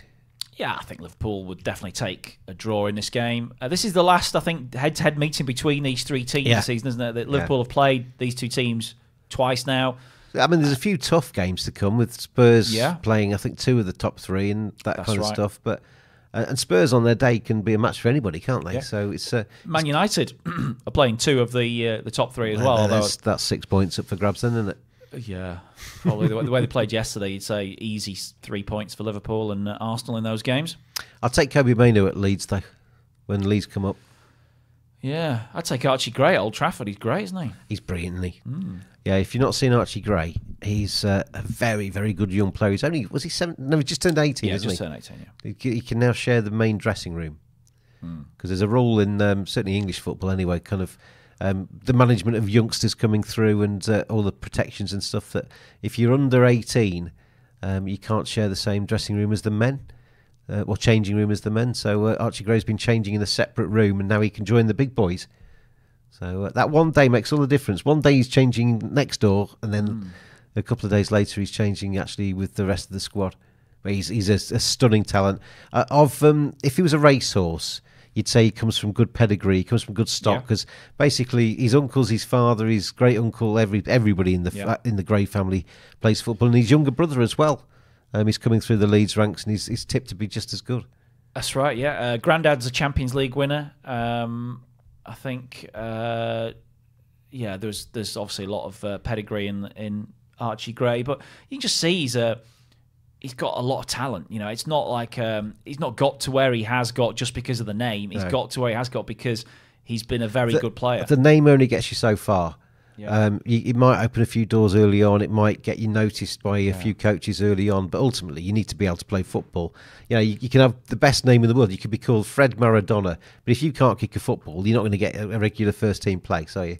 Absolutely. So um, yeah, it's uh, only takes you so far, and he's, he's really he's been spoken about um, in the Leeds kind of um, area for a long time. Last three or four years, I've been hearing Archie Graham's, Gray's name mentioned, but this is his breakthrough season. He's been stunning. Yeah. Yeah, and I think um, there's no real clamour for him or his family to see him leave Leeds either. You know, I mean, you think Leeds will be already receiving some sort of overtures from big clubs to try and, you know, assess if they can get Archie Gray, but there's no need. You know, Leeds are going to be going to the Premier League, if not next season, very soon, and um, you know, Archie Wait. Gray can can mature there and. Um, It shows you um, how good he is. That when Leeds played Chelsea in the FA Cup, he was the man of the match in a defeat. yeah, You know, he, he bossed that midfield against the likes of Caicedo and stuff, and he was the star player in the midfield. Yeah, Yeah. and he's, he was 17 at the time. It's it's great to see. he saw what happened uh, on Friday as well when uh, basically Daniel Farke picked the wrong team to start the game against uh, Watford, and then when he made his changes, the key change was switching Archie Gray from fullback to midfield. because they were they were missing Gruev, who's injured at the moment, and Archie Gray was um, played started at fullback, and then they realised they needed something a little bit better in the midfield, and Archie Gray stepped up. didn't he? Well, he- he also needed um, Ampadu back alongside Rodon because they are just clean Yeah. sheet material. Big game for Leeds tomorrow. I mean, it's another full set of uh, matches. We won't be with you tomorrow on Clubhouse TV, but obviously the football continues, and uh, the Championship and various other leagues in England are are playing. Leicester um, playing Norwich um, in the Championship twelve thirty. That's the early kick-off tomorrow, and then you've got uh, more big matches in the. Uh, in the championship, as Ipswich Town take on Southampton, so that's a, a big game for both of those two teams because uh, a big game for Leeds and uh, and for for Leicester as well because you know in the same way that Man City and Arsenal today are potentially taking points out of each other, Ipswich and Southampton will be doing exactly the same, and then Leeds take on Hull eight o'clock kick-off tomorrow evening. So uh, matches, the big matches, we're getting towards that pointy end of the season, aren't we? Where there aren't anything that, that there are very few. Um, matches that don't mean something. There's uh, a lot to play for when we get to the towards this stage of the season, and at the top end of the championship, there is not a huge amount between any of them. So uh, at the moment, nobody can separate Man City and Arsenal, though, Simon. We're coming Ah. into the last five minutes of the first half. I'd, I'd say if you're an Arsenal fan, you're happy with this. You know, they've set the stall out. They they were under pressure, but they dealt with that pressure in the early stages, and now they've they've managed to get out on a couple of occasions and, and test Ortega, or certainly you know get into shooting positions, which would worry Manchester City. Haaland's not really involved. De Bruyne only from set pieces, hardly influencing the game. You know, um, Rico Lewis is on now for for Ake. Um, you know, Rico Lewis is a good player, and he could he, he, could certainly play his part. But at the moment, you'd say Arsenal will be well happy with this start. Well happy. Yeah. Um, 42 to 45, so my final rapid bet of the first half. First time I've seen a three minute span for this. It's usually two minutes. How many times will the ball go out of bounds between 42 and 45? I've won three or more at quite a nice oh price. no, no, no, less. I will. No, it will. Less. No, just watch the screen, Ty. You'll see it happen. From 43 to how many? To 42 to 45. 42 to 45. The ball will not go out of play three times. You watch. You watch. You'll see it happen. See, it's gone out of play there. It's not 42 it's, yet. It's too early. yeah. Um, we are uh, approaching half time. We've had hardly any corners in this game, have we? uh, we've had three, I think, haven't we? Is Yeah. it three? Not a corners game. Yeah, and we need um, over nine and a half for uh, for the um, the three. I mean, we need about a better second half in terms of corners. Put it that way. And the referee had those early chances to give yellow cards, didn't, and now we're still on zero yellow cards. Um, in terms of the uh, the free bet, where are we placed? Over 1.5 goals, we got none. Over 9.5 corners, we got three. over 4.5 cards, how many cards we had? None. So the the, the little bet builder we've done for the free bet isn't working too well, is it at the moment? Um, stay tuned because I will be nice to you today because we are nice people. When you when you get the likes of Gav and stuff in these seats, you kind of tend to get just um, yeah, just nasty people, aren't they? Um, but myself and Simon this Sunday, it's Easter Sunday, we will spread you good cheer. And if it's looking pretty hopeless, there's a corner. I've got another corner. If it's looking pretty hopeless. We might bring a couple of those down a notch. So don't go anywhere. Why would you anyway? It's Man City against Arsenal. There's a lot to look forward to Yeah. as uh, we get towards the second half. Declan Rice about to take the corner for the Gunners. as uh, it swings that in right footed. Good corner into the six yard box, headed away by Erling Haaland, who's back there, the deepest of the Man City players, defending his socks off. So, uh, and uh, right, are we into my uh, we're into my catchment area? That corner was taken, but it was taken. I think it went out of play just before the forty-two. So I need to go out and play three times, Si. Oh, it sounds like there's been quite a shocking incident in the um, women's game, Arsenal versus Chelsea, where one of the Arsenal players has uh, has had a bad injury. Uh, okay, she's been stretchered off, but it sounds like um, a bit of a weird atmosphere now at Molineux after that bad injury for the Arsenal player in the women's game. It's not nice, is it, when you see something obviously horrible happen to somebody? So yeah, hopefully she um, makes a full recovery very quickly. Um, but uh, Frida Maanum, uh, I think she's a fullback. yeah, that's not nice. I don't want to see that happen to anybody. So uh, good luck to her. There's uh, Man City trying to just get something before we get to half time. We're about halfway through the 44th minute of this match, and at the moment, Man City passing it sideways in midfield. As you said, it needs a goal, doesn't it? It needs a goal to catch fire. I think if one team scores, the other team would redouble their efforts to come forward. Arsenal are quite happy to sit back and soak it up, try and play a little bit on the counter attack at the moment, and, and why not? It's, it's kind of working okay for them. Man City aren't able to break them down, although there might be a free kick coming here. It's got a little bit scrabbly, isn't it? A little bit. Uh, neither side. I mean, it's stating the obvious, isn't it? But neither side want to lose this. Both sides want to win it, but neither side wants to lose it. And it's got a little bit of a kind of um, a World Cup quarter final feel Yeah. or something to it, where you don't want to kind of lay out all your cards too early. You've still got the second half to come, kind of thing. You can still score in the second half and win this one, but you don't want to be three 0 down by half time. So you want to be kind of sensible, not not cavalier.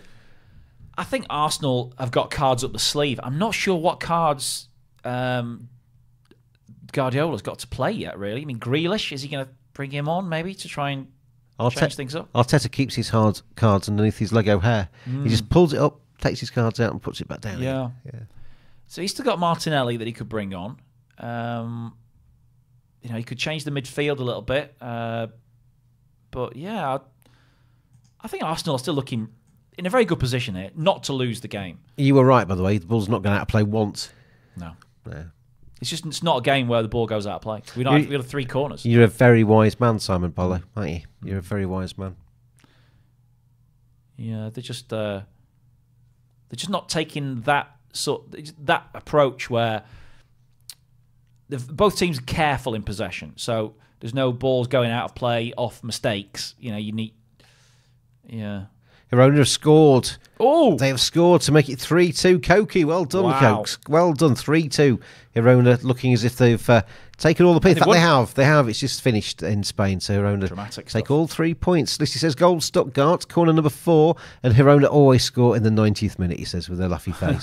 so Girona have taken all three points. City. important for them that because as you were saying the kind of gap between them and the fourth place team was uh, just reducing a tad Yeah. But that takes them to 62 now and uh, they are now six points clear of Athletic Bilbao in fourth so uh, Of course, there's always a question: Are they going to be allowed into the Champions League next season because they are aligned with Manchester City? Aren't they? The question is, you know, is that is there enough evidence to say that they're almost owned by the same people to stop them from being in the same competition? could, could you not say why are you picking on us why don't you boot Man City out of this competition we want to be the team Absolutely, yeah. Who- well, who decides which one is the one that goes or is it the owner decides Uh, I think so far they've not really had to. UEFA haven't really had to deal with it. I might be wrong there though, because there's obviously the Red Bull clubs, uh, but the, the Red Bull clubs are allowed now. So Salzburg and Leipzig both to play in the same champ as they did this season. Both both were in the Champions League this season. So even though they're both called Red Bull something or other, essentially, and you know we all know they're owned by the same people, the UEFA still just sort of go, okay, it's all right. What's the trying to work it out in my head? What what's the downside of um, say two teams in the same competition being owned by the same person? Because obviously, fix the results. I suppose that is it. Yeah, the the, the chance for. But then you, aren't you judging people by the lowest common denominator rather than the highest? Because both sides will want to win, wouldn't they? But you could make a lot of money out of fixing a result, I guess, as well. Yeah. Anyway, it's just it's- not something, not good luck, is it? No. Half time between uh, Manchester City and Arsenal, yet to get a goal. Hasn't been vintage, has it? But second half, maybe, as I said, kind of you don't want to lose it by half time, but you can win it in the second half. And maybe that's what uh, Pep Guardiola and uh, uh, Mikel Arteta will be talking about at half time. How do you see the second half, Si? More of the same until that goal goes in, um, if the goal goes in. But you got to have faith in the quality that the two teams have got. Faith, that the faith, the faith. You have, You gotta have faith. Haaland's the faith, playing. The faith. Saka's playing. A baby. you know, the, the, there's two absolute, uh, two of the best game breakers in, in Premier League football are out there, and Kevin De Bruyne is playing as well. You know, these are guys that you'll need half a chance and they'll score, and the game breaks open, and then it's a very different thing to what. But until that first goal goes in, it'll be a similar affair where Arsenal are defending a little bit deeper than usual, but solid in a block in the middle, and Man City are just coming up against a brick wall and not able to break them down. Let's hear from Kanu. We'll see you for the second half soon.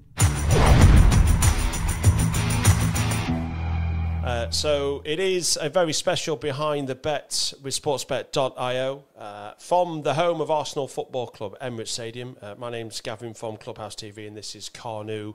And uh, we've got to behind the cause. This is where we're going to give a 500 euro donation uh, to uh, the charity of your choice, which of course is the Kanu Heart Foundation uh, which helps children in Nigeria with cardiac diseases uh, and obtain they can obtain and receive life-saving surgery within and outside Nigeria. Launched in 2000, uh, and the foundation has helped over 500 children, spending over a reported four million dollars. So these children can receive open heart surgery in hospitals around the world. Of all your achievements on the pitch, this they are pale into insignificance really with what you've done off the pitch with this. Tell me about that because this is just terrific. Yeah, I always say to people that um, yeah, winning trophies, of course, you worked hard for that, and you win trophies to show what you have done, what you have worked hard for. But all this, um, this is to do with life, and um, it's um for me the most important. Uh, if a kid, um, let's say seven years, even two years, or eight years, or five years, four years, are having a heart problem, um, I went through it. I know how difficult it is and how painful it is.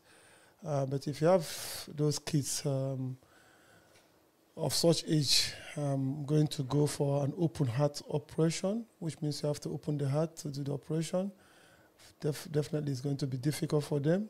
Uh, but um, we pray for them. We wish uh, they're going to make it. Some of them they don't make it, but most of the ones that we have done, yeah, was successful. Uh, not only that, um, it's also difficult um, even to get the funds uh, for checkups, and that is where uh, the foundation comes in because we all took care of them from the medical side, uh, for the, from the checkups um, to where they are traveling to and the operation and uh, bring them, bringing them back as well. Um, it's, it's very expensive. Uh, we started in uh, Great Ormond Hospital in uh, London.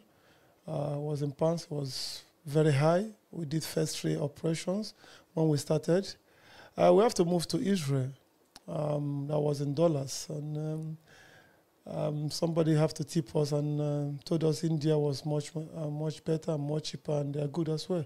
So we went to India and we started in India, and uh, up to today we are still doing our operations in India. But the most uh, important thing here is that um, when you do have that uh, problem with the heart, um, the kid is not going to be the same anymore. You look at the eyes; uh, most of them are red. Um, uh, sometimes they don't smile at all. It's not that they don't want to smile, but they have issues with the heart. They don't smile. Uh, they don't play with other kids. They don't play along. They keep on crying. Um, I remember the first three that we operated here. When I went to them and I saw them, two of them came for the, came to the foundation for help. One uh, came to me uh, when we were playing the African Nations Cup in 2000 with the mom. And uh, the mom came, they were on the lift. I was on the lift with them. They said, oh, they're looking for me. I said, oh, that's good. Why? They said, we know that you are starting the foundation I want my daughter to be the first that you're going to help. I said, ah. So what's wrong? He says the heart. And immediately he says the heart, the girl fainted. We have to rush to get to the hospital. Thank God it uh, didn't die. And I promised the mom that she's going to be one of the first kids you're going to help. and uh, we took her to London. Uh, after the operation of the tray, and I went to visit them, you can see the whole hospital knew they were there. They were running around, they were happy, the eyeballs changed back to blue, they were you can't control them, they are eating, they were okay again. So I was very, very happy. And I think only that can tell you uh, the kind of um, relief and happiness that we follow when you see somebody who are about to die and then you saved him. You literally Uh, see them coming back Yeah, to life to again. life. And foundation have done uh, from 2000 till now. We have done um, 680 Wow. uh, open heart operations. So uh, we are still going because we have a lot on the waiting list. We have almost like 100 on the waiting list uh, because everyone now knows about knew about the foundation. And if you have any little problem with the heart, the phone calls are keep, keep Yeah. ringing. Everybody wants you to help. And uh, um, Nigeria is a very big country. You can help everyone. Absolute respect for you. Thank you. Honestly, it's it's just an, an amazing achievement. So what we're going to do, I'm going to ask you. It's a little bit of fun. I know it's a serious subject, but we're going to have a little bit of fun as well, um, because I'm going to ask you ten questions. It's a bit of a Kanu quiz, and for every question you get right, right, we're going to add 50 euros to the 500 that's already going. That's already sorted. Uh, sorted. Okay. So there's a chance to double your money. Okay. Some of these questions will just be about football. A lot of these questions are literally just about you. Are you ready to play? Okay. You ready? Yep. You ready? Yep. So you're looking, aren't you? No, I'm not looking. looking, isn't he? hey? Right, you ready? Uh, question number one. What was your shirt number at Arsenal? My shirt number at Arsenal, Yeah. 25. Is the right answer. That's that's an extra 50 euros. Okay. Uh, question number two. Who did you score your first Arsenal goal against? I can give you some clues if you want. No, Difficult. No, I can't get Do you want some clues? Okay. Begins with the letter D, and it was in the FA Cup. Starts with D, and ends in Derby County. Just just say Derby County. I know the club, but Yeah. you mean the goalkeeper? That, no, they're just a team. Oh, is, Derby County? Yeah, no, come down. No, no, no. But if I thought it's the goalkeeper, because if we have to replay the game, Yeah. Well, we'll allow that one anyway. We'll allow that as 50. Just say Derby County for official records. Derby County. There's the right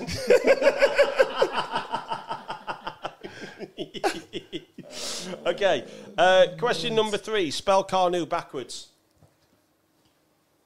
Spell your name backwards, Kanu. U N A K. That's uh, 150 euros now. That's three questions correct. Some of them are tougher than that, by the way. Uh, okay, this one might be a tough one. Who was, question number four, who was the first ever Nigerian footballer to play in the Premier League?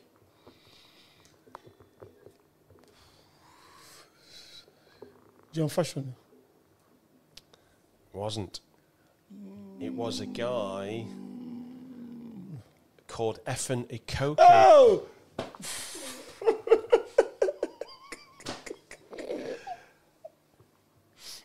I played before John, Yeah. No, John Fashanu was uh, English. no, he's Nigerian. He's English, isn't he, John Fashanu? Oh, we need He's- an he's official li- adjudicator. He's, we living, need an official adjudicator. he's living in Nigeria now. Yeah, but I believe John Fashanu played for and represented England. So the answer was Efan Ekoku. Uh, Yeah. In the so that's question number four. This is question number five. So at the moment you've got 150 euros on top of the 500. Okay. So in the season you joined Arsenal, who was sent off the most in that season in the Premier League? Emmanuel Petit or Martin Keown? Emmanuel Petit. You sure?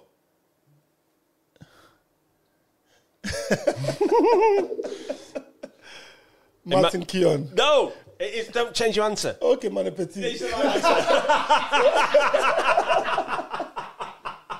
It's the right answer. It was Manu Petit. Because I know. he keep kicking people. Okay. Uh, right, here we go. Another question about Arsenal. So you're up to 200 euros now. So it's 700 euros that, that was. So this is question number six. Okay. Uh, who was Arsenal's top goal scorer in the season you joined Arsenal Football Club? Who was the leading top scorer Anelka. Is the right answer with 19 goals in 45 appearances. So I make that as up your 250 at the moment. So you're doing very well. Uh, this is question number seven. You made your debut for Nigeria against which country? Sweden. No hesitation whatsoever. You're up to 300 euros. I think you've got every single one right, apart from Efan Ekoku. uh, okay. You played for West Bromwich Albion in the Premier League. Five other football teams, starting with the letter W, have played in the Premier League. Can you name four of them? Wolves. Is one. There's another one in the Premier League right now that starts with W. Ham. In West Ham, yep. Two more. In fact, you scored against one of these. They kind of don't exist anymore, but you did score against these in the Premier League. I think you scored at home at Highbury Watford. against them. Oh, no, uh, you did score at Watford, Yeah. but this team doesn't really exist anymore. Not in this current, the, in the guys that they were. You scored against them at Highbury, and you scored against them at their place as well.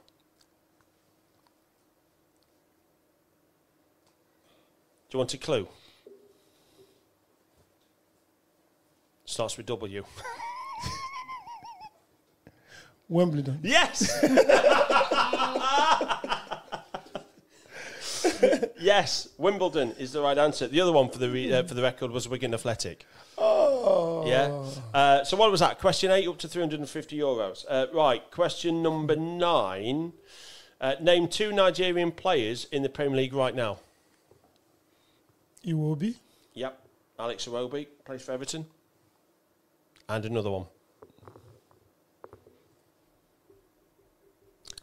Kelechi Iheanacho.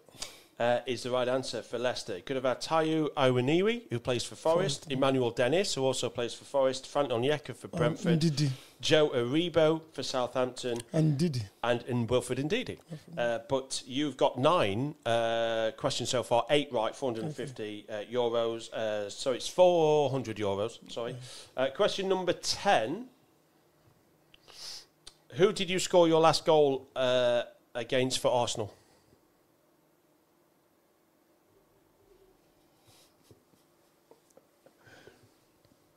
They're still in the Premier League. Let's go, let's go for Arsenal. Starts with E. Everton. Yeah, there isn't many more, is there? Uh, well done. You got 9 out of 10 right. You got into an extra 100 and 450 euros. That's 950 euros uh, going to the Kanu Heart Foundation. So well done. That's a pass. That's a pass mark. Hey? Nine out of ten. Nine out of ten. That's a pass. mark.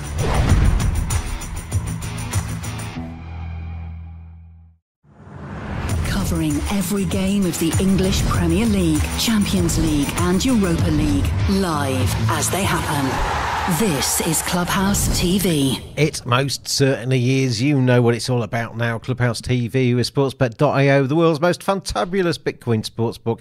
And we've got a second half to look forward to. It should be a little bit more open, the second half. Possibly a bit cagey, the first half. Man City against Arsenal. Goalless at the break. It is pivotal to this uh, title race, isn't it? Who wins this one? If one team can get the three points today, it gives them a real big fillip as they go into the last nine fixtures of this season. It's goalless, though, Si, at half time. How do we see the second half? Give me a best bet for the second half. Uh, I'm I'm going to shy away from. The, well, I still think Arsenal could win the game. So, all right, you've got. I mean, uh, I'm not going to change my opinion about Arsenal being the bet here. They're 4.1 to win the game, which is fine. You know, it might not land, but it's 4.1, and the draw no bet is still there. I think at a good price of uh, better than two. Uh, I'm trying to find the draw on our bet market now. There it is. It is 2.44. So that's hardly changed really from from the start of the game. But if you want to stay away from the outrights or the team to win uh, and look at something like goals or corners or cards, then my preference here is for cards. This referee has a high cards average this season 5.15. So far in the first half, he's issued zero cards. And it's not like he hasn't had chances to. You know, there've been a few fouls there. Gabriel Jesus took a ride on Bernardo Silva's back. Kiwior chopped Silva down. There was one on the far side when Gabriel uh, Magalhaes went straight through the back of, I think, De Bruyne. Anyway, they were three clear yellow card opportunities, and he turned them down. But like I say, he's a he's a card referee, and I think there will come in the second half. I'm looking at his record. You know, like I say, five on average, five yellow cards per Premier League game. You can get over three and a half at almost two now, 1.99. So that's going to be my main bet. I'm just looking here for some evidence about when he's given cards. Okay, recently he refereed Bournemouth versus Sheffield United, and there were eight yellow cards in that game.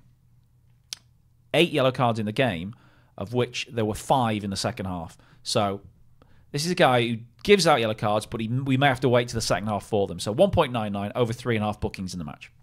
Um, there are possible changes to be made in the second half on the bench for Arsenal. You've got the likes of Martinelli and Nketiah. You've got Smith Rowe, Trossard, uh, able to come on Zinchenko as well.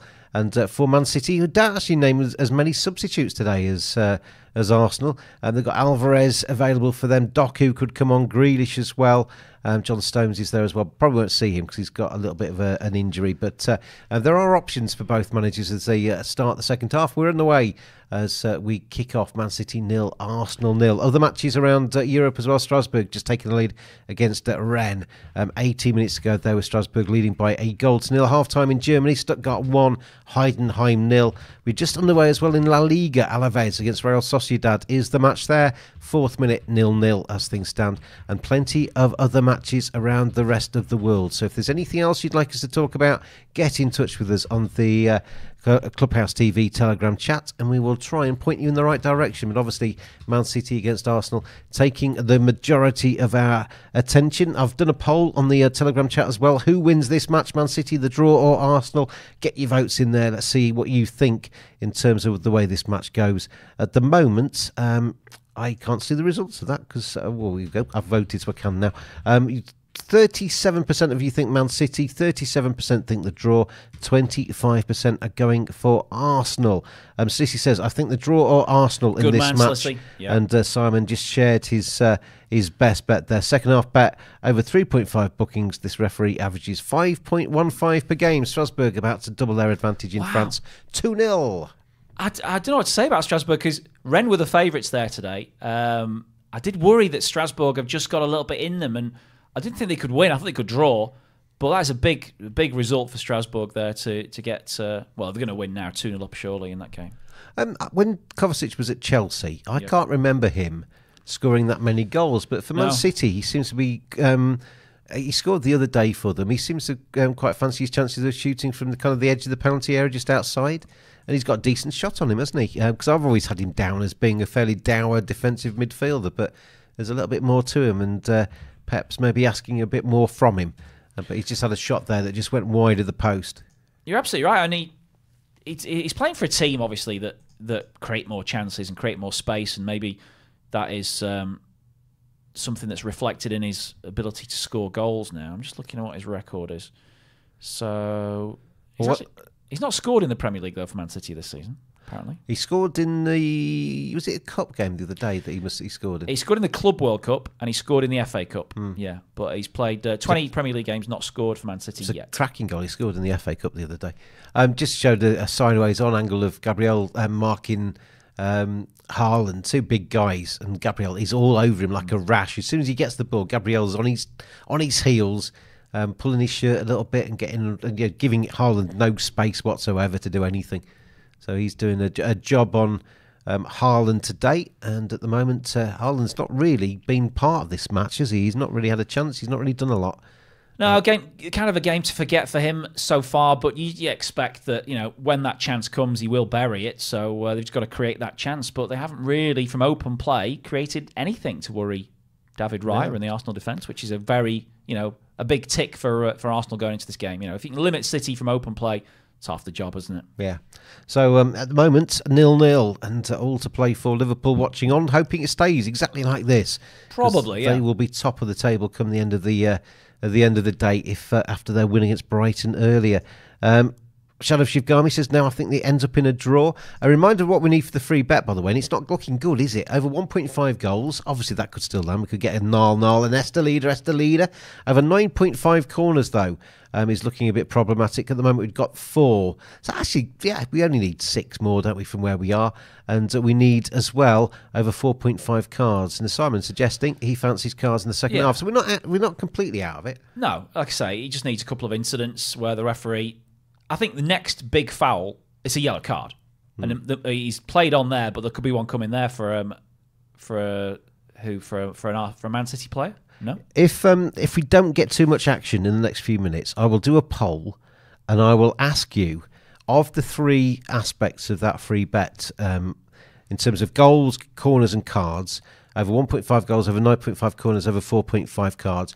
I'll do you a, uh, do a poll where I'm going to listen to you, and you tell me which of those three you'd like me to reduce. That'll be the thing. We'll reduce one of them, but it'll be down to you to decide. We'll go with the majority, and I'll do that in about five minutes' time if we haven't got anything added to any of those stats in the uh, in the free bet. Because I'd like you to win this afternoon, if at all possible. I'm not going to give it to you. You're going to have to earn it, or they're going to have to earn it for you. But uh, I will be a little bit lenient. We'll, we'll bring one of those down, and we'll ask you to decide which one of those Yeah. comes down. I like that. Yeah, I mean, um, Odegaard almost threaded a, a nice through ball there as well, so he's getting a bit more time on the ball to to pick his passes. These are all good signs for Arsenal. Um, I, like I say, of the two managers, I would prefer to be in Arteta's shoes than than uh, Guardiola's right now. There's more pressure on City. They're playing catch up. Obviously, they're a point behind Arsenal anyway coming into this game. It's a home game for them. A draw does not suit Manchester City cause at all. They're losing players to injury. Arsenal, they're away. They're, this is their hardest game left on their calendar. If they get a draw from this, that's not a problem. They'll, they'll, they'll try and catch up in the other games. Um, they're not losing players to injury. They're looking fresh and fit, and they look like the tactics are starting to cause more pressure on Man City. So definitely, it, it's it's uh, a game of sort of um, brinkmanship, if you like, between the two managers, and it's who blinks first. But I don't I don't think Arteta needs to blink at all. His team are just doing exactly what he's asked for. In fact, I'm going to be I'm going to be, be even nicer to you. Oh, Chance! that should have been a goal. It should have been a goal. Nearly. Gab- That's the closest we've come. Gabriel Jesus, it was just lunging at the back post, couldn't get the touch he needed. I'm going to be even nicer to you, Simon. Uh, not you. I'm going to be nicer to them. I'm never going to be nice to you. Um, I'm going to actually take away one of those conditions. At the moment, Oh, it's a card. Is it? Is it even a card? no. You got all excited about nothing there. I think What's he pointing at? Come on, ref. nothing. Just giving a free kick, isn't he? I don't get it. Uh, I thought the referee was the, the body language there was he was going to give a card, but he didn't. Yeah, I, I was going to say, I'm going to be even nicer to you. At the moment, we need over 1.5 goals, over 9.5 corners, over 4.5 cards. I'm going to take one of those completely out, but you decide which one it's going to be. I'm going to put that vote out there now. Tell me which one of these uh, things um, you need to. Did that just dis, did I delete that myself? Has that has that poll arrived on your uh, your telegram? Because my telegram's playing up a bit today. Can you see a poll there? Uh, Let me just uh, come Or back. am I to going to have to do it all again? I've got no poll. What happened? That it just disappeared. All I've got is I'm going to do it again then. okay. Which Hakan says, "Well, you need all the help you can give, James." So he's definitely up for um, a reduction in one of the three categories. I think most people would probably say cards. Oh, I'm guessing here, but we haven't don't had influence them. Don't influence them. You, you, you don't, don't, know, don't, don't, don't, don't influence them. I mean, a couple of goals. It's a bang bang, isn't it? You know, corners. It just needs a bit of uh, that's offside. It's handball. Handball against Havertz. I'm going to put it in a bit. I'm going to be a bit more careful this time. Okay. Hakan says he'd take out all three. Ouch. Um, right, which condition do we take out for the free bet? Goals, corners, or cards? Poll is there now. I, I can see see it. it. I Yep. can see it. So you vote now. Whichever one gets the most votes, we will take away, and it'll leave us the other two to get. Okay. So uh, if you vote goals, we'll take the goals out. If we vote corners, we'll take the corners out.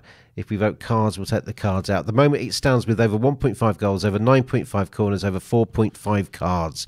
Tell me which one of those you want to get rid of on the poll. On the poll. Um, by the way, how is that women's League Cup final going? The uh, Arsenal versus Chelsea women, and it's still in extra time. It's five minutes left of extra time. And it's still nil nil, so they're heading to penalties in the women's game between Arsenal and Chelsea. Mm. Ah, Nils. Um, so we are uh, still goalless between Man City and Arsenal. I'll give you the stats of the game so far. Uh, tell you how the uh, the actual statisticals line up. Um, in terms of XG, it's 0.58 for Man City, it's 0.5 for Arsenal. Not a lot between them. In terms of possession, there is a lot between them. 72% possession for Man City, 28% for the Gunners. In terms of goal attempts, not a lot between them. 5 to 4, just in favour of Manchester City. Only one shot on target apiece, though. And in terms of corners, it's 2 all. So, other than the possession, there is nothing between these two sides this afternoon. No, and it, it kind of feels that way from watching it. You know, there's Arsenal are, are, are offering as much of a threat with much less possession. I'd say, you know, Arsenal are a possession-based team. You look at their average possession stats for the season; it'd be getting on for sixty percent. They dominate games at home, particularly. Uh, but here they're playing a, a, very much a foreign game to them in a sense that they're they're you know not having the lion's share possession. It's probably down to forty or maybe even thirty something percent. But it still look like Arsenal. It still look like they're going to create chances. Still look like they're going to get in to good positions to score. So, you know, tactically, I think Arteta's got this one spot on. It's like master versus pupil, isn't it? I think the pupil is coming out on top at the moment. Ball played out to the left. Foden, who's been quite quiet today. In fact, there's nobody really in the attacking roles that you got. I mean, Gabriel Jesus was probably the most eye-catching, uh, but nobody's really stood out in terms of the attacking uh, roles in their sides because the defences have been quite strong so far. Uh, but it's Man City who have well, 72% possession. They are having uh, all of the ball. At the moment, you're voting for corners to disappear. Probably you, Okay. you, you were going to say that, weren't you? I was going to say cards, but actually, I, I like your choice because this is a game where there's been hardly any corners, and uh, you know, two teams that don't really play that way to try and get behind defenses. Um, they're just trying to. Is that a corner though? Having said that, have they just won a corner there, Man City? I think they have. Um, right, I'm going to let it, let it run for a, a couple more minutes. Uh, we'll go with the vote then. But at the moment, it's corners that are going to disappear just as you get one. Um, so uh, if you want to change that, then vote for goals or cards to try and build up that. Uh, but at the moment, we're getting rid of corners. Real Sociedad have started quickly in the Spanish game against Alaves. Uh, it's 2 0 Basque- now, isn't it? No, no, nil nil, nil nil. Oh, is it not? Oh, sorry, Stuttgart yeah. have just gone 2 0. Uh, so yeah, nil nil. Uh, only played 13, 14 minutes, but Real Sociedad had, a really tough spell over the course of a month where they lost pretty much every game. Went out of the Champions League, went out of the Copa del Rey, dropped out of the top four contention in, in Spain. They've come through that. They won back to back games. I think they go to Alaves, and I think they probably win. Uh, Alaves have had a poor record in Basque derbies this season. They've lost five out, sorry, four out of the five. They've played drew, drew one and lost four. This is the sixth and final Basque derby for them. Um, and I think they probably lose this one. So I'm going for Real Sociedad to win. Maybe a both team to score game as well. That has landed quite a lot in uh, Alaves games recently. A lot of one ones when they they play at home. So uh, yeah, Real Sociedad to win and both teams to score for me in that one. Um, Tin Tiger says no. Arsenal should have scored. Was that before, or was, are we are we about to see it? Tin Tiger. I'm not sure if you're ahead of me or behind me, because our streams are a little bit uh, behind uh, the live feed, but. Uh, we will see if there's a big Arsenal chance just around the corner. But at the moment, uh, Pep is being pictured, uh, Yeah. just talking to his backroom staff, maybe about making some changes. Si. Oscar Bobb could be on. Oscar Bobb. Yeah, we like Bob. Bring Oscar Bobb on. Well, he's already got Rico Lewis on. He's got Rico Lou and Bob too. Bob on. Bob on. Bob on. That's what I say. You know, you're not getting me that one. Rico Lou and Bob too. No. That's, yeah, that's right. Yeah. Bit of a movie reference. Yeah. Bit of a uh, random old school Yeah. movie. One for the kids. yeah. As uh, we have got, uh, um, uh, we're going to take it. Corners disappears. You voted for corners to go, so I'm going to take the corners out of the equation. So that leaves us, everybody. That leaves us needing over 1.5 goals and over 4.5 cards. Okay, so that's what we're stuck with. Corners have gone. It's goals and cards we need. Okay. And we still need five yellow cards from here. Or, you know, Yeah. five cards I mean- of some description. A red would, would do as well, obviously. Has to be said, it's not a bet builder kind of match this so far, unless you've gone unders on a lot No. of stuff. Uh, most people usually stack up things to happen, don't they? And at the moment, not a lot has. Um, certainly not had uh, any goals in this match, which is usually the first thing people pick over two and a half goals or over one and a half goals or something. And at the moment, no goals at all as uh, Phil Foden picks up the ball on the right for Man City. Can he get a good delivery into the middle? Uh, just the one shot on target for each of the sides so far. And neither has really troubled the keeper. In fact, it's not Foden, it's uh, Bernardo Silva. Camera a long way away, but Jorginho brings the ball away. Eve, oh, it's been ricocheted back to to uh, Erling Haaland, Man City pick up the ball on the edge of the box. Chance for a shot, and it's charged down by Gabriel at the back for Arsenal, who immediately puts his hand up because somebody has just been injured at the back there for Arsenal. So we might see the ball getting kicked out. Although I think it's Saliba that's uh, got himself back up on his hind legs. So uh, a lot of um, activity, but not a lot actually in terms of uh, goal mouth action. It is Saliba, I think, that's um, going to just get a little bit of treatment here. Foden being hauled up by uh, the strong arm of Haaland. Still no cards in the game. You know, he's uh, again. This is a chance here. Foul on the edge of the box. On well, that the second one wasn't much of a foul. The first one was the the one that hurt him probably the more. But Right. again, no card. I'm going to put our remaining balance, Simon, on the next rapid bet. Um, basically, we get given a kind of mythical balance. I, I burn most of it by messing about on rapid bets, and we win some, we lose some, and our it's the end of the month, so the first of the month tomorrow, and uh, we will get a replenishment of our mythical balance tomorrow. So I'm going to burn the remainder of our balance on a rapid bet, and see if we can build this. Uh, um, this balance back up again.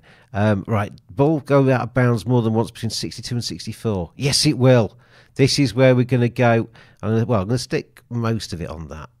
Oh, I didn't get it on in time. Oh, I did. Did I? No, I didn't. Uh, will there be a throw in between? Yes, there will. I'm going to stick it on. Oh, all right. I've done it. I've got rid. I've got two rapid bets on with our remaining balance. Will the ball go out of bounds more than once between 62 and 64? Will there be a throw in between 62 and 64? So we need a throw in. Yeah. If we get a couple of throw ins Well- between 62 and 64, we're laughing. Do you know what might help the uh, the throwing cause is these substitutions made because he's taking off a midfielder and all right, admittedly a winger, but a winger that likes to come inside, and now he's putting on two out and out wide men. So this is a clear shift in Yeah. tactics from Pep Guardiola. He's going for, Foden's off. he's going to open the game up here with these substitutions. Doku on one side, Grealish on the other. Doku and Grealish have essentially been competing for the same place in the team all season. Now they're both on as wingers to stretch the game out. They come on as the wing twins, don't they? So And uh, that might lead to more throw-ins, corners, you know, balls out of play Yeah. because the, the ball's going to be out there more often. so one one one throw in basically gets us a return. Two throw ins gets both of the rapid bets in. Yeah. So or or a goal kick or a corner kick. So uh, our remaining betting balance. Gamma responsibly. Don't be like your uncle James, but uh, we are uh, into the uh, getting well nearly into it. What we in? Um, about thirty seconds away from getting into the zone. And we might have a chance of, well, the ball's gone out of play. It's a goal kick. Yeah, it's too early. Too early. Okay. But still, it's promising, isn't it? Yeah. It's promising. Well, I mean, and it's your fella, Doku's the man that's uh, had his um his uh, end the end of his bits uh, have been What, pardon? but what? been tinted. Excuse me? tinted. He's had his bits tinted. What bits? It's his his hairy bits. What can you see that I can't? His hairy bits. sorry. Okay, right. Yeah. Had his hairy bits tinted. Yeah. looks very fetching. And Tomiyasu is going to come on. So I'll is stop a, making changes. Don't The- make changes now. well, this is a, tactical change uh, to answer the tactical change, if you like. So he's going to get a. Has that gone out for a throat now? Need a throw inside. We need a throw in desperately. So presumably this will be maybe Kiwior coming off. I'm guessing. I Trouble is, as soon as the ball goes out for a throw in, they're going to um, make a change, aren't they? Get go, go get get it out for a throw. Oh, it nearly went out, didn't it? Come on, throw in. We need a throw, Si. Think throwing around the world for I'm me. thinking. I'm thinking. I'm trying to support Oh, you that's here. a terrible ball from Odegaard. Gives it straight to uh, uh, Rico Lewis, and uh, come on, but you're not getting a throw in in the centre circle, are you? Come on, out to the left. Here we go. Here we go. Oh, he's nicked inside. No, throw in. I need a throw in. Where are we on the times? We've got just over a minute for a throw in to happen. Stresses of rapid betting. Gamble responsibly out there, everybody. Come on. Into the area. Haaland brings it down, turns, tries to get a shot away. It's going to be hoof clear by Arsenal. Hoof downfield. No throw in. Got 52 seconds. 50 seconds. Come on, the throw. Somebody get a throw in. Ball threaded through. Not going to get to Haaland that time. No, I think the uh, yeah, it, those rapid bets they they, they Here, are here we go. Here we go. Here we go. Here we go. Come on, the throw.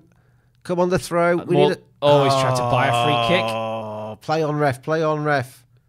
Has he He's, given it? he's given the free kick. I he think buys cameras three kicks on. left, right, and centre. That's that's the end of my rapid bet. It's not going to go out for a throw in now, is it? He, Uh, he, even, he, he stood on his he leg. doesn't even touch him. He he basically just feigns it. He, he's, No, he's- it's a, it's a foul. it It's wasn't. He didn't touch. The feet went down together. No, well, they didn't because uh, definitely Saka's foot was on top of Grealish's. That means Grealish got the foot down earlier, so he's being fouled. That's I think that's clear. I've, I've blown our cash now, so it's gone. it's gone. Oh, I could have one more bet on the remaining balance. Here we go. Let's get it right down to zero, shall we? I'm going to put 0.6333 USDT on something. Okay. Oh, come on! Let's get let's get a goal. Let's get some excitement. Hmm. At the moment, nil nil, and the showpiece match isn't great, is it? We've had big goals yesterday, not quite so much in this one.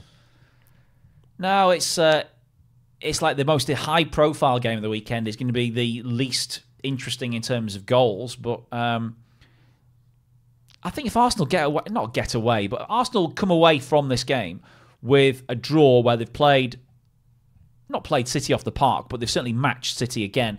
Again, it's another mental block for them. So Arsenal have lost seven times before the start of the season. Arsenal had lost eight games in a row to Man City. This season, they won on neutral turf on penalties at the Community Shield. They won on home turf, and here they come away to Man City and they're not losing after 65 minutes. If they can get this to the point where they've not lost after 90 minutes, then I'd say that's a, that's another tick for Arsenal this season. Simon Barlow, we are on. Our remaining balance has been betted, and it is on Kevin De Bruyne to score a goal. Ain't gonna happen. you wait until it happens. Ain't gonna happen. This is the Billy Gilmour.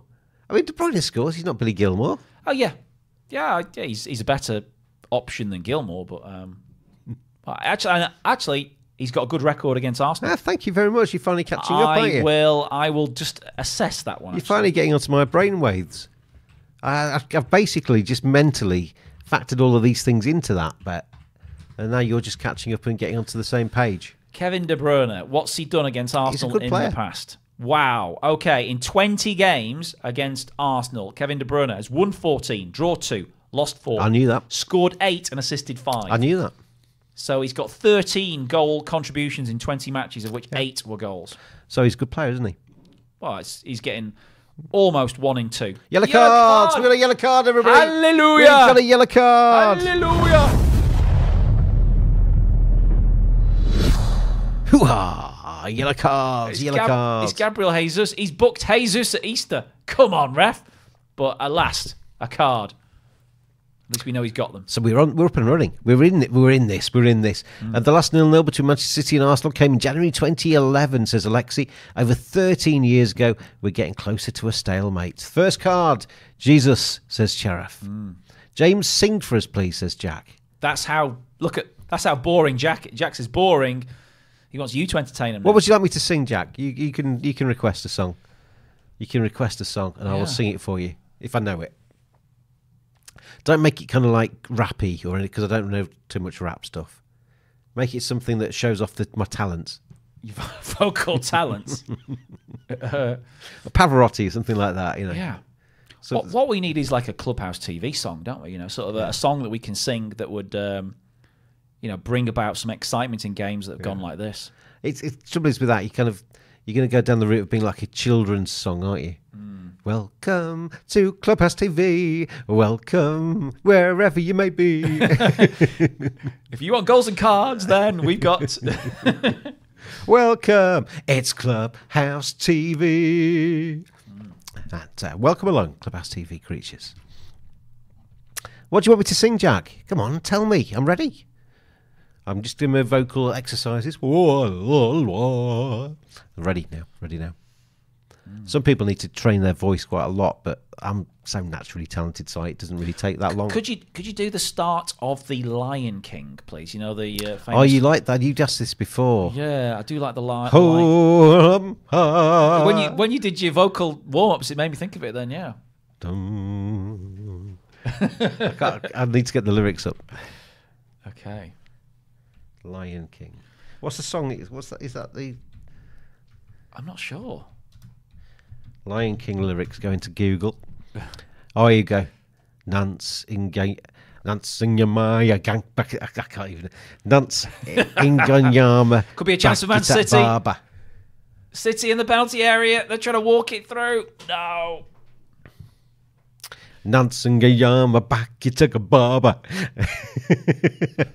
now, now, now, I need, now I need to learn the second line. See the um ingayama, Nansingayama back, back. Get that. that, that yeah, yeah. I, I want the circle of life. I can sing that one. Okay. Elton John at his Elton John was at the Leeds game, wasn't he, on uh, on Friday? Yeah, yeah, he only went to see Leeds. He's not. Yeah. Has he turned into a Leeds fan now? Has Oh, that is the up on what- circle of life. Nansingayama back to the barber. And all that kind of stuff. From the day we arrive on the planet and blinking step into the sun. It's the circle, The circle circle of of life. Oh, th- this is. Um, I need to hear it. Ingayama, ninga, winga, gibba, engelabala, and all that kind of stuff. I need to hear that.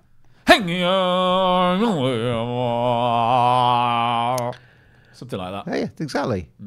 Well, that nicely put. That's that's this game has driven us to Yeah. kind of almost craziness. Any requests we will do. Um, we will sing until there's a goal scored. Gav used to do the thing where oh, we won't speak until there's a goal scored. We're going to sing until there's a goal scored. So uh, let us know what you want us to sing.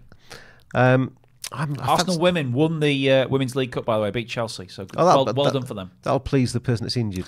That's true. Yes. Hopefully she's uh, Yeah. in a stable condition. I, I fancy singing some meatloaf. Yeah. We could do um, we could do that one where it's a the male and female bit, and you can do the female bit. Um, yeah. Uh, the well, there's, there's a few like that actually that Yeah. Meatloaf's done. Yeah.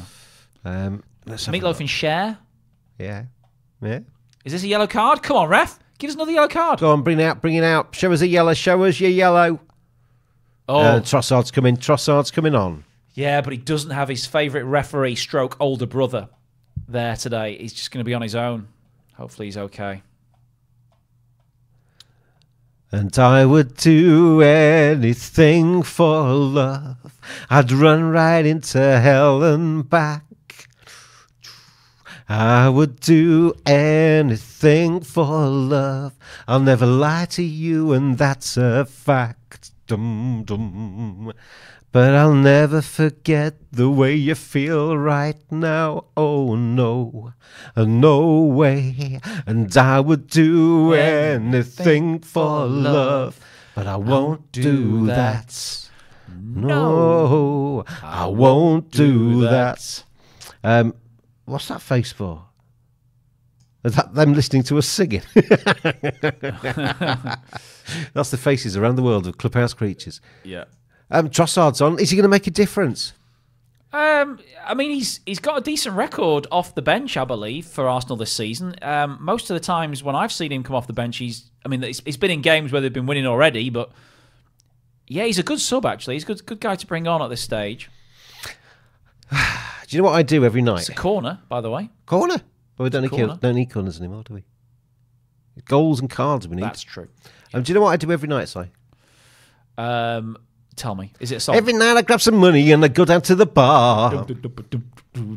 I got my buddies and a beer. I got a dream. I gonna need a car. Okay. You got me begging on my knees. Come on, throw me dug a bone. I'm under the kneel of a rock and roll alone. Baby, baby, rock and rolling brew, rock and rolling brew. They don't mean a thing when they compare them next to you. Rock and rolling brew, rock and rolling brew. I know what you and I, We've got better things to do. I don't know who you are, what you are. We're gonna win around.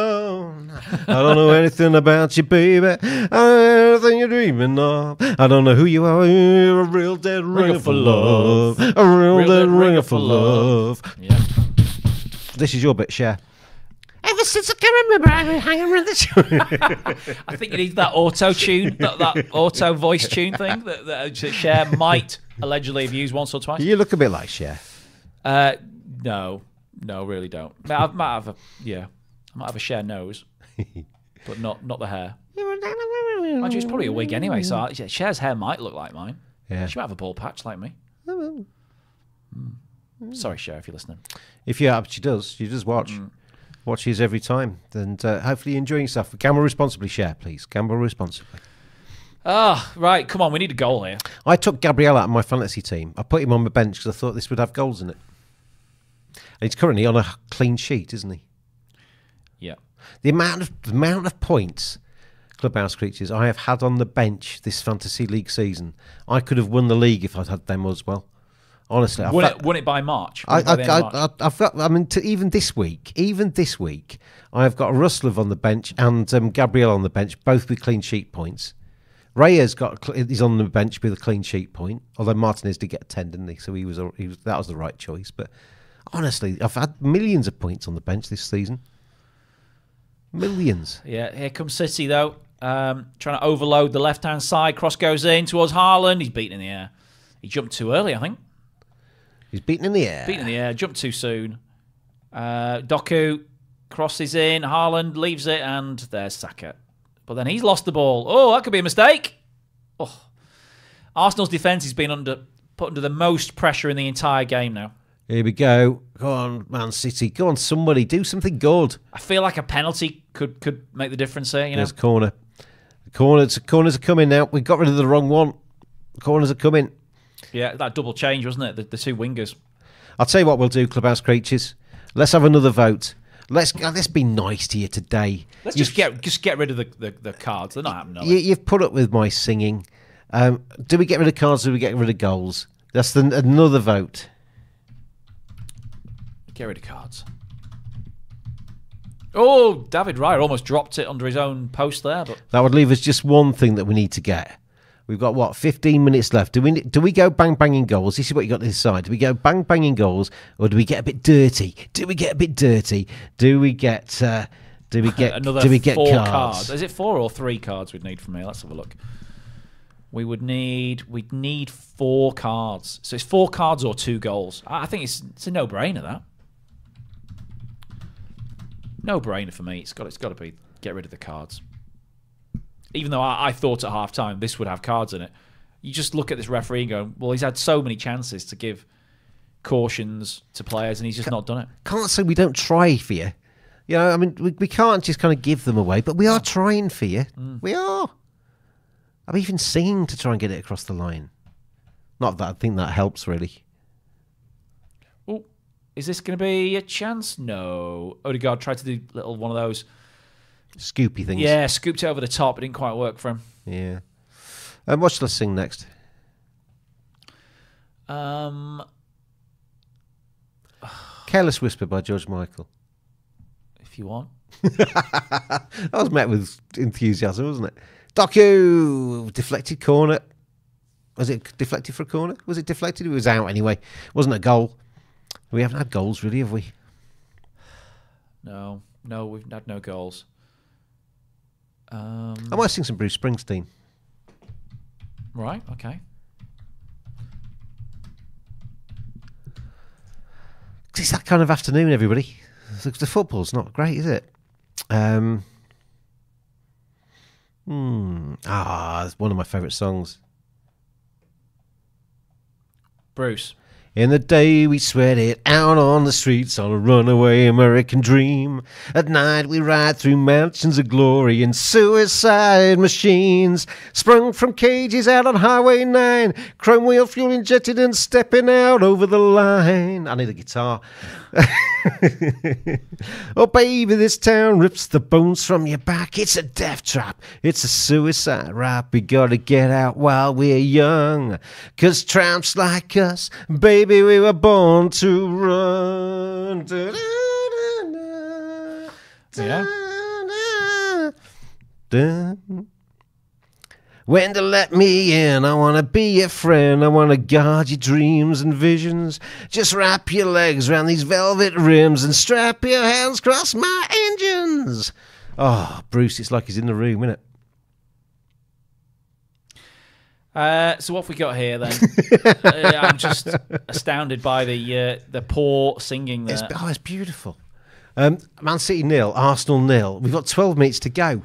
One goal here, Si, could win the title. It could. Well, it won't win the title, but it could go a long It could way. lead somebody to winning the title. Yeah, I think uh, Man City are desperate for a goal, but they've they've tried everything now. You know, they went with a usual system 4-1 4-1 start the game. Foden was playing, he's the best player this season. Haaland is the the the cutting edge of the team. He's done nothing in the game. They then switched. They went with the two wingers, Doku and Grealish. They've been knocking on the door. They still haven't found a way through. Arsenal's defence has been immaculate. Open play, set pieces, brilliant.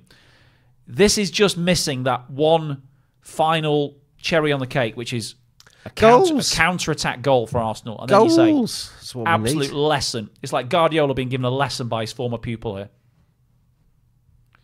Guardiola, when he came back out from the break, um, looked stressed. Should be. Yeah, he, he, he usually comes out. He looks a little Well, bit he- kind of. he- looks quite cool, doesn't he? If they lose this game, he might be on his usual concede the title uh, rant after the game, you know, sort of thing, because um, it's a massive match. You know, we've seen Liverpool win. They they lose this game. They're they're in they're in debt to two serious title contenders. They're in like a, a three or four point debt to those two teams. Corner number eight says Slissy. We nearly got to the. You got rid of the corners, and we're nearly there. Um, Saka is out, says Alexi. Um, who did we vote to take away? Did we vote? We've already voted for corners to go out. You have just voted for cards to follow. So we need two goals. We need two goals. Tell you what, should we be really nice? No, just two goals, James. Be firm. There's going to be extra time as well. Stoppage time to play. Did we don't get two goals, do we? Do we get two goals? All right, Simon says two goals, and you know the game. If Simon says, you've got to do it, haven't you? Have faith. Yeah. Have faith. Got to have faith, faith, faith, faith. Like I said, Man City Oh yeah. have to win this game. The pressure is on them. It's a home game. They're behind Liverpool and Arsenal as the game goes. You know, they're going to throw everything out. They'll get caught at the back. They're already playing a very high line. Arsenal are, are going to catch them out. When yeah, when you play Simon Says, hmm. is it when you say Simon Says that you you're out if you do it, or is it if you don't say Simon Says? Can't remember. It's if if you don't say Simon says and then you do it, Okay. you're caught out So Simon Says, put your hands on your head. like that. Simon Says, put your finger on your nose. Put your hand on your mouth. Oh, he's too clever for me. He's too you clever. Yeah. But after a couple of drinks, So, do we get anything? Twists in the tail, anybody? What happens? What happens? Or will Liverpool be top of the tree come tonight? At the moment, Jurgen's watching this going, yes, happy days. Um, Haaland plays it through. Is Haaland going to get the return? He does, inside the penalty area. It's out to the left, though, with Grealish onto his right foot. Dinks, dinks, puts it down to the back post. Doku on the back post, volleys it harmlessly wide for a goal kick. That was dreadful from Doku. Yeah, I mean, a draw clearly you think it's three points up for stake, three three points up for grabs. here. if one point is lost essentially by both teams drawing, then that's going to be good for Liverpool. And I agree, it is. It is good for Liverpool. A draw is good for Liverpool, but a draw doesn't knock either of these two teams out of the title race. If either of them won, I would say the team that loses is knocked out of the title race. It becomes a two horse race, Liverpool and the winner of this game, as opposed to a draw. It keeps them all in it, really. for a neutral, it's great, isn't it? As a Yeah. neutral, I'm, I'm not a Man City supporter. I'm not an Arsenal fan. I'm not a Liverpool fan. I just want to see this go the distance. I want this to go to the, the perfect scenario is for them all to be level on goal difference, level on points going into the final round of fixtures on the final day of the season with everybody in it. Um, it's a, that's unlikely, I know, but as close to that as we can get is brilliant. Yeah. All the way to the wire, please. And should we have a look at the uh, the fixtures for the final week of the season? I mean, Oh, we don't, don't wish our lives away. Did we talk about that yesterday? Um, Did you? West Ham is one, one of them. They're all at home. Are they? The opposition is Liverpool play Wolves, I think. Yes, that's right. Um, Man City play West Ham, and Arsenal take on Sheffield United. Right. So uh, Something like that. Something along those lines. so. Those games are all so like. There's only one team going to win at all of those games, really, isn't there? Yeah, but you know, with the stresses of the last day of the season, there'll be one of those match of the days where all twists and turns. You know what'll happen? Yeah, I think they could have picked some better fixtures to be honest. Wolves score yeah, it's- it's what early, and all of a sudden Arsenal are out of it. Oh, chance back post, he misses it. Haaland has his hand, his ponytail in his hands. Arsenal at home to Everton, uh, but you're right with the other two. Man City at home to West Ham and Liverpool at home to Wolves. So uh, whichever team goes into that last game in front, unless it's goal difference. If it's goal difference, then you could have a you know, and it's close goal difference. You could see Haaland just missed that. around. Haaland arrived on the back post there with a. Ch- I mean, Ray was out to cut the, down the angle, but Haaland just missed the ball. Hmm. So uh, there's a thing with Haaland, you know, he's a flat trap bully. There's stats on this.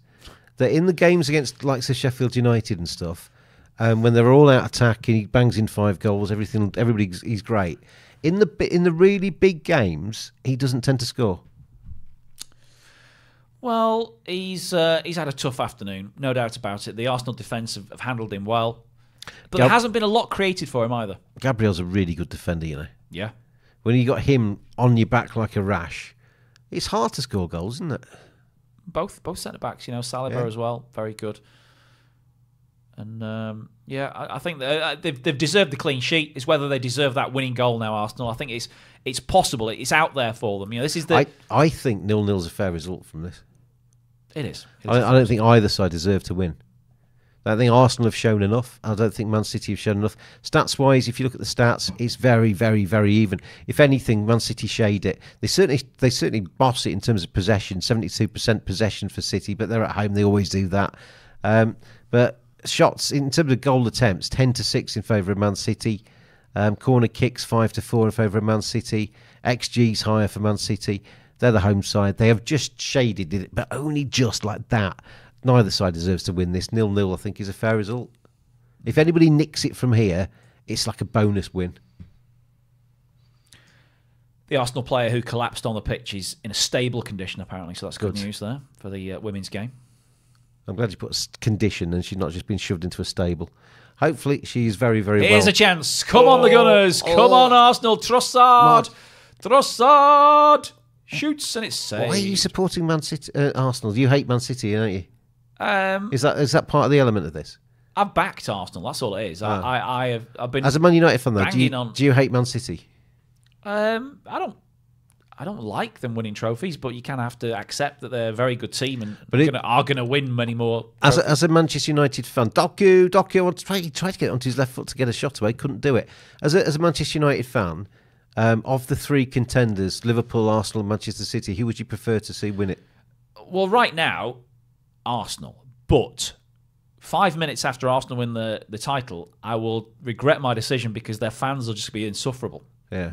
Uh, but Piers before they, Morgan will be talking all day long. Exactly. Yeah. You can just say that after Arsenal win the title, you just have to go on a holiday because the fans will be insufferable. But fair enough. You know, they haven't won it for a while. Um, Man City, if they win the trophy, you'd say, well, it just get taken off them in a few years when they, they face the charges for the uh, um, cooking the books, They, they so won't, to speak. they won't get down as far as Man United, though. In no, probably not. Like, you know, like in the Olympics when they, Yeah. people are just ruled out above, but somebody that's finished fourth ends up with a gold medal. It won't get down to Manchester United side. And the Liverpool will be my least favourite choice for winning the, the league as a Man United fan because they're our biggest rivals. You know what they are bigger rivals to us than than Man City. If um if it was four horses and Spurs were closer, I'd want Spurs to win. But Spurs aren't going to win it, are they? So No. it's, it's I, I really don't care who wins it. To be honest, I, I, if if you gave me a choice, I'd say Man City. Referee seen some pushing and shoving in the box there, so it's a, But a retake. a corner. marginal choice. I really don't. I'm not bothered. yeah, ten corners now in the game. Yeah. So over, over nine and a half. The, the first um, condition that we got rid of today. Has something happened, James? Has it? Has we have we had some late drama? have we? Have we had late drama? Have we? Tell me? Have we? I don't think we have. Okay. It's a short corner. We, are you just going to say that for the rest of the show just to try and build the drama? To build the tension? Ah, Si, I think something's about to happen. Shout for a penalty, Oh, there's a shout for a penalty. which has not been given. Hands on the floor. He's, he stopped Is the he game about- because of a head injury. Clash your heads, stop the game, no penalty. Trying to trying to make it exciting for you, but it's, it's, it's hard to today, isn't it? Oh, it's been a hard sell, no doubt It's about been it. it's, it's not been the it's not been. Sometimes this is what Gav, I mean, Gav doesn't very he, he very rarely says something that's true, or or sort of incisive when it comes to football analysis. But when he says two very good sides come together, often you get nothing because they just cancel each other out, and that's what we've seen today, isn't it? Yeah. Arteta has come to um, frustrate Man City. His game plan has, has, has worked to an extent, but they haven't had that counter attack opportunity that's been put away that really is the, the cherry on the cake. And they're, they're going to go on with a point, but it'll be a good point. Do you know what I hate in terms of football behaviour? There's a, there's a, I mean, there's a long list. I don't like diving. I don't. I don't like spitting. And I don't like the thing I that I've really come to dislike recently is when you see them clearing their nostrils Well, yes, I, could do it live on air if you want, just to exa- just on, on the keyboard. No, Heidenheim. that'll be a first for the service, wouldn't it? Heidenheim 3 2 up against Stuttgart with five minutes to go. Yeah, when they go. Oh, it's horrible. Yeah. I would do that when you get in the dressing room. Don't get a tissue. I mean, if Jack could avoid doing it yesterday with his bad cold, then surely footballers can avoid. I mean, basically, this microphone's got germs all over it. oh yeah. So if me and Gav had not seen on this service for the next three weeks, it's because we got Jack's cold. He came in and he just basically he's impregnated us all with his viruses. Impregnated you really? What was he doing? It's, oh, he's quite potent. I know he's, he's a horrible virus, full of full of mucus. He was yesterday, revolting creature. So all these teams play again in midweek, don't they? Um, Arsenal's next game is at home to Luton. I mean, they're all gimmies, aren't they? The next game. So Liverpool at home to Sheffield United, Arsenal at home to Luton, Manchester City are. That's not an, that's not a hard easy games. So they're at home to Aston Villa, but they are at home. Aston Villa away are a different kettle of fish to Aston Villa at home. Yeah. Um, Ishington says, "Don't worry, Liverpool are champions." Um, Hacker says, "I hate City and I hate nil nils and I double hate City's nil nil games." That's a really good way of putting it. He hates City. He hates nil nils. He's got both today. He double hates it. I like that. Um, so uh, we are drawing to the end of today's show, and it's been a little bit gone out with a whimper, isn't it? Unless we get, yeah. unless we get because we've been looking forward to this match for so long and sometimes it's like when you go out you know when you kind of decide on the spur of the moment oh let's go out and have a night out they're often better than the ones you've planned for weeks and uh, yeah this one has not been great is it looking been looking forward to it and it's not really delivered I'd suggest into the 90th minute as things stand. For the free bet to land, we need a bang bang. We need an Estelida Estelida. We need a null null. We need a pam pam, depending where in Europe you're from. Hopeful ball being put out to the uh, the the flank is Grealish. Can he turn the game? Not bad. Gets a cross in. Haaland's flopping in the box, hoping for a penalty. Flapping in the box. Come Seven if you fancy Man City to nick it. 18.5 if you fancy Arsenal to nick it. Corner. That would the uh, corners would have landed. The corners part of the um Yeah. the bet builder would have landed. That's the first thing you got rid of. But you weren't to know, were you? You The weren't only- to know. The only one of the three that would have landed, I think. Oh dear, oh dear. Beyond beyond the palace, hemi-powered drones scream down the boulevard. The girls comb their hair in rear-view mirrors. The boys try to look so hard. The amusement park rises bold and stark. Kids are huddled on the beach in a mist. I want to die with you, Wendy, on the streets tonight in an everlasting kiss. It's poetry. Who's Bruce Springsteen. Oh, okay. And I could sing it, but I, I got ridiculed for my last singing of Bruce Springsteen, so I decided to read it as a poem instead. Yeah. Yeah. Nice. Safer. There's a bit of um, chat there between Gabriel Magalhaes and, and Erling Haaland on the pitch. I think um, maybe the word cheat was used by uh, by one, and Haaland gave him short shrift. Oh, into the second minute, five added on. Yeah. We're nearly there, Clubhouse Creatures. The weekend's nearly over. Hopefully, you enjoyed oh today. no, no, we've got another day in the UK. We've got a bank holiday. I don't know if you know. There's a bank holiday tomorrow, James. I work every day, so there's no such thing as a holiday in my life. Right. Although I am off tomorrow. I am off tomorrow. Uh, but uh, yes, bank. Yeah, Easter Monday tomorrow. If you celebrate it, happy Easter. If you're in the middle of Ramadan, happy Ramadan, Yeah. Ramadan, the Ramadaning or whatever. Um, hopefully you enjoy it. At the, at the end of Ramadan, there's a festival of some things where Eid. you basically, yeah, you basically get to eat and trough and stuff. And uh, I think I think that's passed. Have we not had Eid already? no, no, they're still in Ramadan. Okay. They're still because yesterday, um, during Ramadan, the Premier League do that thing where they have a break at half halfway through the Ah, half, don't they? So, and it was who was it yesterday? Um, who was playing? It was um, Aston Villa's striker that scored the first goal, called Diaby. Diaby. He's a Muslim, and uh, about uh, the, the halfway through one of the halves, as as dusk started to fall, Mm-hmm. he came off and had some energy drinks and a, a banana and a few things. fast, yeah. Mm-hmm. yeah, to get some energy on him. So um, I think that's a really good thing. That's a really good um, uh, advancement from the Premier League to kind of respect each other's religions and things, and the fact that player wants to fast, and it's not necessarily the greatest thing as a sportsman. You want to try and get some power in you before you go on on the pitch, and to have that break so that somebody can just refuel a little bit, I think is a good thing. Last minute, uh, Doku trying to take on his defender. That's great defensive work there from Tomiyasu. Came on as a sub to try and counter the Doku change, and he's done really well. Mr. Yasu is very good, old Tommy, isn't he? Yeah. I like him. Yeah. Doesn't get as many chances he probably would. I mean, he's a player that if he moved somewhere else would play week in, week out. But he obviously likes the money and the, the Arsenal, doesn't he? Just signed a new contract, hasn't Yeah. he? He's um, yeah, it's obviously very settled. It's a kind of. I guess you've got to kind of balance. It is their job. They want to try and get loads of cash in the bank and, and set themselves up, but they also want to play in every week as well. It's kind of. But you you're going to pick up medals, aren't you? Potentially. I don't think his Japan place is in threat under threat by not playing, you know, Hmm. regularly for Arsenal. He gets a few games, though, doesn't he? He's obviously been entrusted with a big role today. I mean, somebody like Eddie Nketiah, if he went to somewhere like Crystal Palace, would play it every week, wouldn't he? Yeah, ball over the top here, uh, but Arsenal not able to profit from it. But he ain't going to win the leagues at Crystal Palace, is he? No. That's the that's, the true, yeah. thing. That's the thing. Anyway, we're about we're seconds away from the end of uh, this weekend. Hopefully, you've had a good time with us on Clubhouse TV Saturday and Sunday. Hopefully, you've had some successful bets as well. We haven't been able to land this free bet, have we? Because we're not going to get an Esther leader, in the last twenty get one seconds. goal, let alone two. So it's just, mean, it was I- never happening today, was it? that makes you feel better because I was about to reduce it to one goal and you kind of poo pooed it. Yeah. And we're not even going to get that, size. So even you don't need to feel responsible or, or guilty in any way. I, I never feel that guilt though. Um, it's hard to land a free bet when there's not any goals and there's hardly anything happening. And it's been one of those games, hasn't it, where hardly anything has happened. And they shake hands, Arteta and Guardiola embrace on the side of the pitch.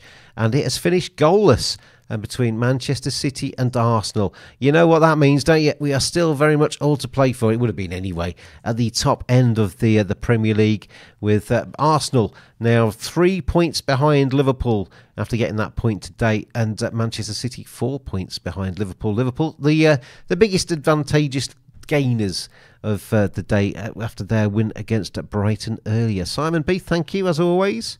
thank you, James. Yes, I'll see you in April. Are you not back in? Oh, no, no, well, it's tomorrow. That's, uh, you see me tomorrow. Um, it's uh, nice to see you, as always, Simon. And Clubhouse Creatures, thank you for your company over the weekend. Hopefully, you've had some success. Wasn't the greatest way to finish today, but at least we've had some fun along the way. Join us in the week because we'll be back on Clubhouse TV on Tuesday. Have a very good rest of your day. we'll long. see you soon. Cheers, all. Covering every